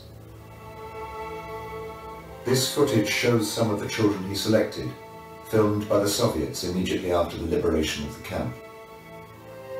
It is thought that Mengele used these children to research the power of genetic inheritance, an area of interest to many Nazi scientists. Children were installed in special barracks for Mengele's exclusive use.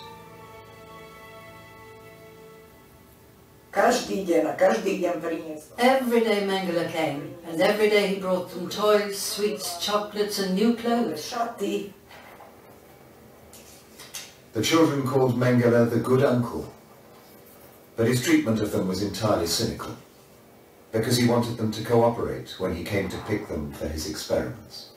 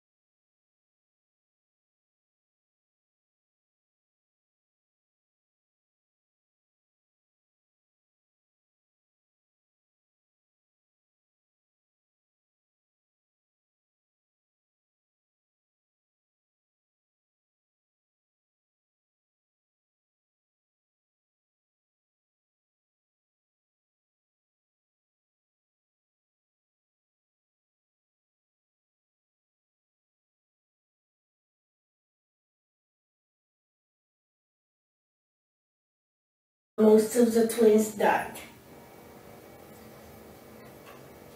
For the comparative examination from the viewpoint of anatomy and pathology, the twins had to die at the same time. So it was that they met their death at the hands of Dr. Mengele. This phenomenon was unique in world medical history. Twin brothers died together, and it was possible to perform autopsies on both. Where, under normal circumstances, can one find twin brothers who died the same place and at the same time. You cannot ask why. There was no why in Auschwitz, only was. was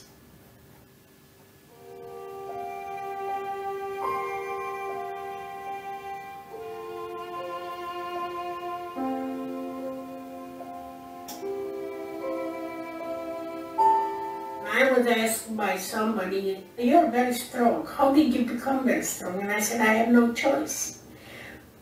I overcame or I would have perished. Mengele experimented not just twins, but also on dwarves, and prisoners with a form of gangrene of the face known as noma, which was common in Birkenau because of the privations in which inmates were held.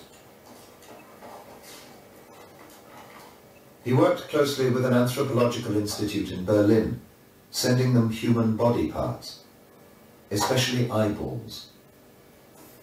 The parcels were stamped urgent war materials.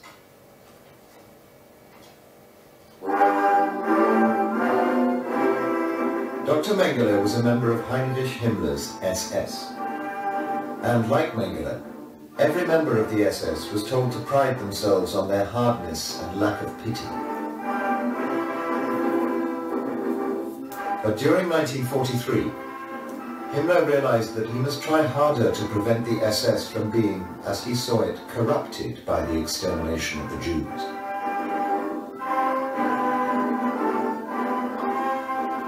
In a speech he gave at Poznan on the 4th of October 1943, Himmler spelled out just how he wanted the SS to feel about the murders. Ich will auch ein ganz schweres Kapitel. Will ich hier vor Ihnen in aller Offenheit nennen. Es soll zwischen uns ausgesprochen sein und trotzdem werden wir nicht in der Öffentlichkeit nie darüber reden. Ich meine die Judenevakuierung, die Ausrottung des jüdischen Volkes. Und dies durchgehalten zu haben und dabei, abgesehen von menschlichen Ausnahmeschwächen, anständig geblieben zu sein, hat uns hart gemacht und ist ein niemals genanntes und niemals zu nennendes Ruhmesblatt.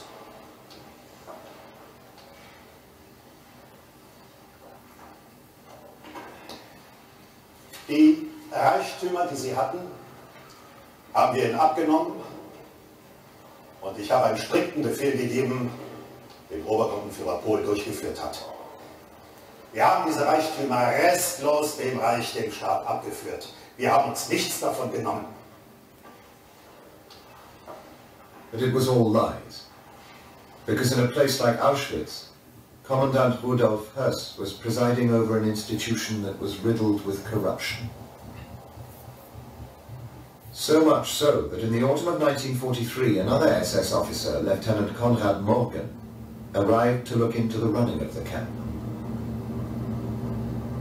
There was to be no investigation, of course, into the fact that every week thousands of innocent people were being murdered in the gas chambers. In Himmler's eyes, that was a sacred duty. Instead, Morgen's investigation was to be centered on theft on ensuring that the money and goods stolen from the incoming transports ended up in the coffers of the state, not the lockers of individual members of the SS. Morgen was shocked by what he found.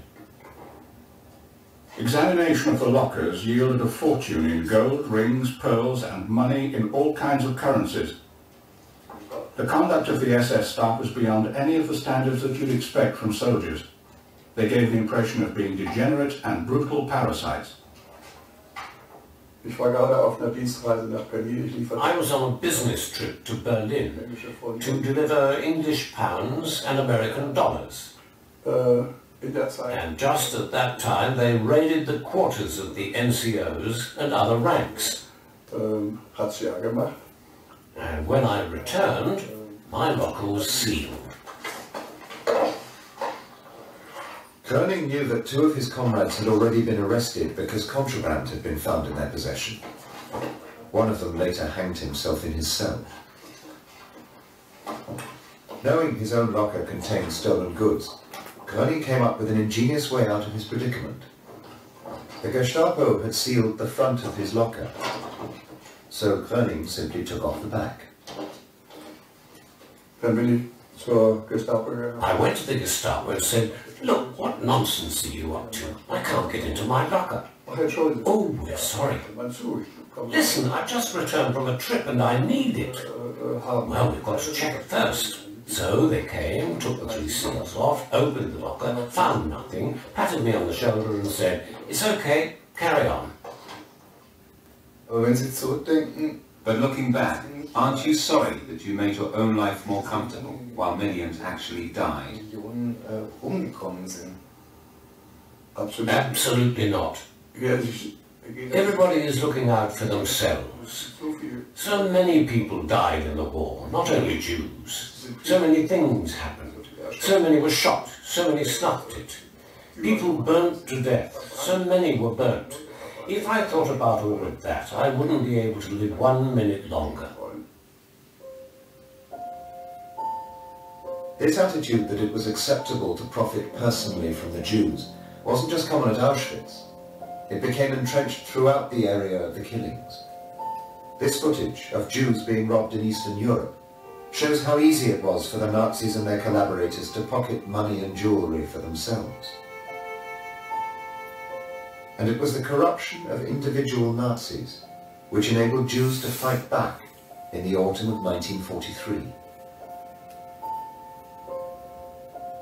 A major act of resistance occurred in the east of Poland at a Nazi death camp called Sobibor, where the SS were just as corrupt as they were at Auschwitz.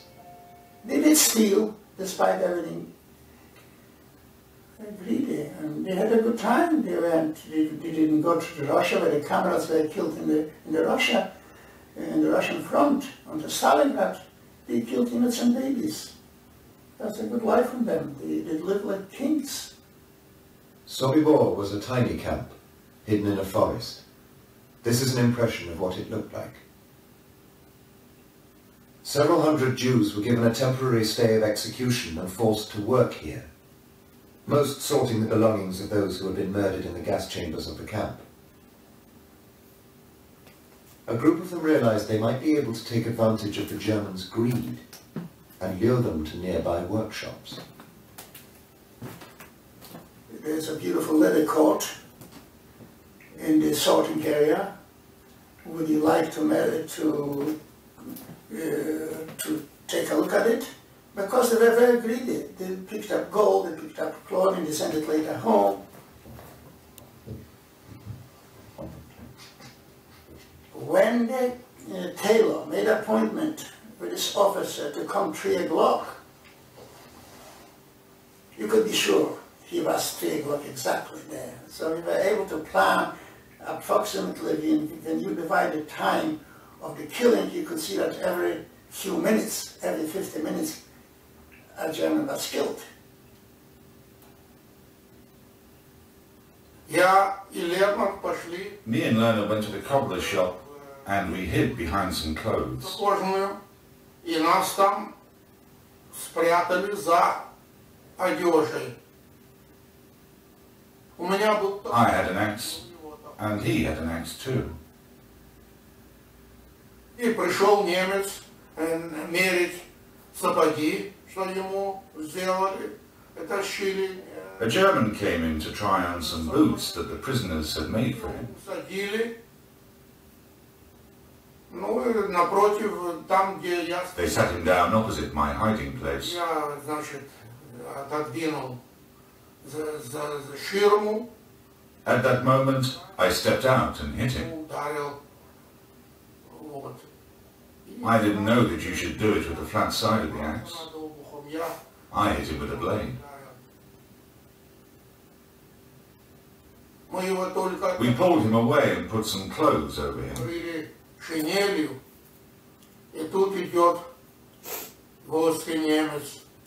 Almost immediately, another German came in. He walked up to the corpse, kicked him, and said, What is this? What is this mess over here? What's going on?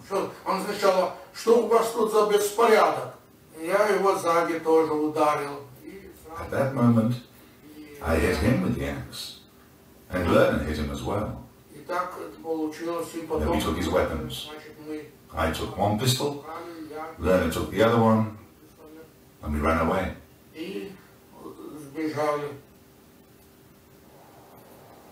The inmates rushed to the wire fences that surrounded the camp, all the time under fire from Ukrainian guards in the watchtowers. They pushed the fences down and ran straight towards the forest, crossing a minefield. Was told the last one to run. I fall down about two, or three times. Each time I thought I'm hit, but I did get up, nothing happened to me, and I did run to the forest 100 meter, 50 meter, and finally the forest. 300 of the 600 Jews in Sobibor managed to escape that day. In the end, about 50 of them evaded capture and survived the war. Many of them former Red Army soldiers who had been imprisoned in the camp.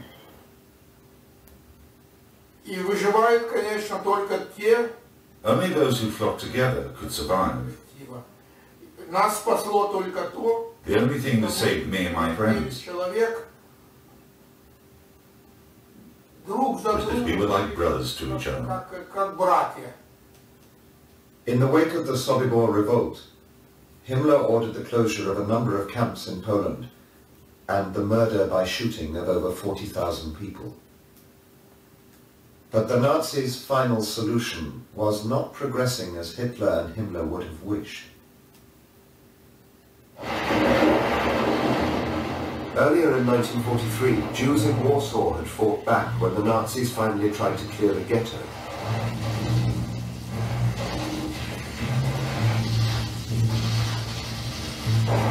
Resistance lasted nearly a month, forcing the Nazis to fight block by block to regain control.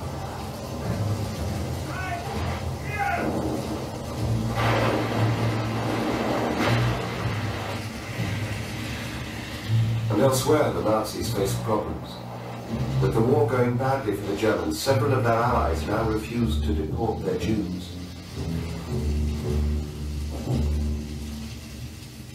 But the Nazis faced the most concerted resistance to their anti-Jewish measures in occupied Denmark.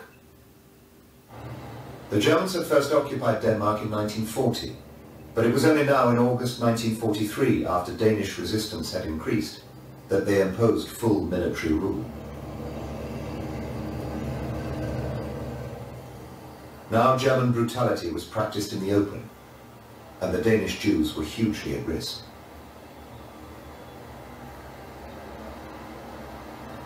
In September 1943, Hitler's representative in Denmark, Dr. Werner Best of the SS, a man whose hands were already bloodied by the persecution of Jews in France and Poland, met with the German diplomat Georg Ferdinand Duckwitz, a known sympathizer of the Danes.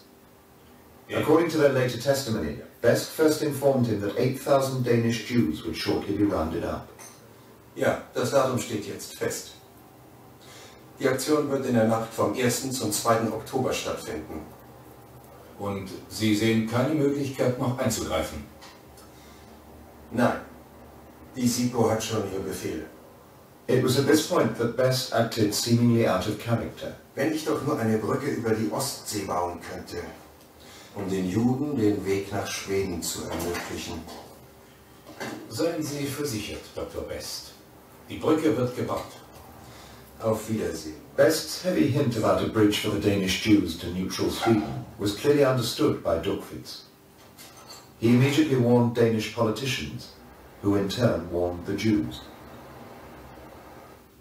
As a result, on Wednesday the 29th of September 1943 in the Central Synagogue in Copenhagen, Rabbi Melchior made a surprise announcement.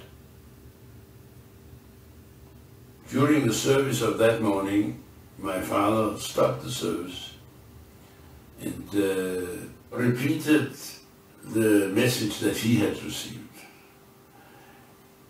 Don't be at home on Friday night. On Friday the 1st of October, when German security police visited the homes of Danish Jews, they found that the vast majority had fled. Most had travelled to Danish ports, where they sought a crossing to Sweden.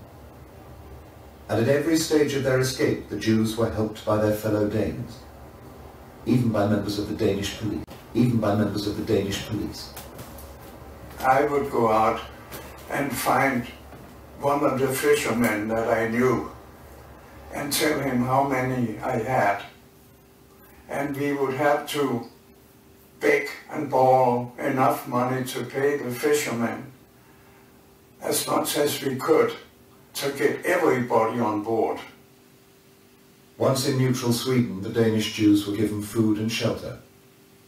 Altogether, 95% of Danish Jews were saved, in a rescue action that is without parallel in the history of the Nazis' final solution.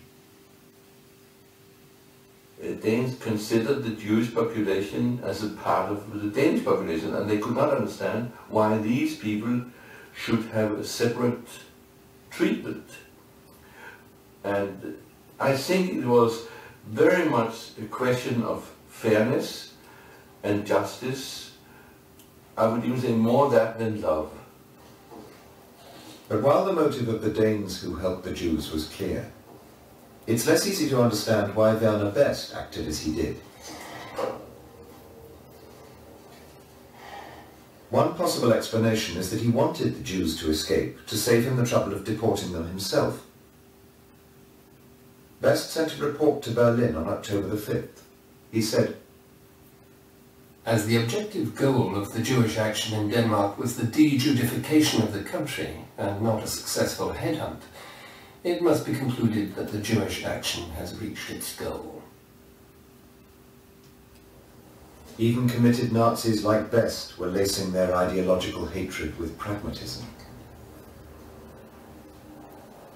And in 1943, here within Auschwitz main camp, there was the most extraordinary example of that same thinking. Audience. And so, in 1943, I and many others were living in Block 24A. The block elder came in and said, we're moving out because there's going to be a brothel here. We all started laughing But it wasn't a joke. It was bizarre, but true. Block 24, just beside the main gate of Auschwitz, was to become a brothel. And the decision to make it happen had come from the very top of the SS. Heinrich Himmler had been considering for some time how to provide incentives to prisoners within the concentration camp system. He'd written to Otto Pohl of the SS Economic Division. I consider it necessary to provide, in the most liberal way, hard-working prisoners with women in brothels. These instructions were passed on to commandants like Höss in a directive from Pohl in 1943. Diese bestehenden Gewährung von erstens Hafterleichterung, zweitens Verpflegungszulage, drittens Geldprämie. The idea wasn't for every prisoner to use the brothel. Certainly not the Jews. But for vouchers for the brothel to be issued only to those prisoners whom the Nazis considered of special value.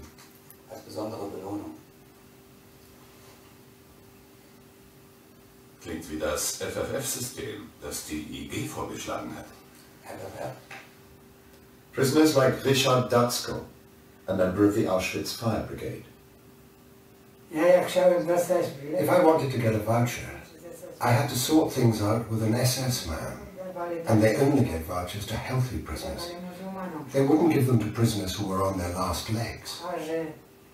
Prisoners who worked as cooks for the SS, as hairdressers for the SS, the special prisoners got those vouchers.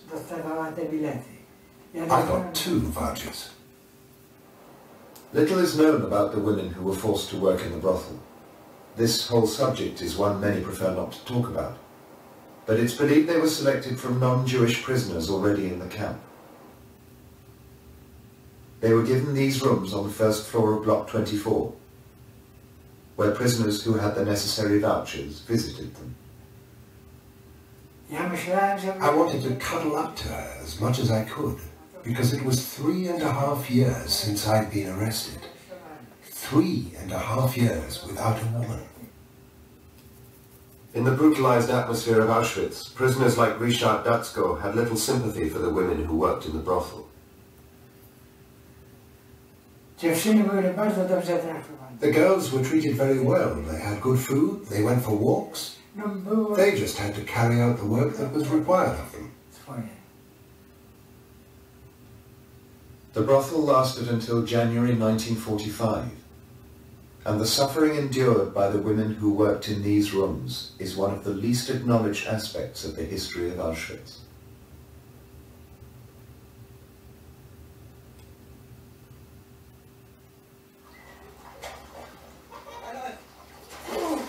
Shortly after supervising the opening of the brothel, Höss learnt that he was to be removed as commandant of Auschwitz.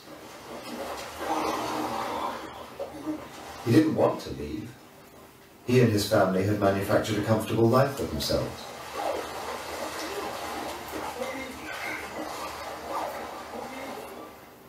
The SS investigation had uncovered clear evidence of corruption at the camp. But Höss wasn't disgraced he was promoted to a desk job in concentration camp administration back in Berlin.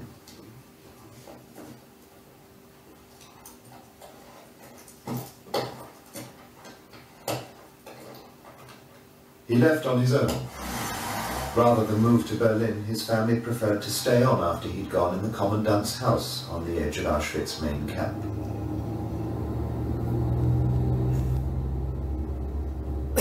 But Höss was not finished with Auschwitz yet. Just two months after he left, the warehouse in Auschwitz where much of the evidence about corruption at the camp was being stored mysteriously caught fire.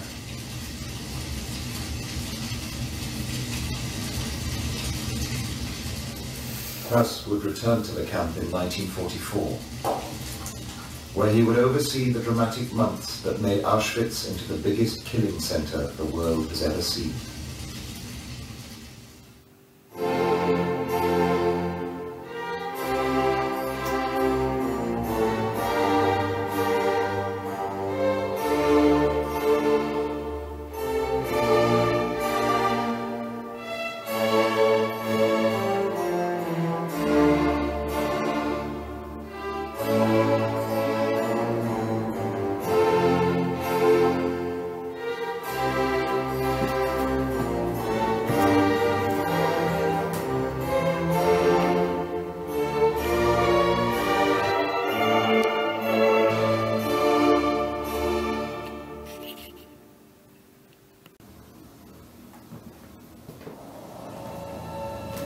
It was a member of the SS who worked on this site, where Crematorium 2 in Birkenau once stood, who became most infamous for exploiting the opportunities Auschwitz had to offer. Dr. Josef Mengele arrived at Auschwitz in May 1943. There had been medical experiments conducted at the camp before his arrival, at least two German doctors had been examining new methods of sterilizing men and women at Auschwitz since 1942, and in the process hundreds had already suffered. But Mengele began a variety of new experiments, each related to his own obsessions. He saw Auschwitz as a human laboratory, one which allowed him to pursue any idea he had, no matter how bestial or inhumane.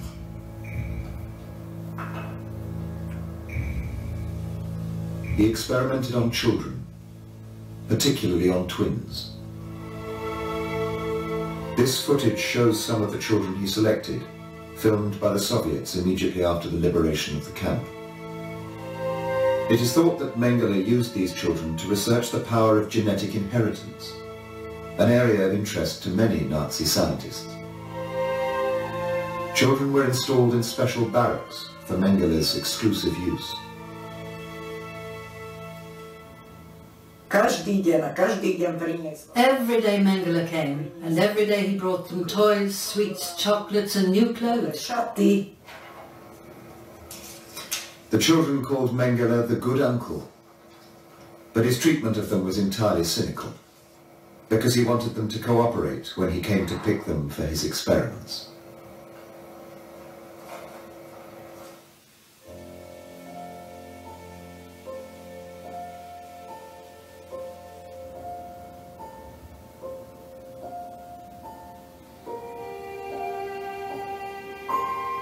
Mengele came in every morning after a roll call to count us. He wanted to know every morning how many guinea pigs he had. Three times a week, both of my arms would be tied to restrict the blood flow, and they took a lot of blood from my left arm on occasion. Enough blood until we fainted. At the same time that they were taking blood, they would give me a minimum of five injections into my right arm. After one of those injections, I became extremely ill and Dr. Mengele came in next morning with four other doctors. He looked at my fever chart and he said, laughing sarcastically, he said, too bad. She is so young. She has only two weeks to live.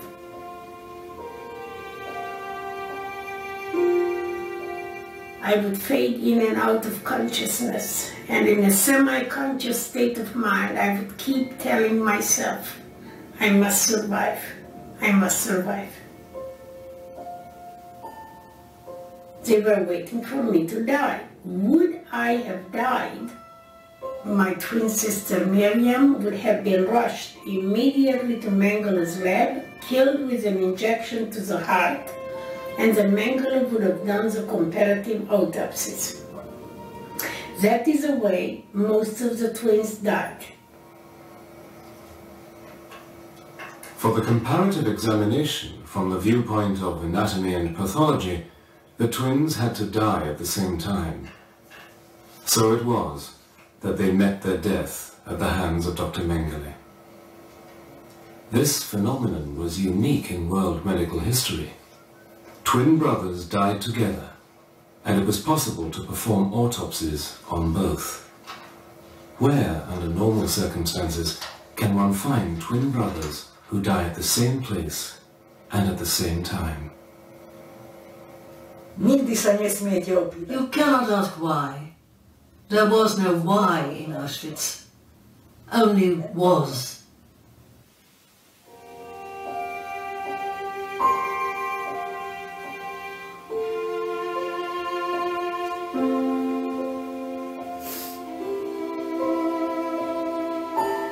I was asked by somebody, you're very strong. How did you become very strong? And I said, I had no choice. I overcame or I would have perished. Mengele experimented not just twins, but also on dwarves, and prisoners with a form of gangrene of the face known as noma, which was common in Birkenau because of the privations in which inmates were held. He worked closely with an anthropological institute in Berlin, sending them human body parts, especially eyeballs. The parcels were stamped urgent, war materials.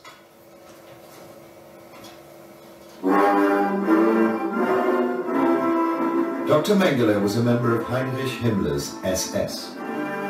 And like Mengele, every member of the SS was told to pride themselves on their hardness and lack of pity. But during 1943, Himmler realized that he must try harder to prevent the SS from being, as he saw it, corrupted by the extermination of the Jews.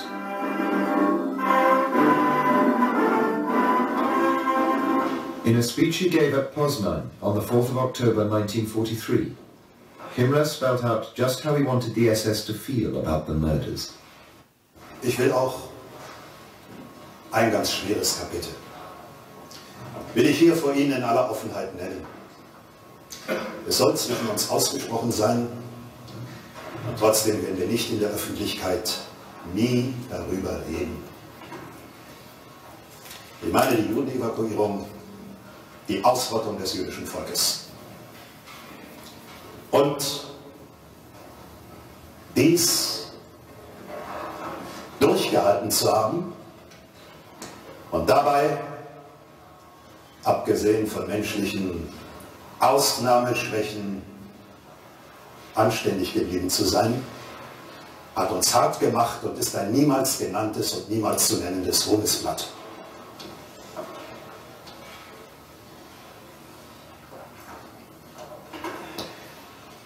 Die Reichtümer, die sie hatten, haben wir ihnen abgenommen und ich habe einen strikten Befehl gegeben, den Obergruppenführer Pohl durchgeführt hat. Wir haben diese Reichtümer restlos dem Reich, dem Staat abgeführt. Wir haben uns nichts davon genommen. But it was all lies. Because in a place like Auschwitz, Commandant Rudolf Höss was presiding over an institution that was riddled with corruption. So much so that in the autumn of 1943 another SS officer, Lieutenant Konrad Morgen, arrived to look into the running of the camp. There was to be no investigation, of course, into the fact that every week thousands of innocent people were being murdered in the gas chambers. In Himmler's eyes, that was a sacred duty.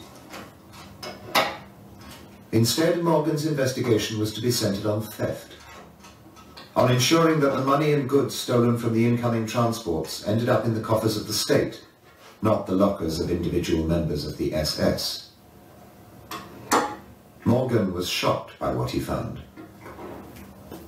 Examination of the lockers yielded a fortune in gold, rings, pearls and money in all kinds of currencies. The conduct of the SS staff was beyond any of the standards that you'd expect from soldiers. They gave the impression of being degenerate and brutal parasites. Ich war gerade auf einer Dienstreise nach Berlin. Ich lieferte I was on a business trip to Berlin to deliver English pounds and American dollars. Äh, in der Zeit. And just at that time they raided the quarters of the NCOs and other ranks. Ähm, Razzia gemacht. And when I returned, my locker was sealed. Gröning knew that two of his comrades had already been arrested because contraband had been found in their possession. One of them later hanged himself in his cell. Knowing his own locker contained stolen goods, Gröning came up with an ingenious way out of his predicament. The Gestapo had sealed the front of his locker, so Gröning simply took off the back. Zur Gestapo. I went to the Gestapo and said, look, what nonsense are you up to? I can't get into my locker. Oh, oh we're sorry. Man zu, komm. Listen, I've just returned from a trip and I need it. Uh, uh, well, we've got to check it first. So they came, took the three seals off, opened the locker, found nothing, patted me on the shoulder and said, it's okay, carry on. Aber wenn Sie zurückdenken, But looking back, aren't you sorry that you made your own life more comfortable while millions actually died? Millionen umgekommen sind. Absolut. Absolutely not.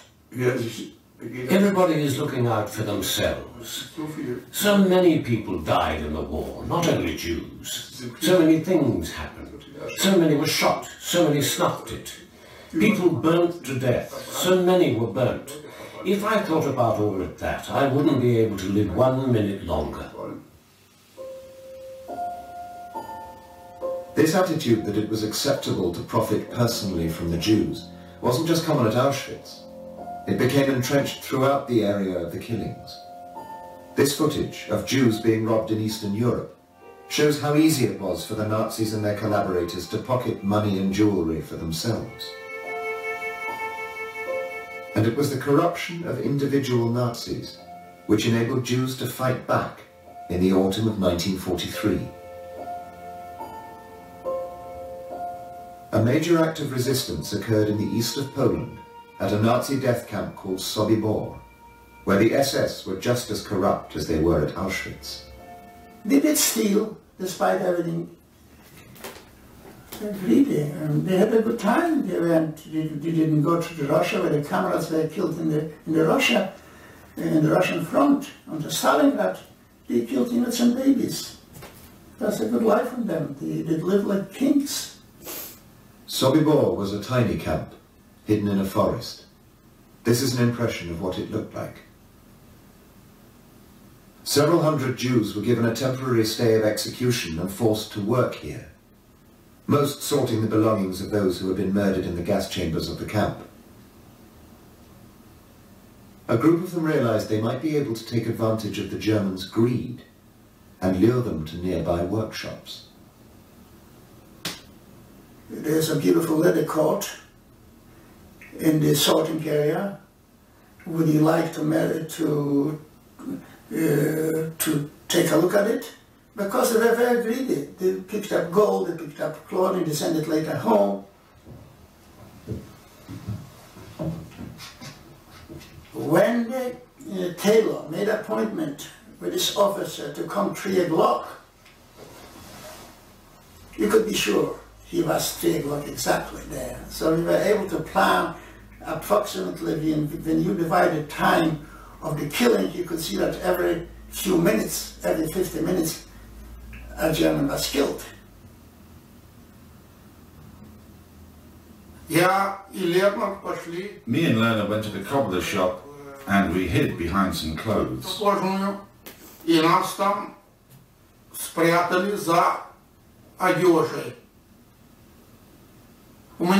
I had an axe and he had an axe too.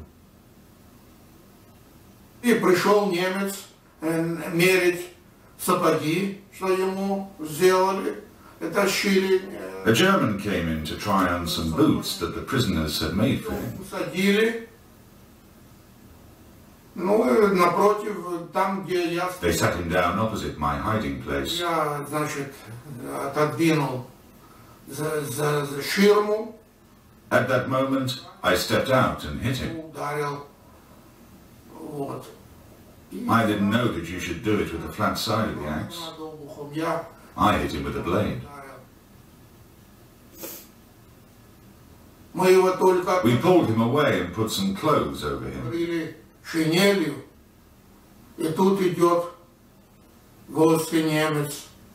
Almost immediately, another German came in. He walked up to the corpse kicked him, and said, What is this? What is this mess over here? What's going on?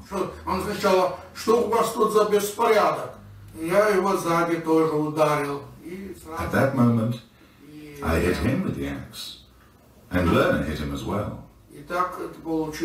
Then we took his weapons. I took one pistol, Lerner took the other one, and we ran away.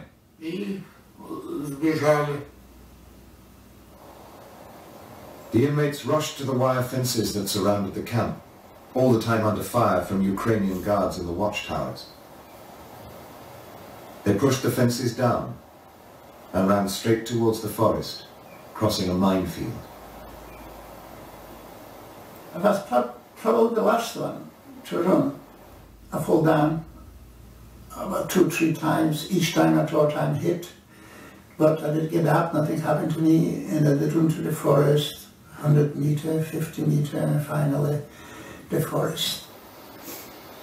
300 of the 600 Jews in Sobibor managed to escape that day. In the end about 50 of them evaded capture and survived the war. Many of them former Red Army soldiers who had been imprisoned in the camp.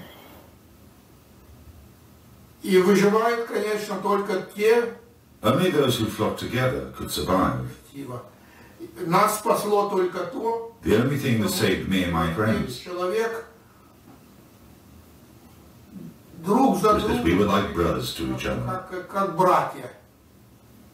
In the wake of the Sobibor revolt, Himmler ordered the closure of a number of camps in Poland and the murder by shooting of over 40,000 people. But the Nazis' final solution was not progressing as Hitler and Himmler would have wished. Earlier in 1943, Jews in Warsaw had fought back when the Nazis finally tried to clear the ghetto.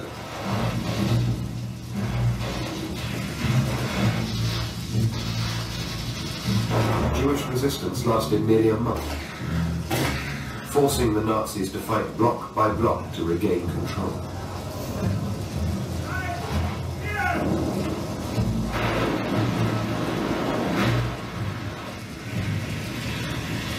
And elsewhere, the Nazis faced problems. With the war going badly for the Germans, several of their allies now refused to deport their Jews.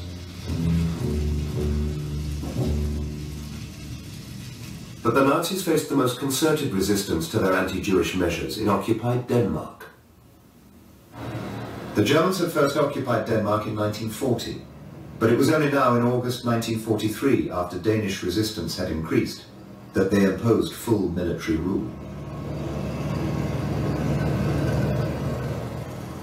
Now German brutality was practiced in the open, and the Danish Jews were hugely at risk.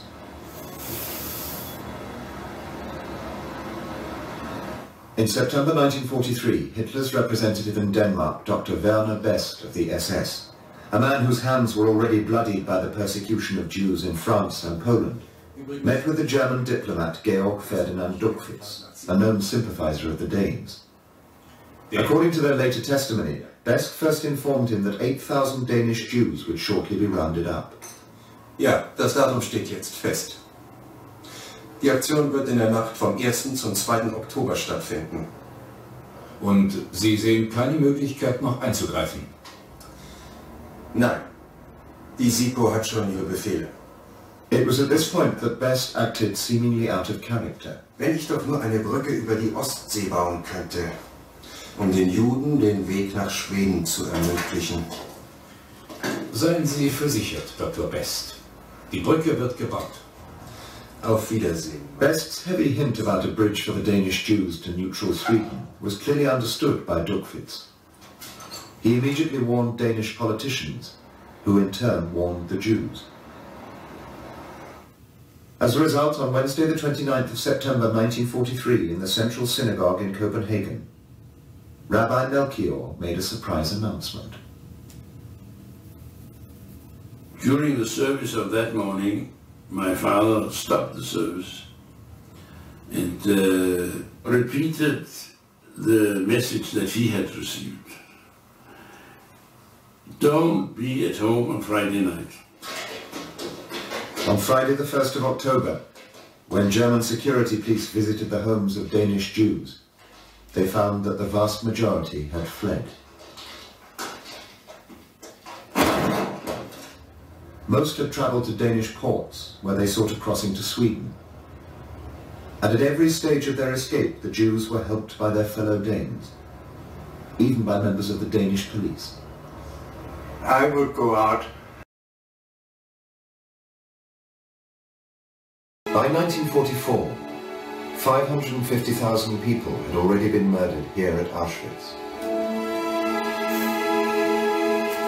But now, during just a few weeks in spring and early summer, that figure was to increase by over 300,000. Four years after it first opened, a period of frenzied killing was to begin at Auschwitz, unlike anything the camp had yet seen. But the history of Auschwitz in 1944 is not just one of murder.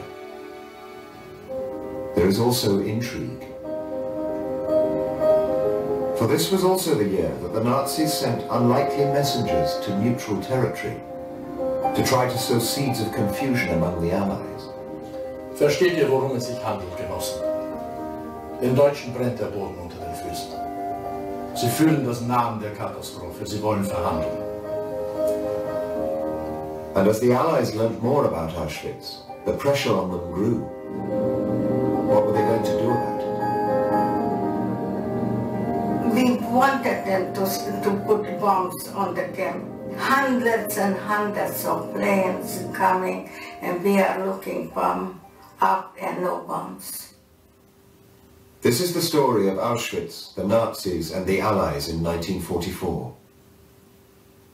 One of death, deceit and mystery.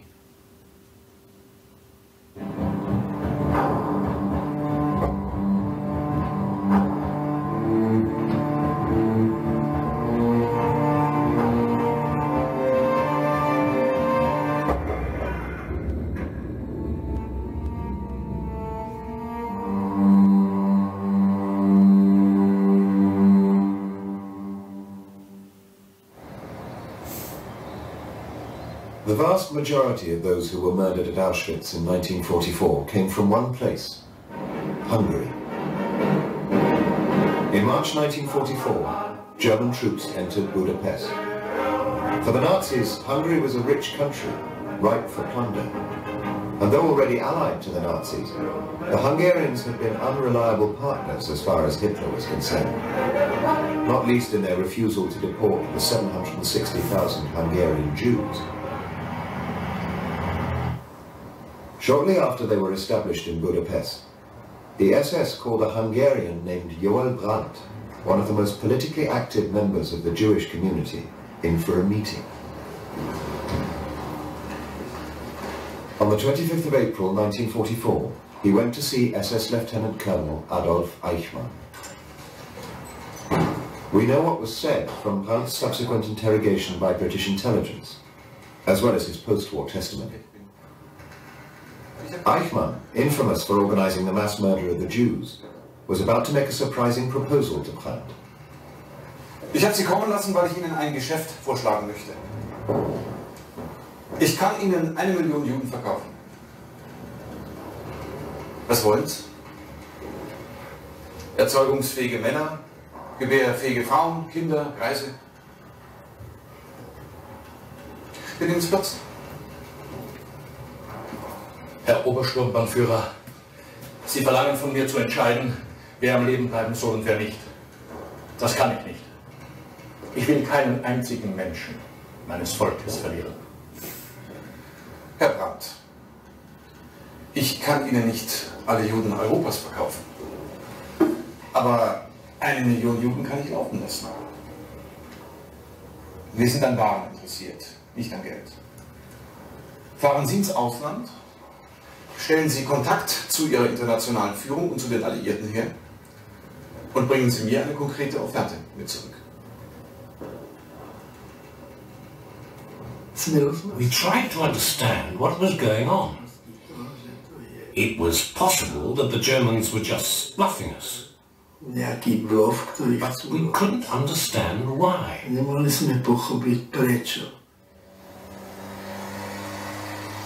But events elsewhere cast doubt on the Nazis' genuine desire to sell the Hungarian Jews, because this man, SS Lieutenant Colonel Rudolf Höss, was returning to Auschwitz.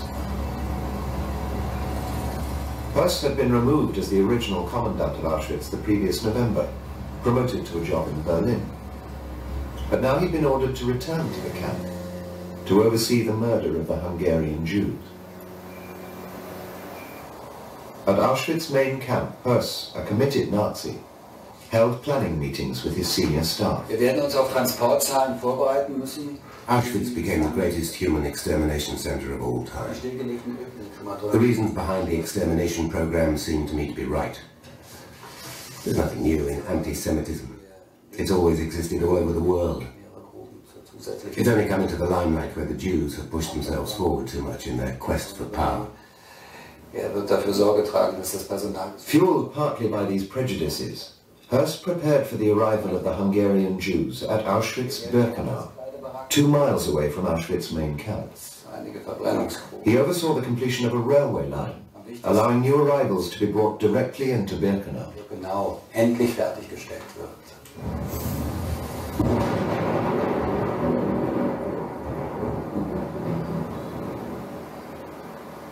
Birkenau part concentration camp, part extermination center, had been the site of mass murder at Auschwitz since 1942. Here, not just Jews, but Polish political prisoners and others the Nazis thought a threat to their rule were imprisoned. Crucial to the operation of Birkenau were four crematoria with gas chambers attached, where those selected to die were murdered and burnt. To, czego nie można pokazać, a szczególnie Brzezince, bo to się tam działo. What can't be shown, especially in Birkenau, is above all the stench of burning bodies. Ten swąd palących się ciał. To szło It spread a long way, daleko, kilometers from the camp. It wasn't just that the fire burnt for one day, went out, and that was it. to It burnt for months on end. Whether it rained or not, whether it snowed or not, the fire burned all the time. Ten ogień bez przerwy się palił. Höss and his SS colleagues now anticipated that so many people were about to be murdered here, the crematoria ovens simply would not cope. So huge cremation pits were prepared. And one prominent visitor to Auschwitz during May 1944 was none other than Adolf Eichmann.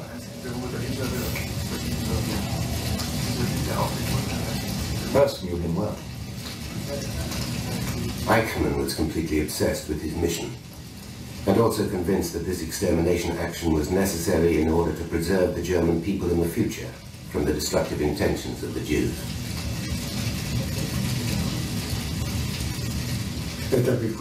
Eichmann's visit, I remember. His whole appearance. All the SS people had the same expression. They were always furious looking, to show how important they were, to show they were important people. Yet at the same time as organizing the deportation of the Hungarian Jews, Eichmann allowed Brand to leave Hungary on the 17th of May 1944. His task? To see if the Allies would exchange 10,000 trucks for 1 million Jews.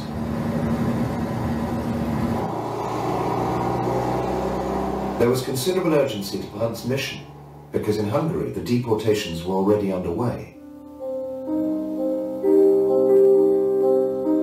Task now performed with the essential cooperation of the Hungarian authorities.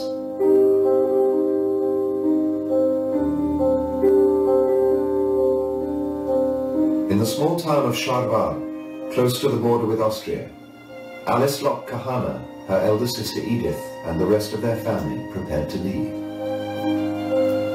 The scene of, of going out of Egypt came to my mind. When we saw the cattle trains, I told my sister, it's a mistake. They, they have cattle trains here.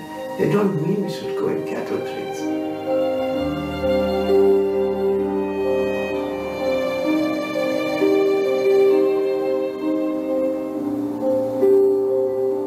So we found ourselves in the cattle train. They're closing the door on us and they're leaving a bucket for sanitary use and a bucket for water. And I told Edith I will never use the sanitary use bucket in front of these people, no matter what happens to me. And the two of us went to the corner of the cattle train.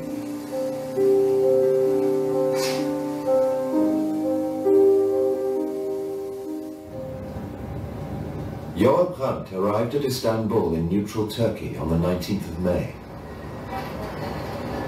He met representatives of various groups with links to the Jewish leadership in Palestine at the Pera Palace Hotel.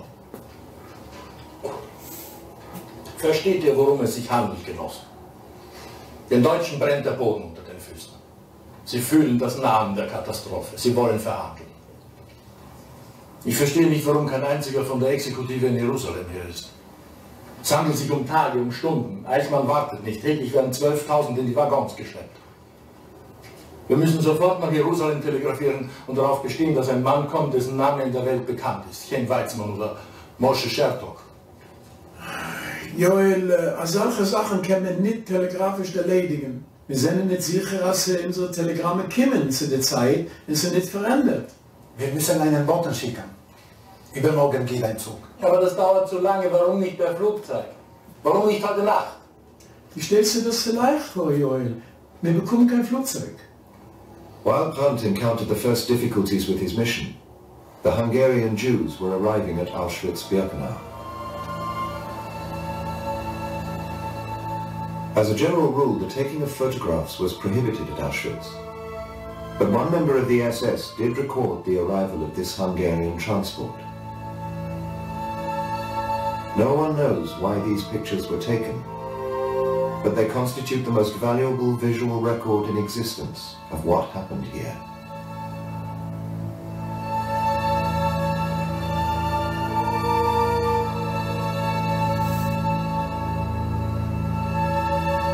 The Nazis wanted to see who could work as forced labor and who could not. The first part of this selection process was to separate the women and children from the men, and then to choose from within each group who should die at once. When we arrived, I told Edith, nothing can be so bad like the cattle trade. I'm sure they will want us to work. And for the children, they will give better food. So they're saying right now, the children should separate, go in another um, uh, group. Go line up with the children. Alice, who arrived at Auschwitz with her family on a similar transport to this, had decided to stand with the mothers and children. She could not have picked a more dangerous spot. I went to that group with the children. And I was very tall for my age, and suddenly the, a German soldier asked me, Haben Sie Kinder? Do you have children? And I said, no, I'm just 15 in German. And then he put me to another group. That moment saved her life. Alice was taken from the group with mothers and children, all of whom were selected for immediate murder, and was placed with fit and healthy young women who were chosen as slave labor.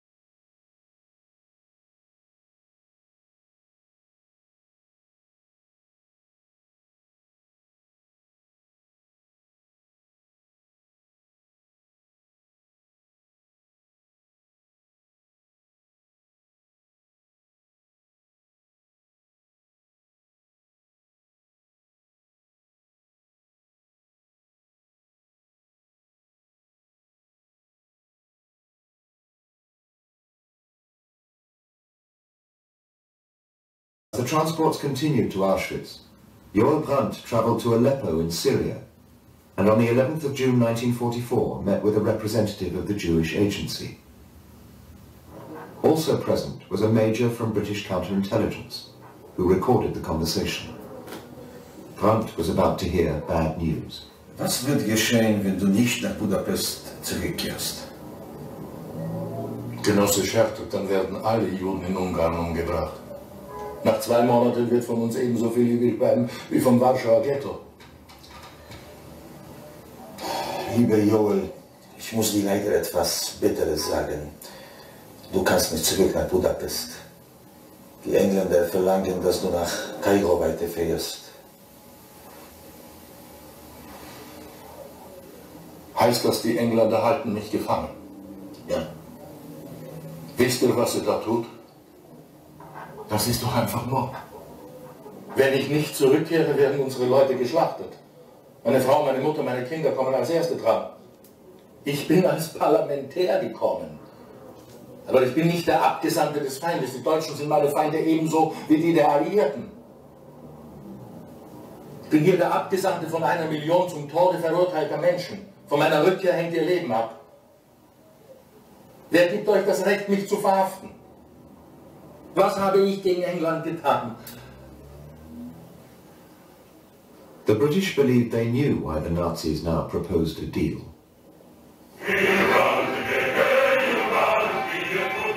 The Germans were losing the war. The Red Army was marching on the right.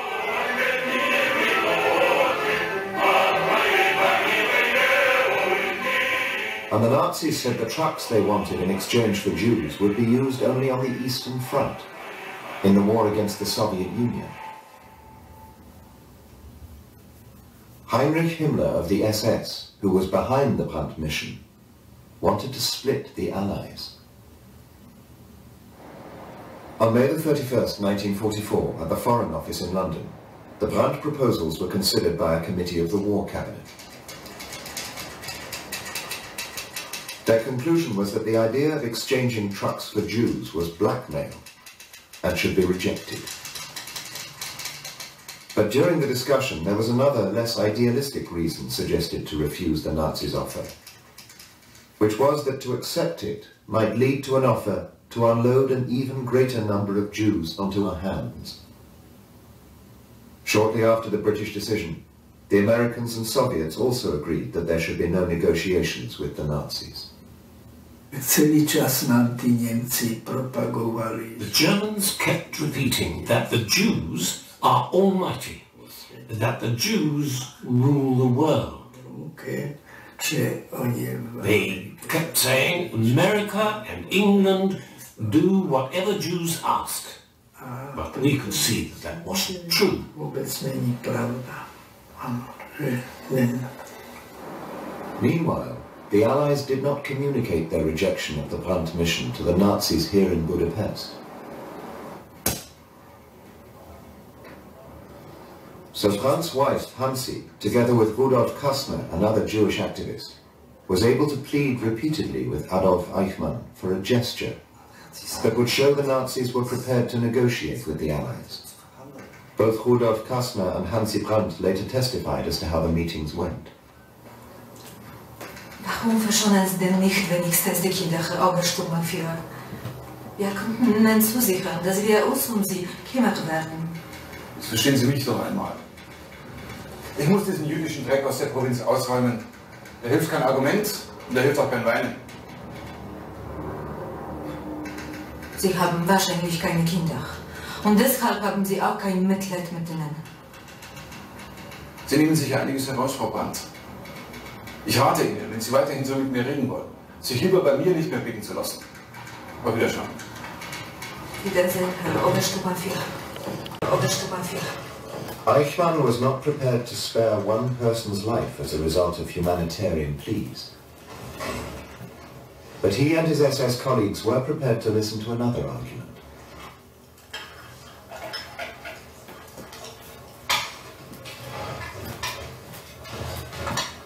They announced that one train full of Jews could leave Budapest for a safe destination as a so-called gesture of good faith.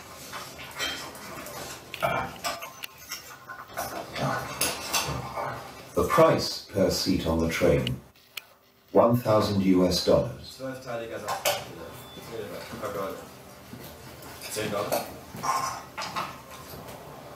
On the 30th of June 1944, a train containing 1,684 Hungarian Jews pulled out of a Budapest station.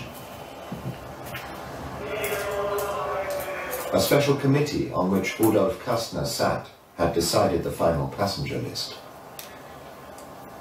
The Kastner list was compiled on purpose like a Noah's, Ark.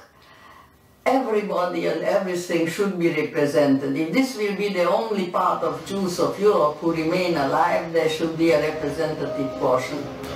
But this was a strange Noah's Ark.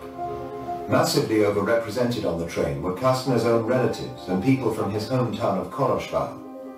And places were also given to several hundred rich Hungarian Jews who subsidized anyone on the train who couldn't pay. If you have to save your life, you try it in every way. Even in a criminal way, if it comes to that. But you have to save your, life is the first. You are nearest to yourself, whatever you try to say.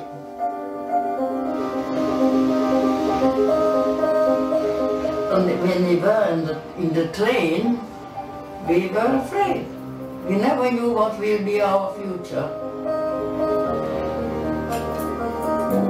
Eichmann had promised that the train would travel to neutral Switzerland, but it didn't. At Linz, in Austria, the train stopped, and Jews on board were told to get out and take a shower.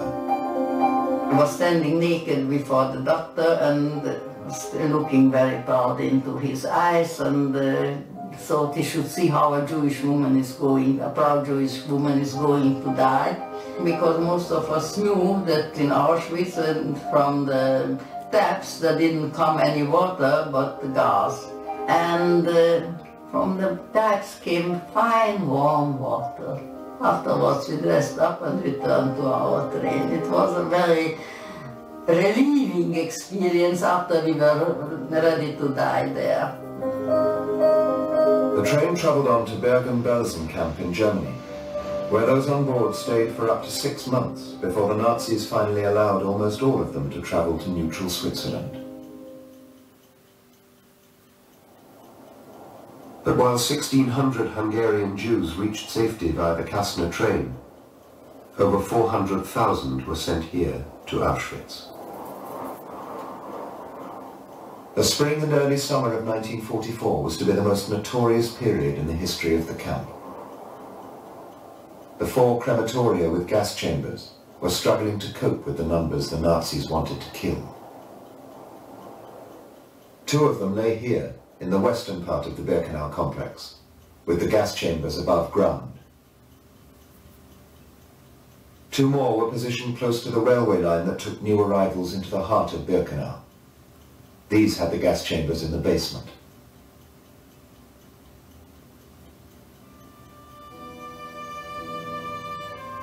The Nazis had hugely increased the number of Jewish prisoners in the Sonderkommando they made work in the crematoria, in order to deal with the massive numbers they wished to murder. So much so that a crematorium and gas chamber like this was operated by around 100 Jews and just four Germans.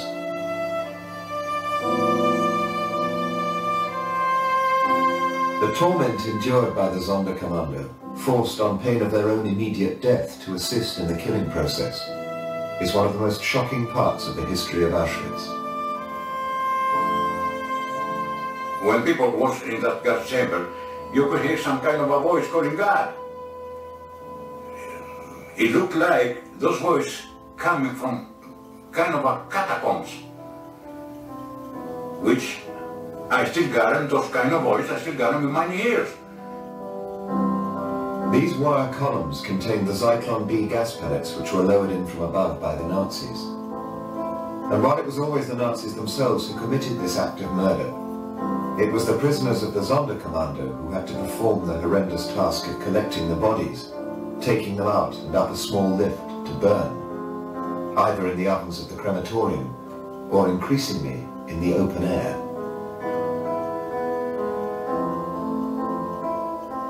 when the, the big you know, transports from uh, uh, Hungary came in, then we were daily, you know, um, they wanted to finish them fast. That's why they had the pits to, to go through.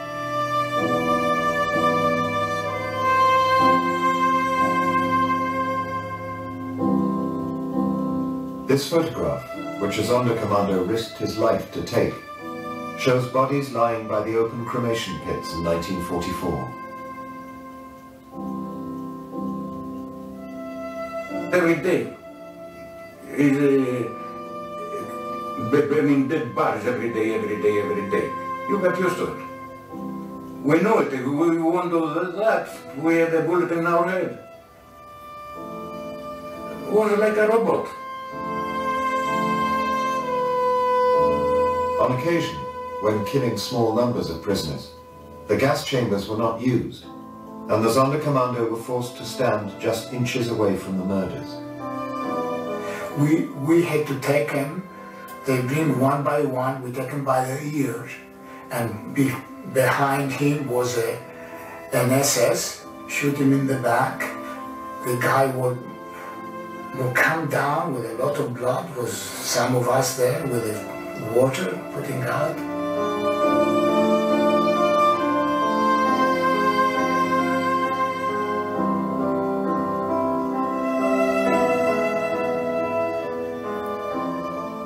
After a while, you don't know, nothing, nothing, nothing bothers you.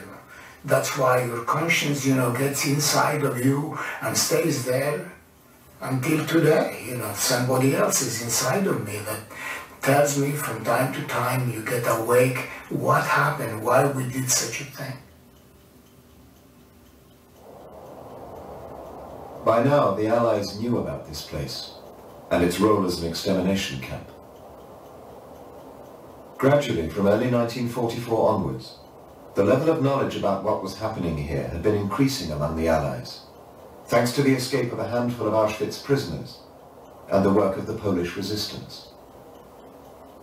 This culminated in a document which drew together the available intelligence and which came to be known as the Auschwitz Protocols.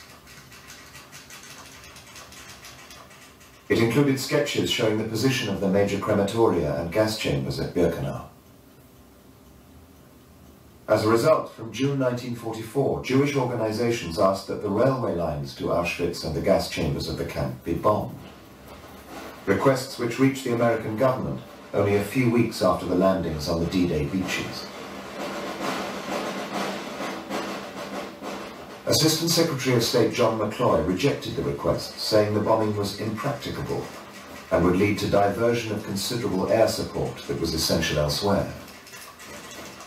A clue as to the strength of McCloy's opposition to the bombing requests comes from this inter-office memo, where his own assistant, Colonel Gerhardt, writes, I know you told me to kill this. In Britain, requests to bomb Auschwitz were once again referred to the Americans, and so the idea died.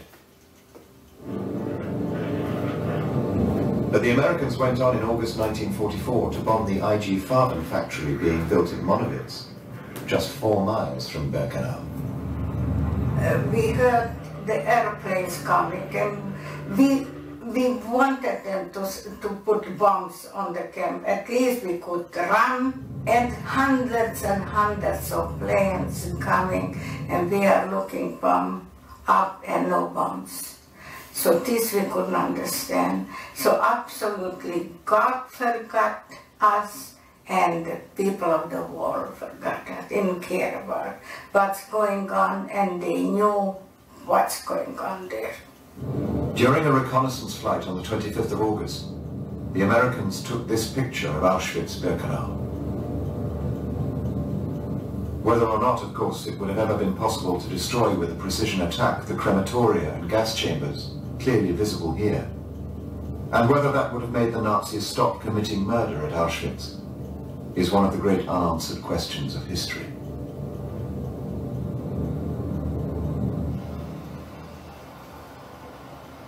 What is certain is that back in Budapest, the protests about the deportations made by several foreign governments, including the British and Americans, did have an effect. Fast die Hälfte von insgesamt 800.000 The pressure reached a peak in early July when the Hungarians intercepted cables demanding that those involved be punished. 1000 pro dag. The Hungarian Prime Minister, Döme Sztójay, and Edmund Veesenmayer, Hitler's representative in Hungary, met to discuss the intercept. We know what was said from a detailed report Wesenmeyer sent the next day to Berlin. Und dann haben wir noch ein anderes Telegramm abgefangen, in dem 70 ungarische und deutsche Persönlichkeiten namentlich genannt werden. die als hauptverantwortlich für die Deportationen angesehen werden.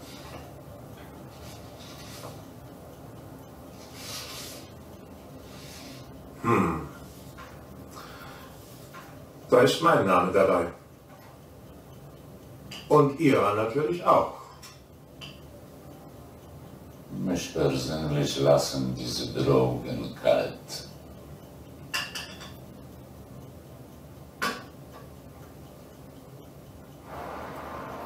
But such protests and threats from the international community did influence the Hungarian head of state, Admiral Horthy. With the war clearly going against the Nazis, he decided that the time had come to distance himself from his erstwhile ally. Horthy informed the Germans on the 7th of July that the deportations of the Jews must cease. The Hungarian authorities would no longer cooperate.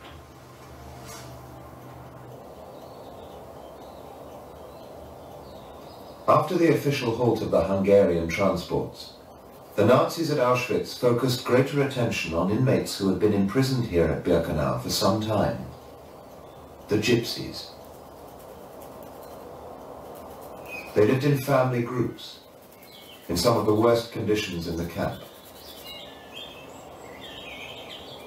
The atmosphere was terrible because many of the small children and people in the blocks were ill and everyone was mixed up together. Children were screaming, Mum, I'm hungry, give me something to eat or something to drink. But they weren't allowed to drink the water due to typhus. Franz Rosenbach survived only because he was eventually transferred elsewhere as slave labor. But his mother died at Auschwitz, along with 21,000 of the 23,000 gypsies sent there. momente, momente you see, there were moments, moments which one really prefers not to think about. Such moments. The things that were done to us left you wondering why. We were beaten, kicked, degraded, but you didn't know why. You had no idea why. Simply because we were different.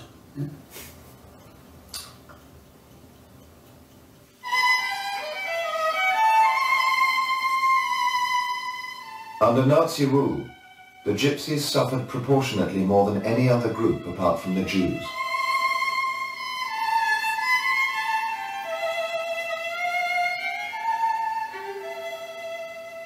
The Nazis considered them antisocial, despised their way of life, and thought them racially dangerous.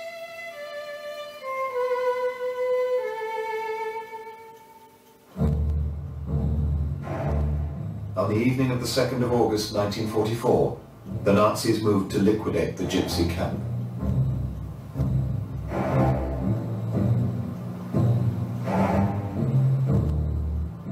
It was to be one of the most appalling single nights in the history of Auschwitz. The gypsy camp was very close to our barrack, and we could hear it. And the night was unbelievable full of screaming and crying and smoke and horrendous sounds. They took the gypsies and the gypsies were crying. They knew where they are taking them.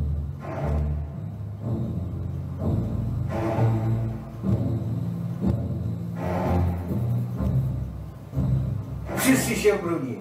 Everybody defended themselves, defended themselves to the last. They bit, they scratched. The Germans had driven in in trucks. They threw the children in them, and if one of them jumped out, they would hit him on the leg or the arm with a wooden club, break it and throw him back in so that he couldn't jump out again, couldn't get out because his limb was just hanging there. When I saw this, I started yelling and people grabbed me, posed, as they were afraid that the Germans would come and throw a hand grenade in or something. They rolled me in a blanket to keep me quiet and sat with me. The gypsies were taken to the crematoria, many here to Crematorium 5, and killed within its network of gas chambers. By the autumn of 1944, after the gypsies had been murdered here, and the massive transports of Jews from Hungary and then the Lodz ghetto in Poland had ceased. The number of people killed at Auschwitz dropped to fewer than 1,000 a day, from a peak of 10,000 in May. The Sonderkommando who worked in these gas chambers now began to fear for their own lives. They were changing us. You know, we, we knew that uh, our days were always numbered and we didn't know when the end would be.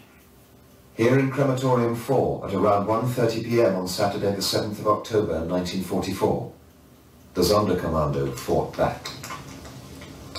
They set fire to the crematorium and armed with pickaxes and rocks, they attacked their SS guards. Meanwhile, the Sonderkommando in Crematorium 2 also rose up. After a few minutes of hand-to-hand -hand fighting with the SS, some Sonderkommando managed to escape into the nearby woods, but all of them were later captured and shot.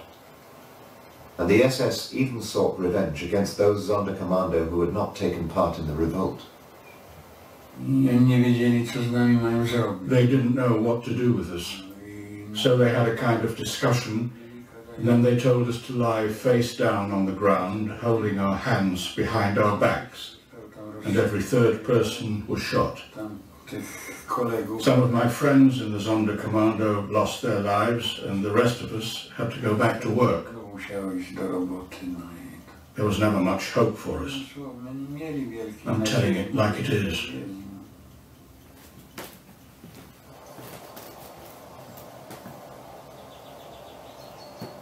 They didn't kill us because there were 4,000 cadavers, you know, that we have to go into the ovens.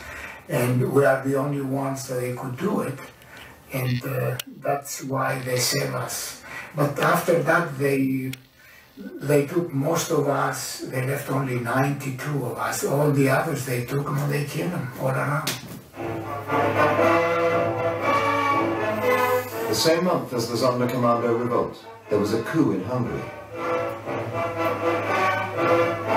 On the 15th of October 1944, Horthy's non-compliant regime was overthrown by the Nazi-backed Arrow Cross militia. Eichmann immediately called Rudolf Kastner in for a meeting. Kastner later wrote a report about what was discussed. Chance, ich bin wieder da. Jetzt passen Sie mal auf. Diese neue Regierung arbeitet jetzt nach unseren Befehlen. Und jetzt werden die Budapester Juden abtransportiert. Und zwar diesmal zu Fuß.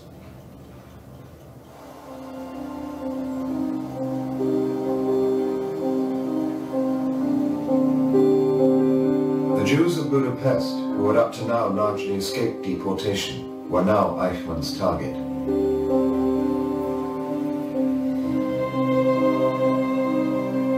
They were not to be sent to Auschwitz, but to Austria, where they would be used as slave labor. And because of the shortage of trains, they were to walk there. So during November, tens of thousands of Jews from Budapest were forced out of the city and made to trek west. Many thousands died en route.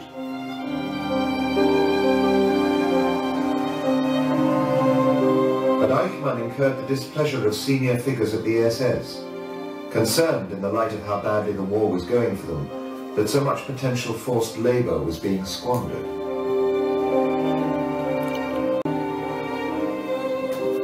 And so Himmler summoned Eichmann to a special meeting in December 1944 on his private train.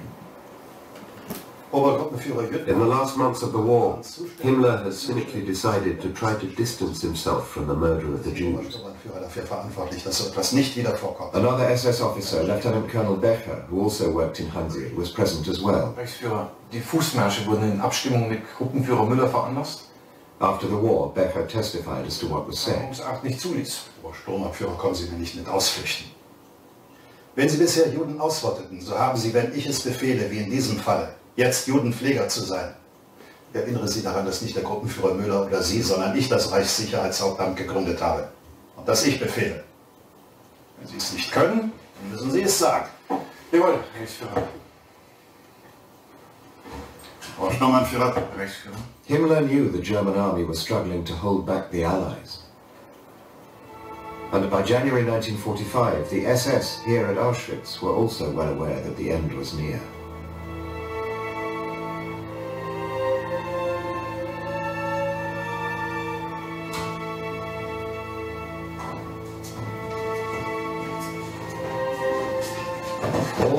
To this place as a site of mass murder was to be eliminated. We woke up in the middle of the night, night to the sound of explosion. They were blowing up the gas chamber, the crematorium. Outside, the SS were waiting for us and ordered the we woke up in the middle of the night, to the sound of explosion. They were blowing up the gas chambers to march. Anybody who could not march fast enough was shot on the spot. We arrived in Auschwitz I, which is about an hour walk, at 1 a.m.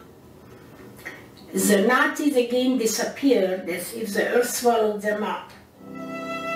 Eva Moses Kor and 1,200 other prisoners thought too weak to evacuate from the area were now left for a few days to fend for themselves at Auschwitz main camp.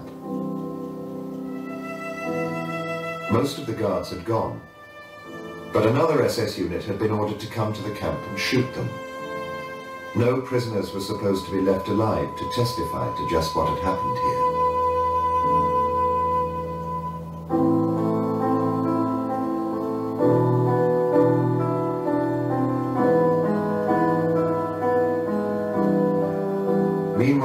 Than 50,000 other inmates of Auschwitz, thought fit enough to become slave labourers, were marched in sub-zero temperatures to railway junctions, where they were to be put on trains and sent west.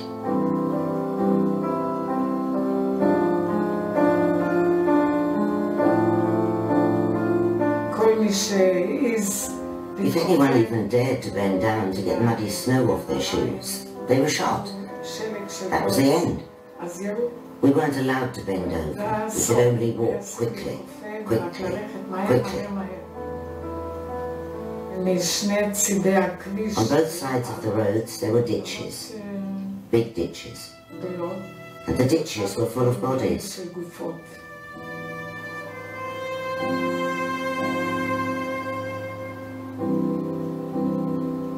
Also on the march amidst the chaos of this retreat were prisoners who had never thought they could possibly leave the camp alive.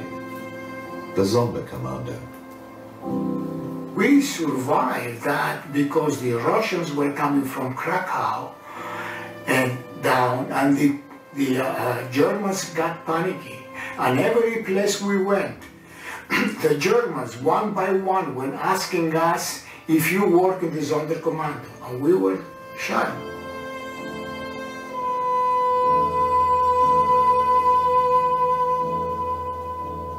Once they reached the railhead, the Auschwitz prisoners were crammed into open wagons to continue the journey west, in temperatures that could reach as low as minus 20 degrees. was very, one guy was up, and, and he was German, he told us he was German. Who knows, maybe a convict, who knows. And he wanted to sit down, he could stand up no more, this guy. So, and he told me, uh, I got some cigarettes. Would you let me sit down? When I have cigarettes, you know that. when I have some cigarettes, he gave me two, three cigarettes. I got up and he said, so the cigarettes in five, ten minutes were gone. I thought we told him, get up. Get up. Stand up. He won't stand up. So what I did was, me and a couple more friends, we sit on him. In about 30 minutes, one hour, he was suffocated, that guy, and we threw him, threw it out of the wagon.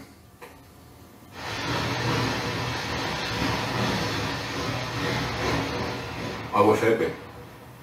How did I feel? They killed all my family, about 30, 40 people of my family, and I killed one German? That was nothing.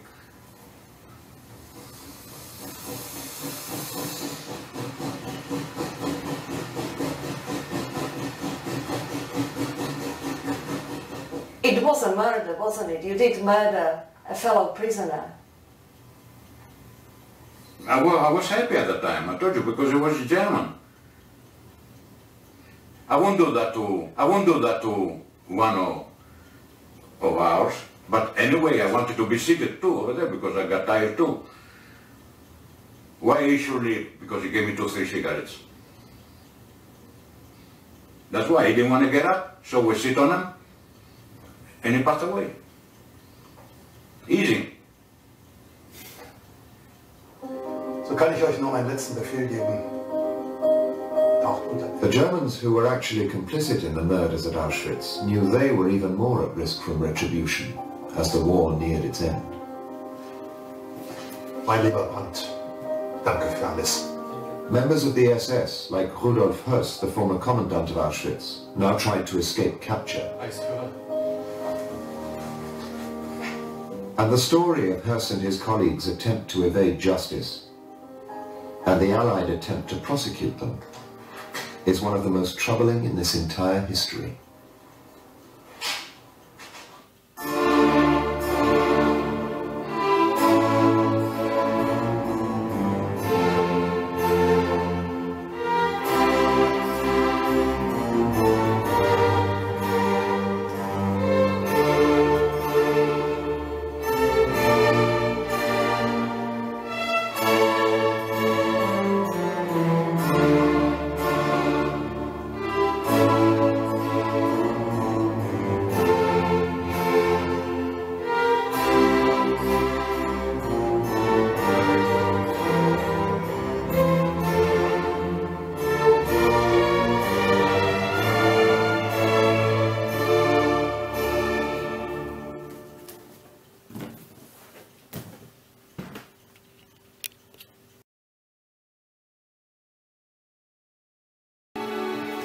Auschwitz, by mid-January 1945, the Nazis knew it would only be a matter of days before the Red Army arrived.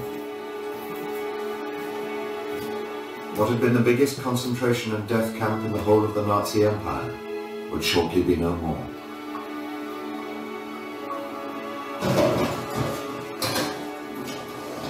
The SS tried to do what they could to conceal the details of what had happened here. Files were removed or burnt, the gas chambers destroyed.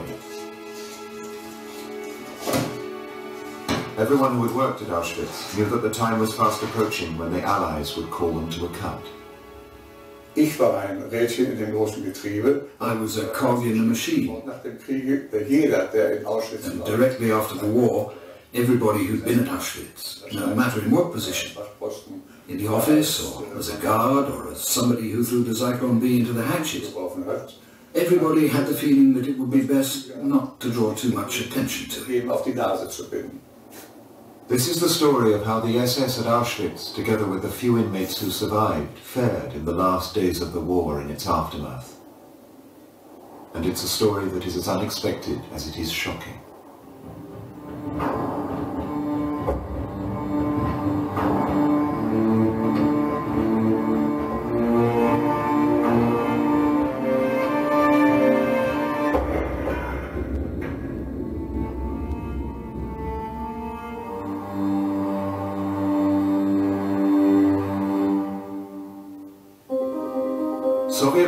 Liberated Auschwitz on the 27th of January 1945. Only a few thousand inmates awaited them. The vast majority of the prisoners had been marched away by the Nazis just days before, westwards, into the Reich. Those that remained, most thought too sick to march, were supposed to have been shot by the SS, but in the confusion they'd been left alive. I realized they were prisoners and not workers, so I called out, You are free, come out. They began rushing towards us in a big crowd. They were weeping, embracing us, and kissing us. Among the prisoners in Auschwitz main camp were several hundred children, many of them twins, who had been the subject of Nazi medical experiments, including 10-year-old Eva Moses Kor. We ran up to them and they gave us hugs, cookies and chocolate. Being so alone, a hug meant more than, than anybody could imagine because that replaced the human warmth that we were starving for. We were not only starved for food, but we were starved for human kindness. And the Soviet army did provide some of that. Despite the final hurried efforts of the SS, Evidence of the aftermath of mass extermination lay all around. It was clear that a terrible crime had been committed. I felt a grievance on behalf of mankind that these fascists had made such a mockery of us. It roused me and all the soldiers to go and quickly destroy them and send them to hell.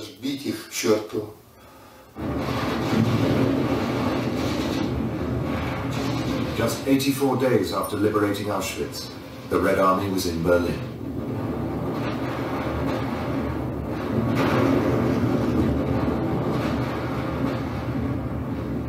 And on the 30th of April 1945, the man who had presided over the horror of Auschwitz, Adolf Hitler, committed suicide in the Führer bunker beneath the Reich Chancellery. 1945. The former commandant of Auschwitz, Lieutenant Colonel Rudolf Höss of the SS, travelled to a meeting that he believed would determine his own fate.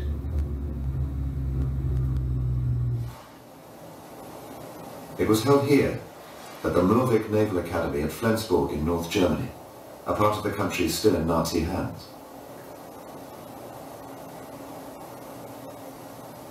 Höss was about to hear the contingency plans his own boss, Heinrich Himmler, had made for his key staff. Höss later recorded in his memoirs what Himmler said.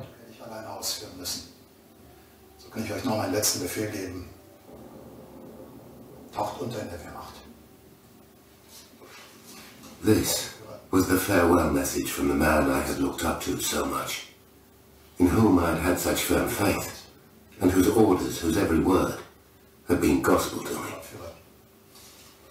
Reichsführer. Standartenführer. Reichsführer. Höss was clearly disappointed. He'd been expecting to be told to take part in some dramatic last act of resistance. Now, following orders, he dressed up in the uniform of a petty officer, a Bootsmaat of the German Navy, and went to hide among the sailors on the holiday island of Sylt. As for his boss, Himmler, he was captured by the Allies just days later.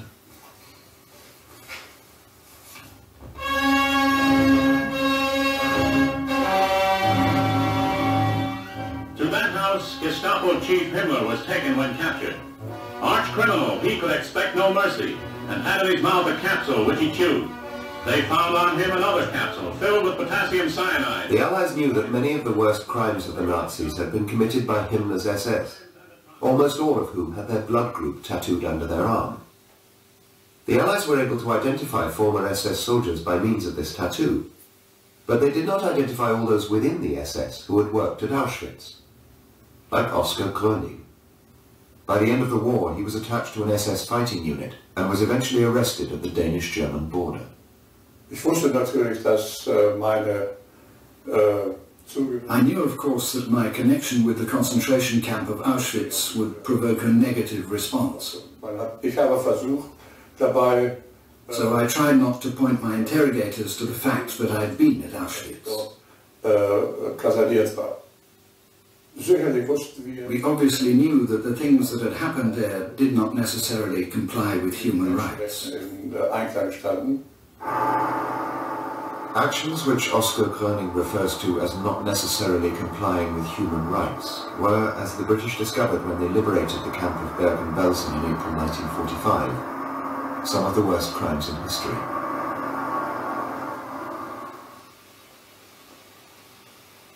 It was to Belsen that more than 10,000 inmates of Auschwitz had been sent ahead of the Soviet advance. Here they had been denied water and food and left to die. The things in this camp are beyond describing. When you actually see them for yourselves, you know what you're fighting for here. Pictured in the paper, can't describe it at all. The things they have committed, well, nobody would think they were human at all. Many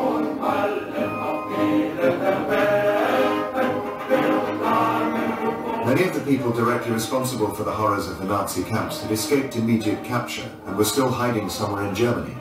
The former commandant of Auschwitz, Rudolf Höss, was one of them. He'd been initially detained, but then released by the British.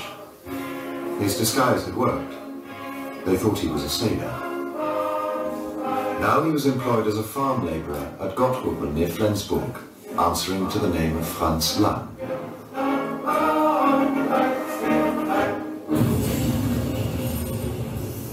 But after a bad start, the British were back on his trail. By the time they torched the camp of Bergen-Belsen, survivors had begun to tell of their experiences at another camp further to the east, Auschwitz, and of the man who ran it, Rudolf Höss.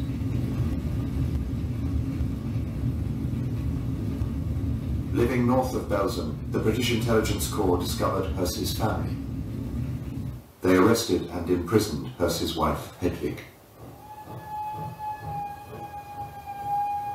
For five days, she was repeatedly asked where her husband was, but always replied that he was dead. Then, on the morning of the sixth day, the soldiers of the Intelligence Corps attempted to trick her into telling more.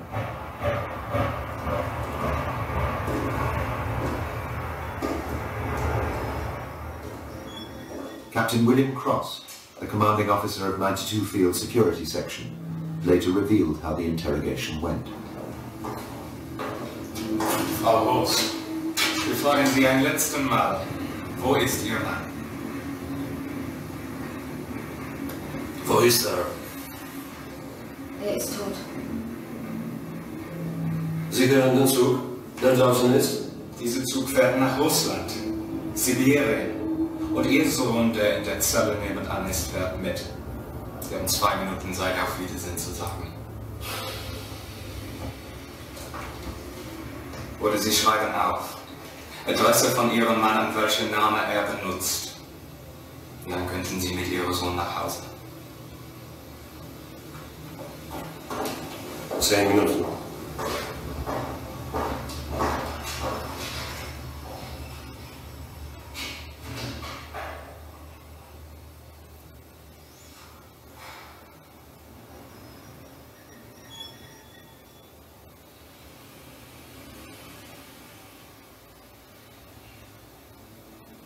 Thinking she was saving her son, Frau Höss now revealed the truth.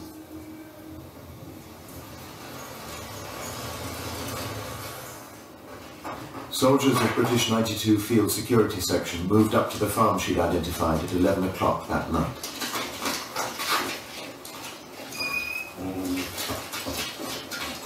Keine Bewegung! Kein Louis! Lass dich! Hilfe! Was soll das? Was? Hey! Okay, get him out! Stay out! Stay out! His feet. Wie heißen Sie?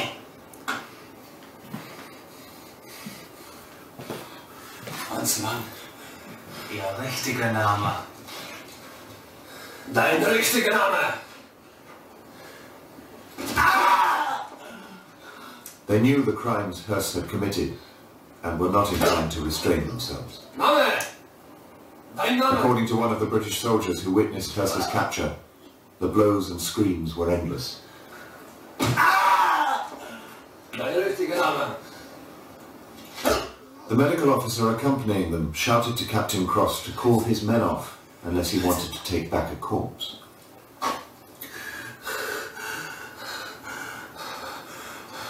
Höss. Rudolf Höss. After his arrest, Höss was interrogated first locally and eventually at Nuremberg as part of the war crime trials.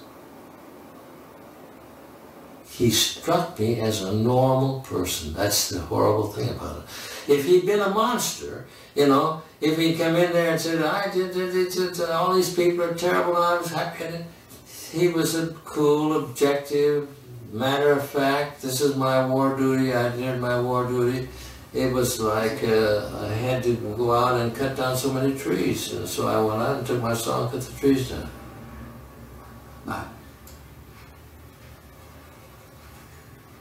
Von unserer ganzen Ausbildung. He just uh, acted like a normal, uh, unimportant individual and uh, simply answered the questions and, uh, as far as I could tell, told what happened. Uh, without emotion. Without emotion. And without sense of guilt. Without sense of guilt. Not in the slightest apologetic. Not in the remotest degree was he apologetic. In a sense, he was, I think, showed a certain pride in his accomplishment. Much of the former Nazi Empire was now under the control of Stalin's Soviet Union. And as the search for Nazi perpetrators continued, thousands of refugees were trying to return home. Among them, many of the former inmates of Auschwitz, including Helena Citronova. For her, the Soviet soldiers had become a new source of terror. No matter where we hid, they found us and raped some of my friends. They did horrible things to them.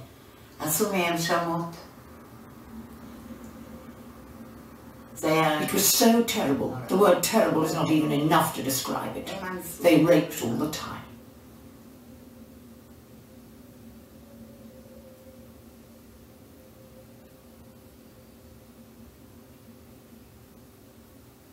Helena avoided being raped herself only because her elder sister Rosinka pretended she was her mother and protected her.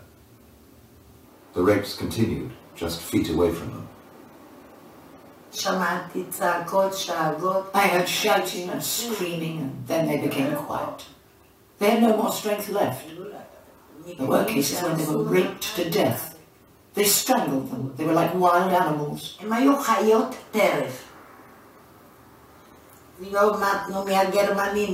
We thought that though the Germans hadn't killed us, the Russians now would.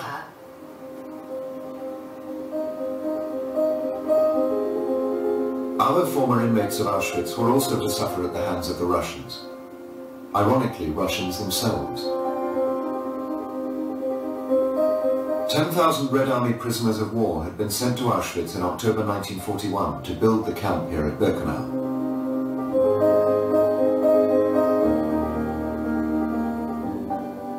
handful who survived this horror were, after their liberation, about to be persecuted again. Надо придумать. They invented that in Auschwitz, this camp of death. They were training spies. Вроде меня. Вот кому-то в голову пришло. So somebody got this idea in his head. What if they turned me into a spy? Там Из шпиона. Pavel Stenkin was sent into internal exile in the closed city of Perm in the Urals. He was a victim of Stalin's policy that all Red Army soldiers who'd been captured should be treated as suspected traitors. When I arrived in Perm to work, I was called in every second night. Admit this, agree to that, we know everything. The only thing we don't know is why you were sent here. But we will find out with or without your help. Мы этого добьемся без вас. Все. Come on, Сознавайся. admit that you're a spy. А я And I would say, I'm not a spy. I'm an honest Soviet man. And the interrogator smiled ironically. Soviet man. And he smiled again. советский человек. С улыбкой. С издевкой. Just confess, and it'll all be over. Что? Признавайся. They were tormenting and tormenting me. Трепали, трепали, трепали, трепали. Поверьте, я говорю правду. Ну лишь от меня избавиться. And then they decided to get rid of me. They sent me to prison. And the details of my sentence. Do you think I heard anything or I read anything about it? I heard nothing and read nothing. The judges were in a rush.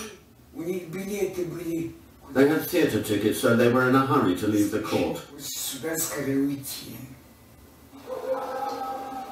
Pavel Stenkin was sent to a labor camp within the Soviet Gulag system. Captured by the Germans in 1941, he was finally released only after Stalin's death in 1953. I was always feeling hungry.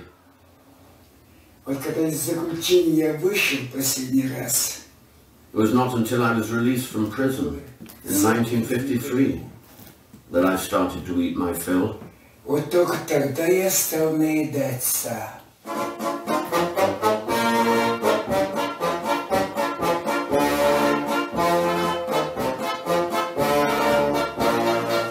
While the former inmates of Auschwitz struggled to rebuild their lives, some of the Germans who had worked at the camp arrived in Britain, along with other members of the German armed forces.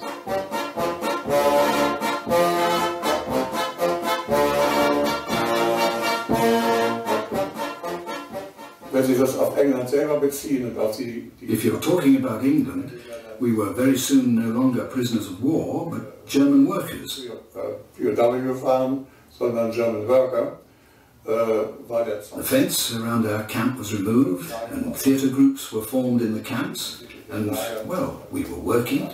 We had sufficient food, in fact, good food.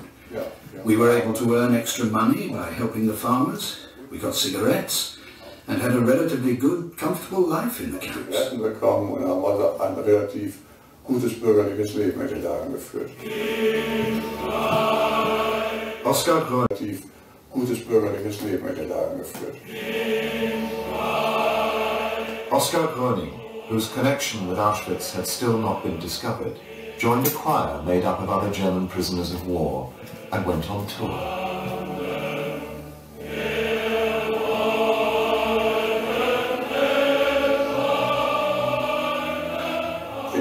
Anderthalb Monate mit dem Chor durch äh, For one and a half months, I travelled through the Midlands and Scotland with this choir. die äh, And the hospitality, especially in the Christian parishes, was enormous. Although we were supposed to sleep in the POW camps, we often didn't, because people put us up in their houses. Everybody wanted to have a singer stay with them. So we had a good night's sleep and got a good breakfast, and the next morning we were taken back to our gathering point, and off we went to the next place. It was great.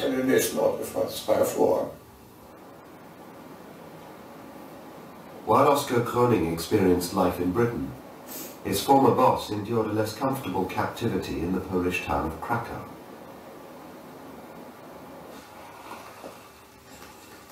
Rudolf Höss passed the time before his trial, recording his experience as commandant of Auschwitz and his service in the SS. It's a remarkable document of great historical importance, offering us an insight into his mentality.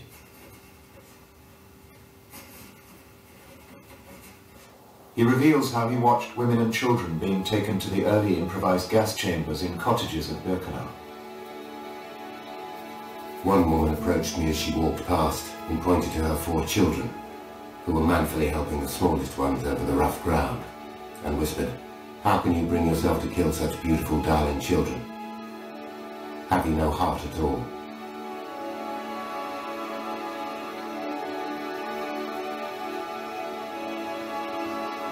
Höss wrote that he would ride his horse to clear his mind after such incidents, but that he had no regrets. The reasons behind the extermination program seem to me to be right. All the time Höss was killing women and children at Auschwitz, he was also living with his own family just yards from the main camp.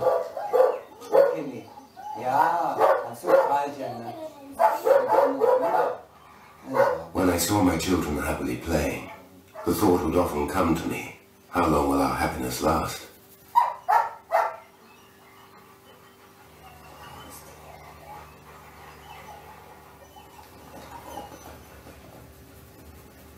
In the summer they splashed in the river Sola. Their greatest joy was when Daddy bathed with them. He had, however, so little time for all these childish pleasures. I always felt that I had to be on duty the whole time. Again and again my wife reproached me and said, You must think not only of the service always, but of your family too.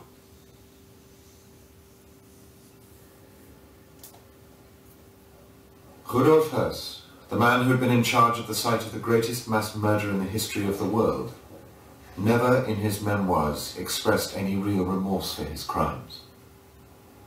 Instead, looking back, there was just one thing above all he wished he'd done differently. Today, I deeply regret that I did not devote more time to my family.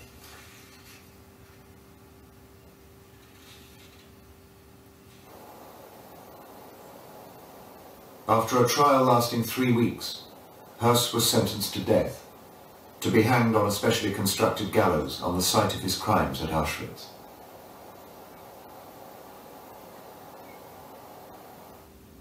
Hes wyglądał w czasie During the execution, when they were leading him to the gallows, Höss looked calm. wyglądał na spokojnego.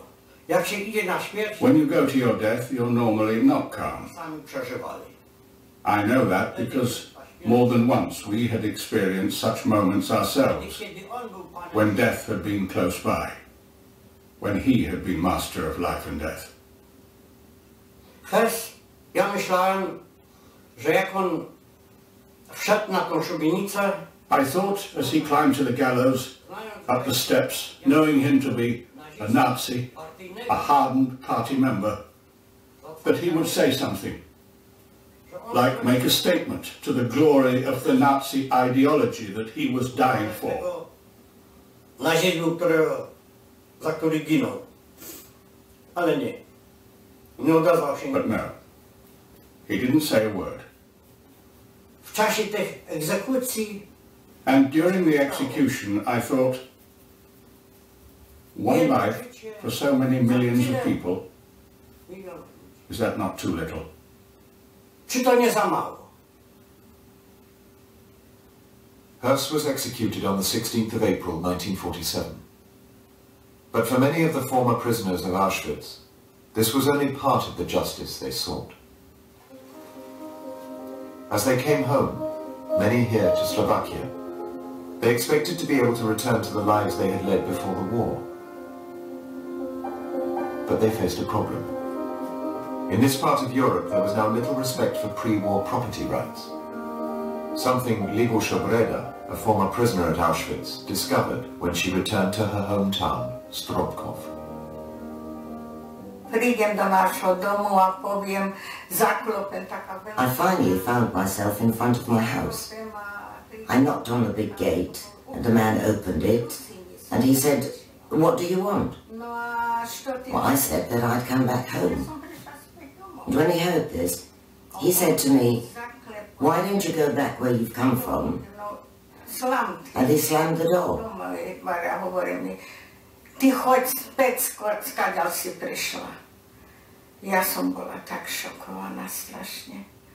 I was shocked. I walked down the main street, and I realized that all the houses which had previously belonged to my relatives are now occupied by others.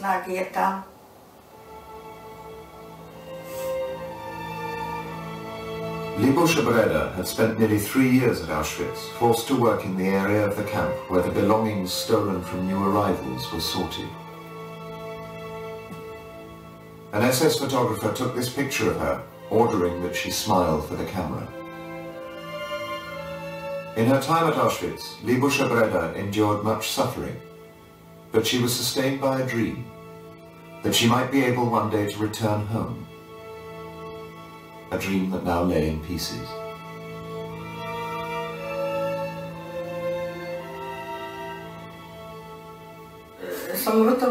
I regretted that I'd come back.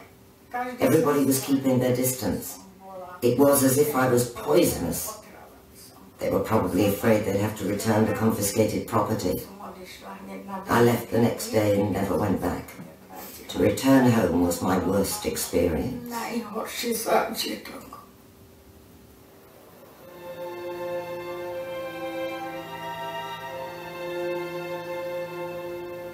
Other than the gravestones in the cemeteries, there was now little evidence that there had ever been thriving Jewish communities here.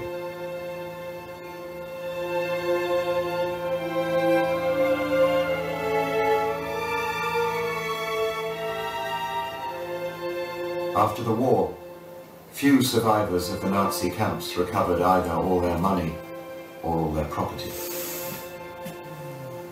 It was a huge injustice, one compounded by the fact that leading members of the SS were given assistance to leave Europe and escape. Bene, eccola qui. Dr. Josef Mengele had conducted a series of medical experiments at Auschwitz, Dunque, many of them on children. mi dice di lasciare il paese. With the help of a corrupt Italian immigration official, he managed to obtain passage to Argentina. Grazie. He was not alone. Adolf Eichmann, who had helped organize the extermination of the Jews, also managed to escape to South America. Il brigadiere la accompagnerà per aiutarla. Per problemi Verdensi sì, va bene? Sì. But in the face of the atrocities committed by these and other Nazis, there were those who sought to take justice into their own hands. Some of them were members of the Jewish Brigade, a unit of the British Army created in 1944. They fought against the Germans in Italy, and as they did, they learnt more and more about the nature of the crimes the Nazis had committed. And soldiers like Moshe Tavor resolved to do something about it. We got angrier and angrier.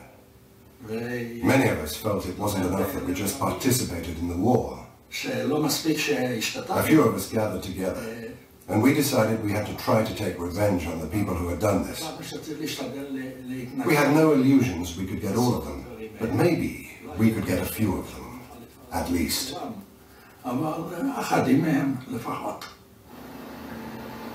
Using whatever sources they could, they tried to trace any Nazi who they believed had been active in the destruction of the Jews. Then they paid him a visit and took him away, saying they wanted to conduct an interrogation. נסענו למקום שנבחר למפרע. We drove to a place we had selected before, אה, לא צפוף, לא מיושב. like a forest or some place that was uninhabited. במשפט הזה, And there we put him on trial, מה and we read him all the charges. מהמחתרת, את הטענות נגדו. They were based on everything we knew from the underground. Sometimes he had a chance to say a few words to defend himself, and then we would finish him off. Usually one of us would strangle him. Did you ever strangle someone? Yeah. Yes. Not that I was happy to do it, but I did it. I was completely aware of what I did. I didn't have to drink beforehand to lift my morale. I was always enthusiastic enough. I knew that my uncles and my grandparents and other relatives, tens of them, were annihilated. La But you killed a person without a proper trial. How do you feel about that? How can you possibly explain that? Look, in my life until then I'd already done quite a few things which were not exactly straight. But to say that I feel guilty for what I did to them, on the contrary, completely the opposite. I feel guilty for what we didn't do to them. Jeśli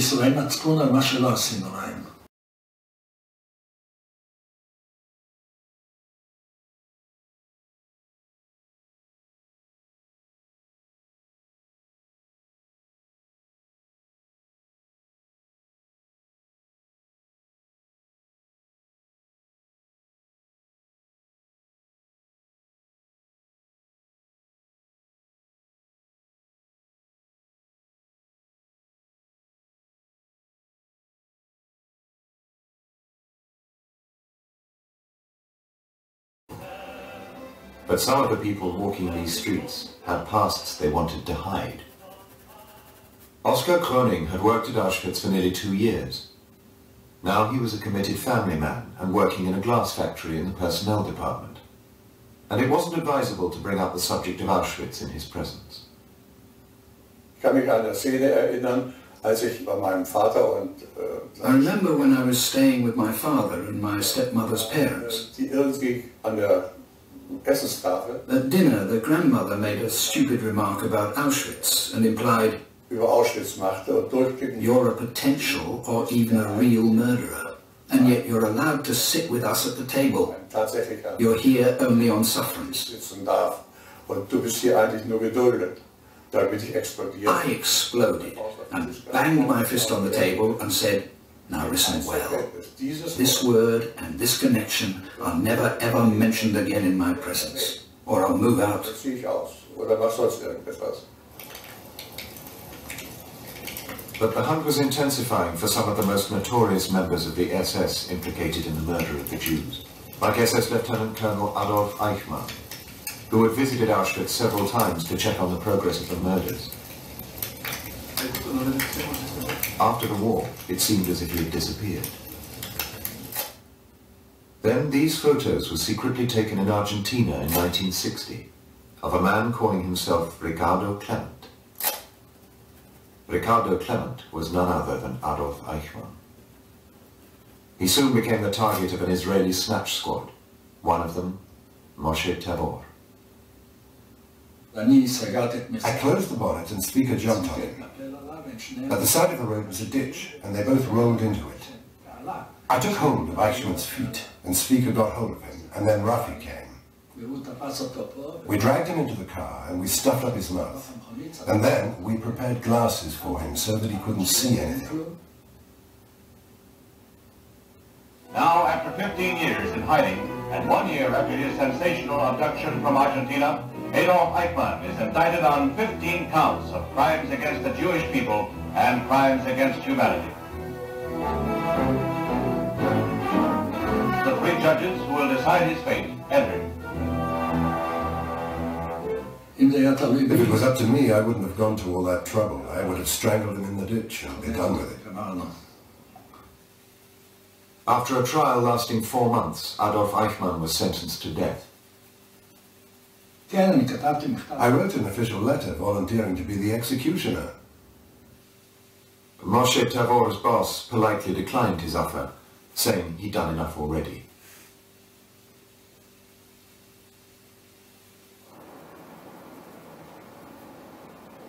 The trial and execution of Adolf Eichmann was certainly highly publicized, but it obscured a lesser-known truth.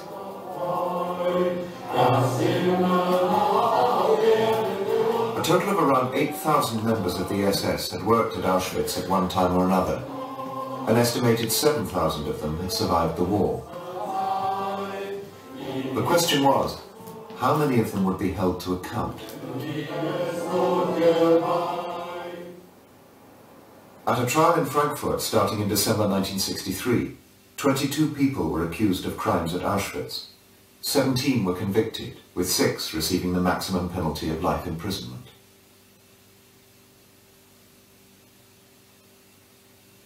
Prosecutors were tracing as many members of the SS who had connections with the camp as they could. Eventually they even traced Oskar Gröning, but decided not to prosecute him. Sie waren Teil der größten Vernichtungsfabrik in der Geschichte. You were part of the largest killing factory in history. You were working there. You personally contributed to the killing of around one million people. Don't you think you should have stood trial? gestellt werden müssen. Nein, das glaube ich nicht. Denn No, I don't think so. unterstellen in Ihrer Frage, dass alleine You imply with your question that just being a member of a large group of people who lived in a garrison where the destruction of the Jews took place is enough to make you a criminal. die da waren, den Nimbus eines Verbrechers haben. Oskar Gröning did much more than simply live in a garrison where the destruction of the Jews took place. Like every one of the SS at Auschwitz, he actively participated in the running of the camp. Oskar Gröning counted the foreign currency stolen from the Jews and transported it to Berlin, and he guarded the belongings of the Jews in the immediate aftermath of their arrival. But others did have a much more intimate connection with the killing process, and many of them were not even Nazis. Because a crematorium like this was normally operated by no more than four members of the SS and a hundred prisoners of the Sonderkommando. They were forced to do this. if they didn't do this, then they would be immediately taken to the gas chamber. So in order to have a, a, chance for a little bit more life, they did the function. The Sonderkommandos were not made up of volunteers. They were, they were themselves victims, and they were in turn uh, put into the gas chamber when their time was up. It was always the Nazis themselves who committed the actual act of murder, throwing the pellets of Zyklon B in through the hatches of the gas chambers.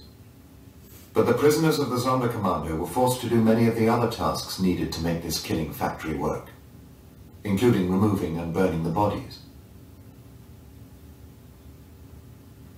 This meant that after the war, the majority of the SS at Auschwitz could maintain that they themselves had never worked in the crematoria and gas chambers.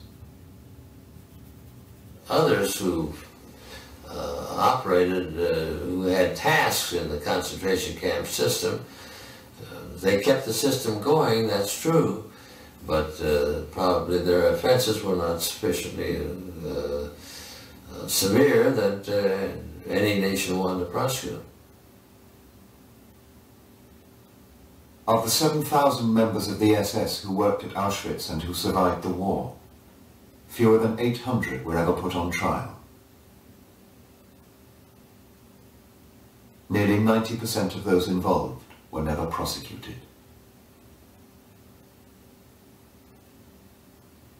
The Ministry of Trade and Industry in Hanover Ich wurde vom Sozial The Ministry of Trade and Industry in Hanover appointed me an honorary judge. äh, And for 12 years, alongside my regular job, I acted as an honorary judge in industrial tribunals. Ist das nicht ungerecht? Isn't it unfair that those who suffered continue to have a hard time, whereas somebody like you who was involved in the annihilation machinery now has a good life? Maschinerie, der hat ein schönes Leben. Das ist immer so auf der Welt. It's always like that in this world. Dass äh, ich die Verpflichtung gehabt hätte, Should I wear a hair shirt for the rest of my life and live off roots and charity, like in the Opera Tannhäuser, because I belonged to that organization? Milden Gaben zu ernähren. Wenn man das mal ausschließt, dass das die Konsequenz Unless you think that's an option, zu den Vereinen then all that's left is for each person to have the freedom to make the best of the situation he's in. aus der Situation, in der er sich befindet, äh, das Beste zu machen. For many former prisoners of Nazi death camps, life since the war has been rather more troubled.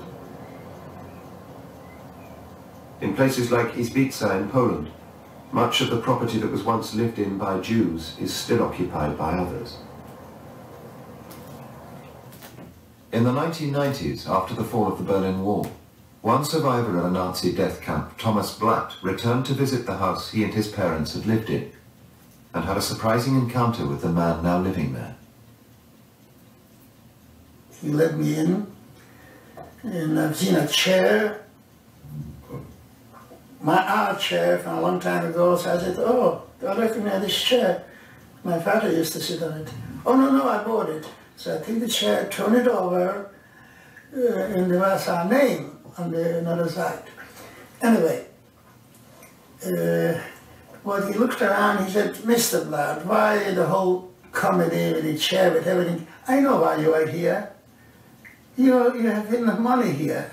Your parents uh, hide some money. I was angry, and I look around, and I said, okay, nothing is touched. Goodbye. He said, Mr. Blatt, wait a minute. You could uh, take it out and we will divide even, the money. His, him 50% and 50% me. Uh, so I just left. A few years later, Thomas Blatt returned to Izbica, and this was the sight that greeted him. The house his family had lived in was now uninhabitable. So I went to the neighbors and asked the neighbor what's happened here. So she said, oh, Mr. Blatt, when you left, we were unable to sleep because day and night he was looking for the treasure you're supposed to leave. He took the floor apart, the walls apart, everything. And later he find himself in a situation that he can fix it. Too much money. So he left it and take a look, it's a ruin. This ruined house symbolizes how long is the shadow cast by the Nazis' persecution and murder of the Jews, and how real still today is the prejudice of anti-Semitism.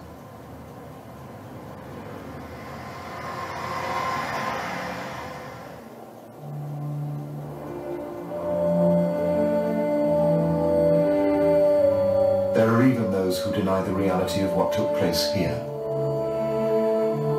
And it was to confront them that Oskar Gröning finally broke his silence about his own personal history. Ich fand es als meine Aufgabe, äh, I see it as my task, now at my age, to face up to these things that I experienced and to oppose the Holocaust deniers who claim that Auschwitz never happened. And that's why I'm here today. Because I want to tell those deniers. I have seen the crematoria. Ich habe die Krematorien gesehen, ich I have seen the burning pits. And I want you to believe me that these atrocities happened. geschehen sind. Ich war da. I was there.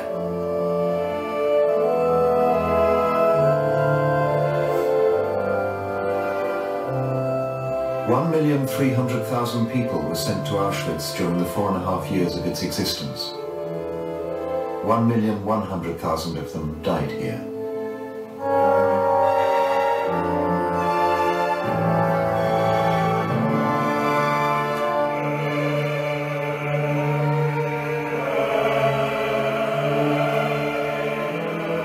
Hundreds of Jehovah's Witnesses, homosexuals and other minorities were murdered. 15,000 Soviet prisoners of war, 21,000 gypsies, 70,000 Polish political prisoners, and 1 million Jews, at least 200,000 of them children.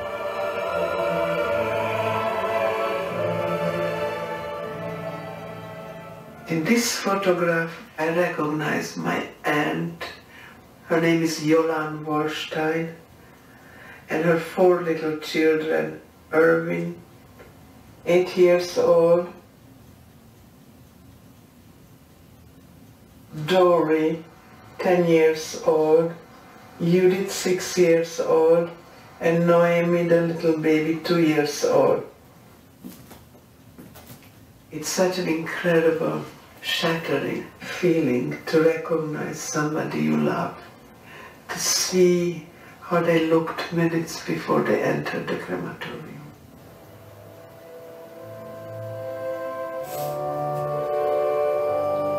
Evidence of what the Nazis did lies all around here, waiting to be rediscovered by future generations. A reminder of what human beings are capable of creating.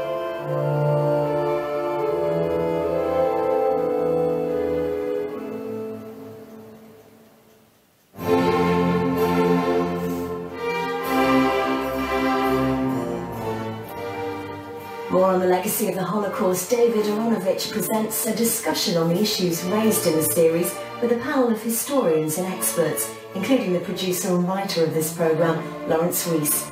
After Auschwitz, over on BBC 4 now.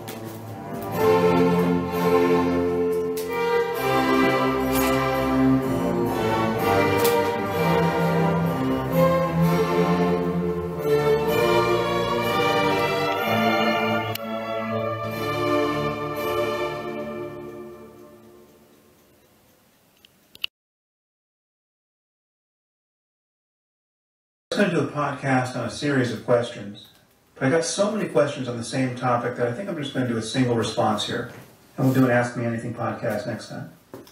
The question I've now received in many forms goes something like this. Why is it that you never criticize Israel? Why is it that you never criticize Judaism? Why is it that you always take the side of the Israelis over that of the Palestinians? Now, this is an incredibly boring and depressing question for a variety of reasons.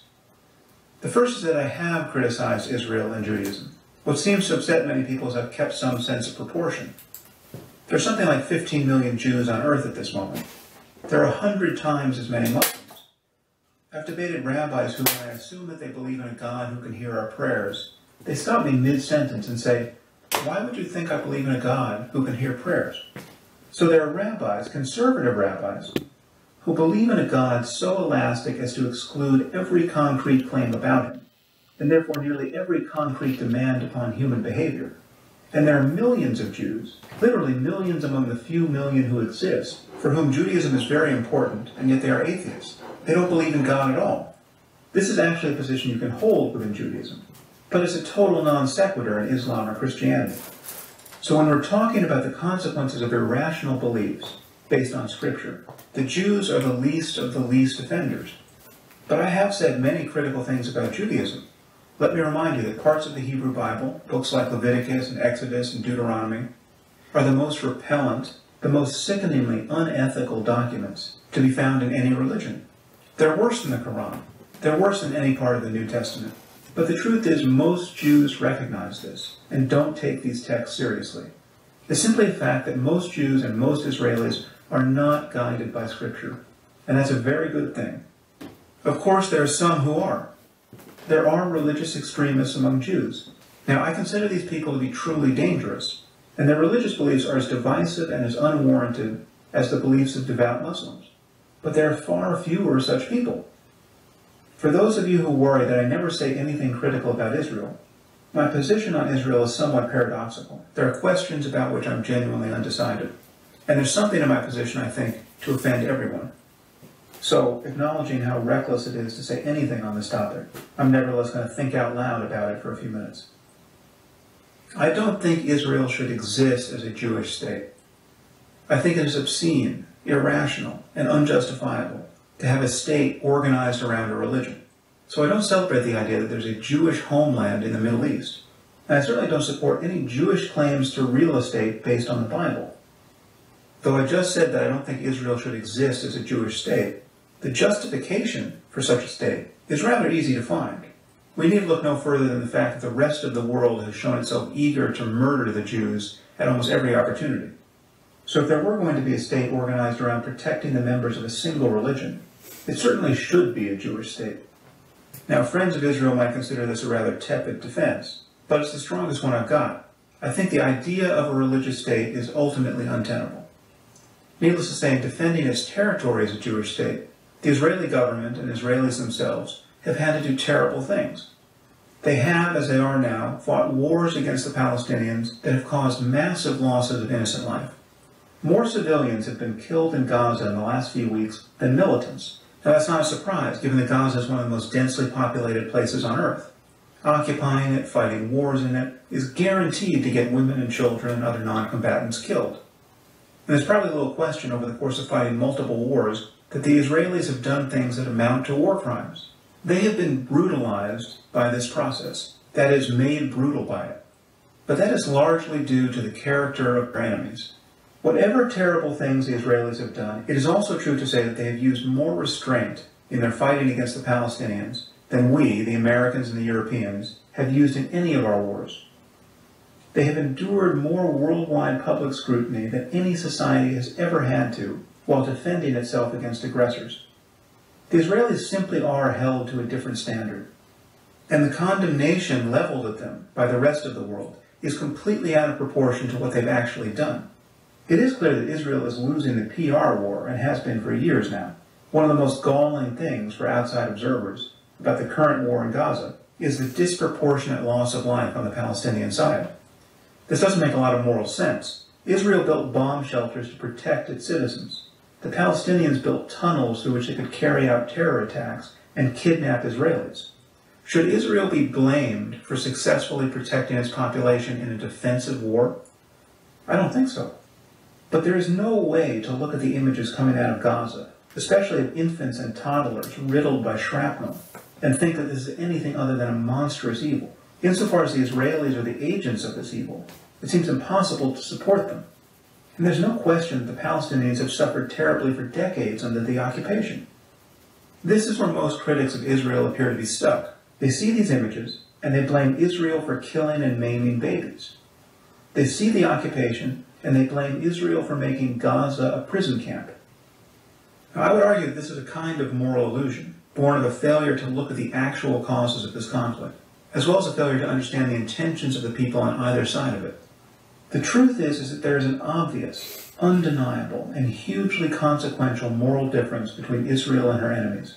The Israelis are surrounded by people who have explicitly genocidal intentions towards them.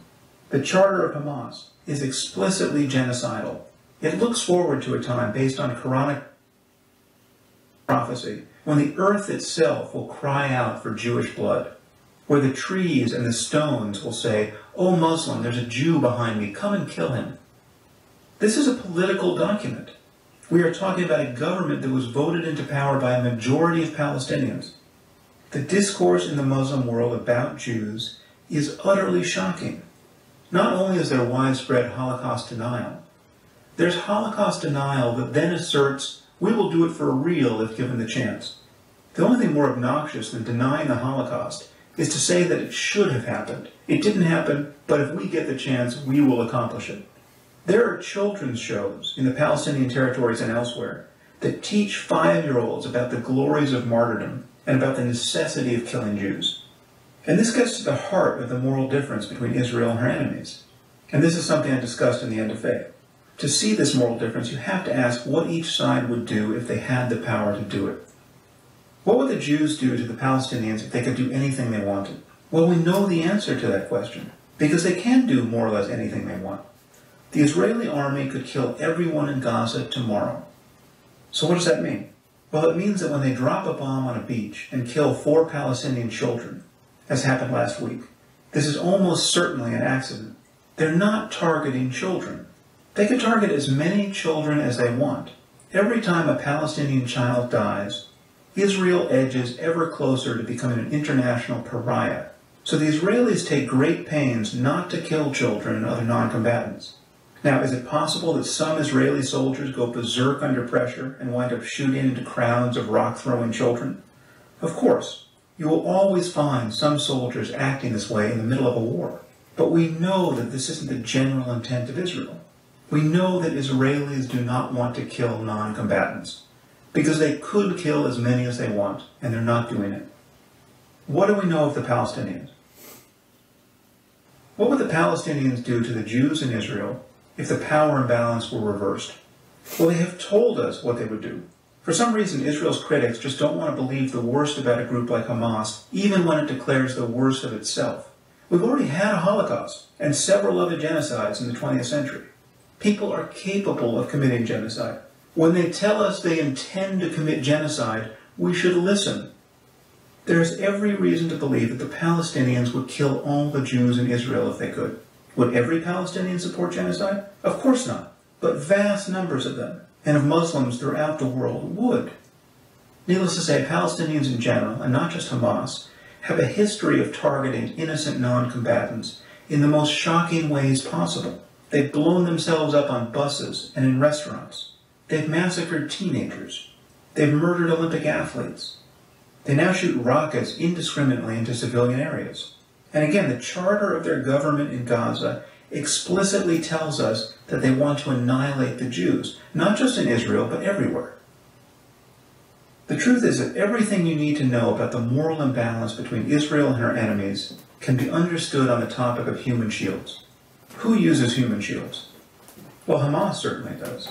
They shoot their rockets from residential neighborhoods, from beside schools and hospitals and mosques. Muslims in other recent conflicts in Iraq and elsewhere have used human shields. They have laid their rifles on the shoulders of their own children and shot from behind their bodies. Consider the moral difference between using human shields and being deterred by them. That is the difference we're talking about. The Israelis and other Western powers are deterred, however imperfectly, by the Muslim use of human shields in these conflicts, as we should be. It is morally abhorrent to kill non-combatants if you can avoid it. It's certainly abhorrent to shoot through the bodies of children to get at your adversary. But take a moment to reflect on how contemptible this behavior is, and understand how cynical it is.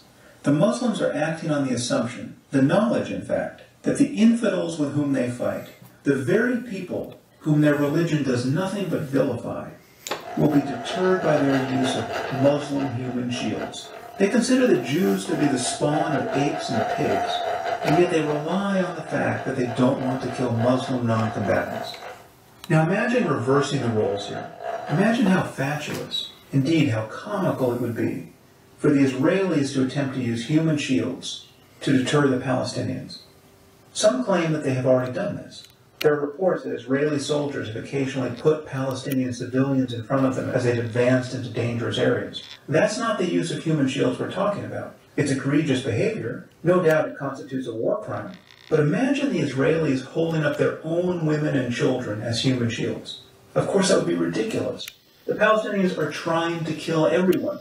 Killing women and children is part of the plan. Reversing the roles here produces a grotesque Monty Python skit. If you're going to talk about the conflict in the Middle East, you have to acknowledge this difference. I don't think there's any ethical disparity to be found anywhere that is more shocking or consequential than this. And the truth is, this isn't even the worst that jihadists do. Hamas is practically a moderate organization compared to other jihadist groups. There are Muslims who have blown themselves up in crowds of children, again, Muslim children, just to get at the American soldiers who were handing out candy to them. They have committed suicide bombings only to send another bomber to the hospital to await the casualties, where they then blow up all the injured, along with the doctors and the nurses trying to save their lives. Every day that you read about an Israeli rocket gone astray, or Israeli soldiers beating up an innocent teenager, you could have read about ISIS in Iraq crucifying people on the side of the road, Christians and Muslims. Where is the outrage in the Muslim world and on the left over these crimes? Where are the demonstrations, 10,000, 100,000 deep, in the capitals of Europe against ISIS? If Israel kills a dozen Palestinians by accident, the entire Muslim world is inflamed. God forbid you burn a Quran or write a novel vaguely critical of the faith. And yet Muslims can destroy their own societies and seek to destroy the West, and you don't hear a peep. So it seems to me you really have to side with Israel here. You have one side which, if it really could accomplish its aims, would simply live peacefully with its neighbors. And you have another side which is seeking to implement a 7th century theocracy in the Holy Land. There's no peace to be found between these incompatible ideas. That doesn't mean you can't condemn specific actions on the part of the Israelis. And of course, acknowledging the moral disparity between Israel and her enemies doesn't give us any solution to the problem of Israel's existence in the Middle East.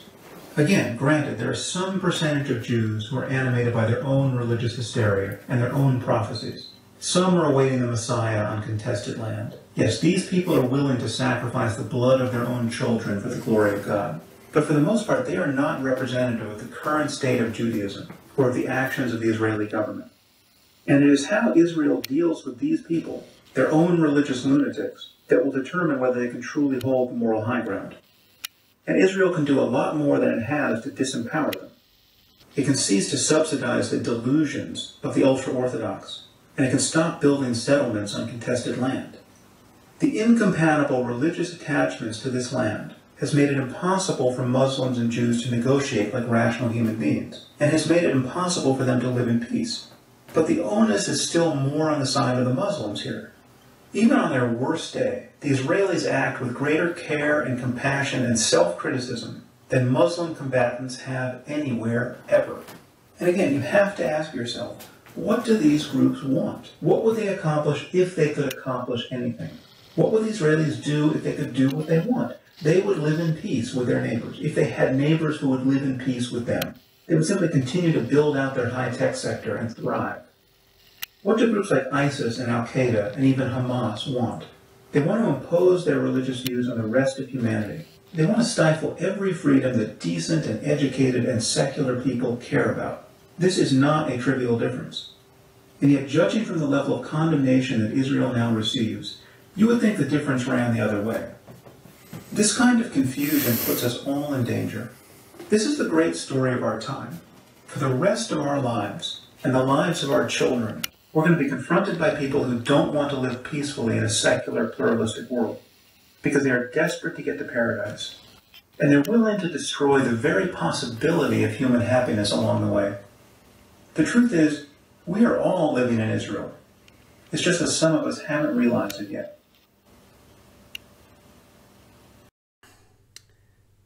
Okay, here you can actually see some of the sketching process. I always work on a tone canvas with raw umber and turpentine and I can start with the light areas and just build as you have seen in the video. Uh, uh, one of the things I love as you can see here is the brushwork and uh, how I build it. Basically as a sculpture, uh, Rembrandtish way. If you study classical paintings you can see that I kind of try to do the same thing as they did. So I hope you got something out of this video. Uh, it was a long video. It's a flow with the out thing and um, as you know I painted this Holocaust survivor in 2014 and uh, it was one of my great days on my work. So if you want to support my channel check out my Patreon and sign up for a dollar five and I'll see you in the next video.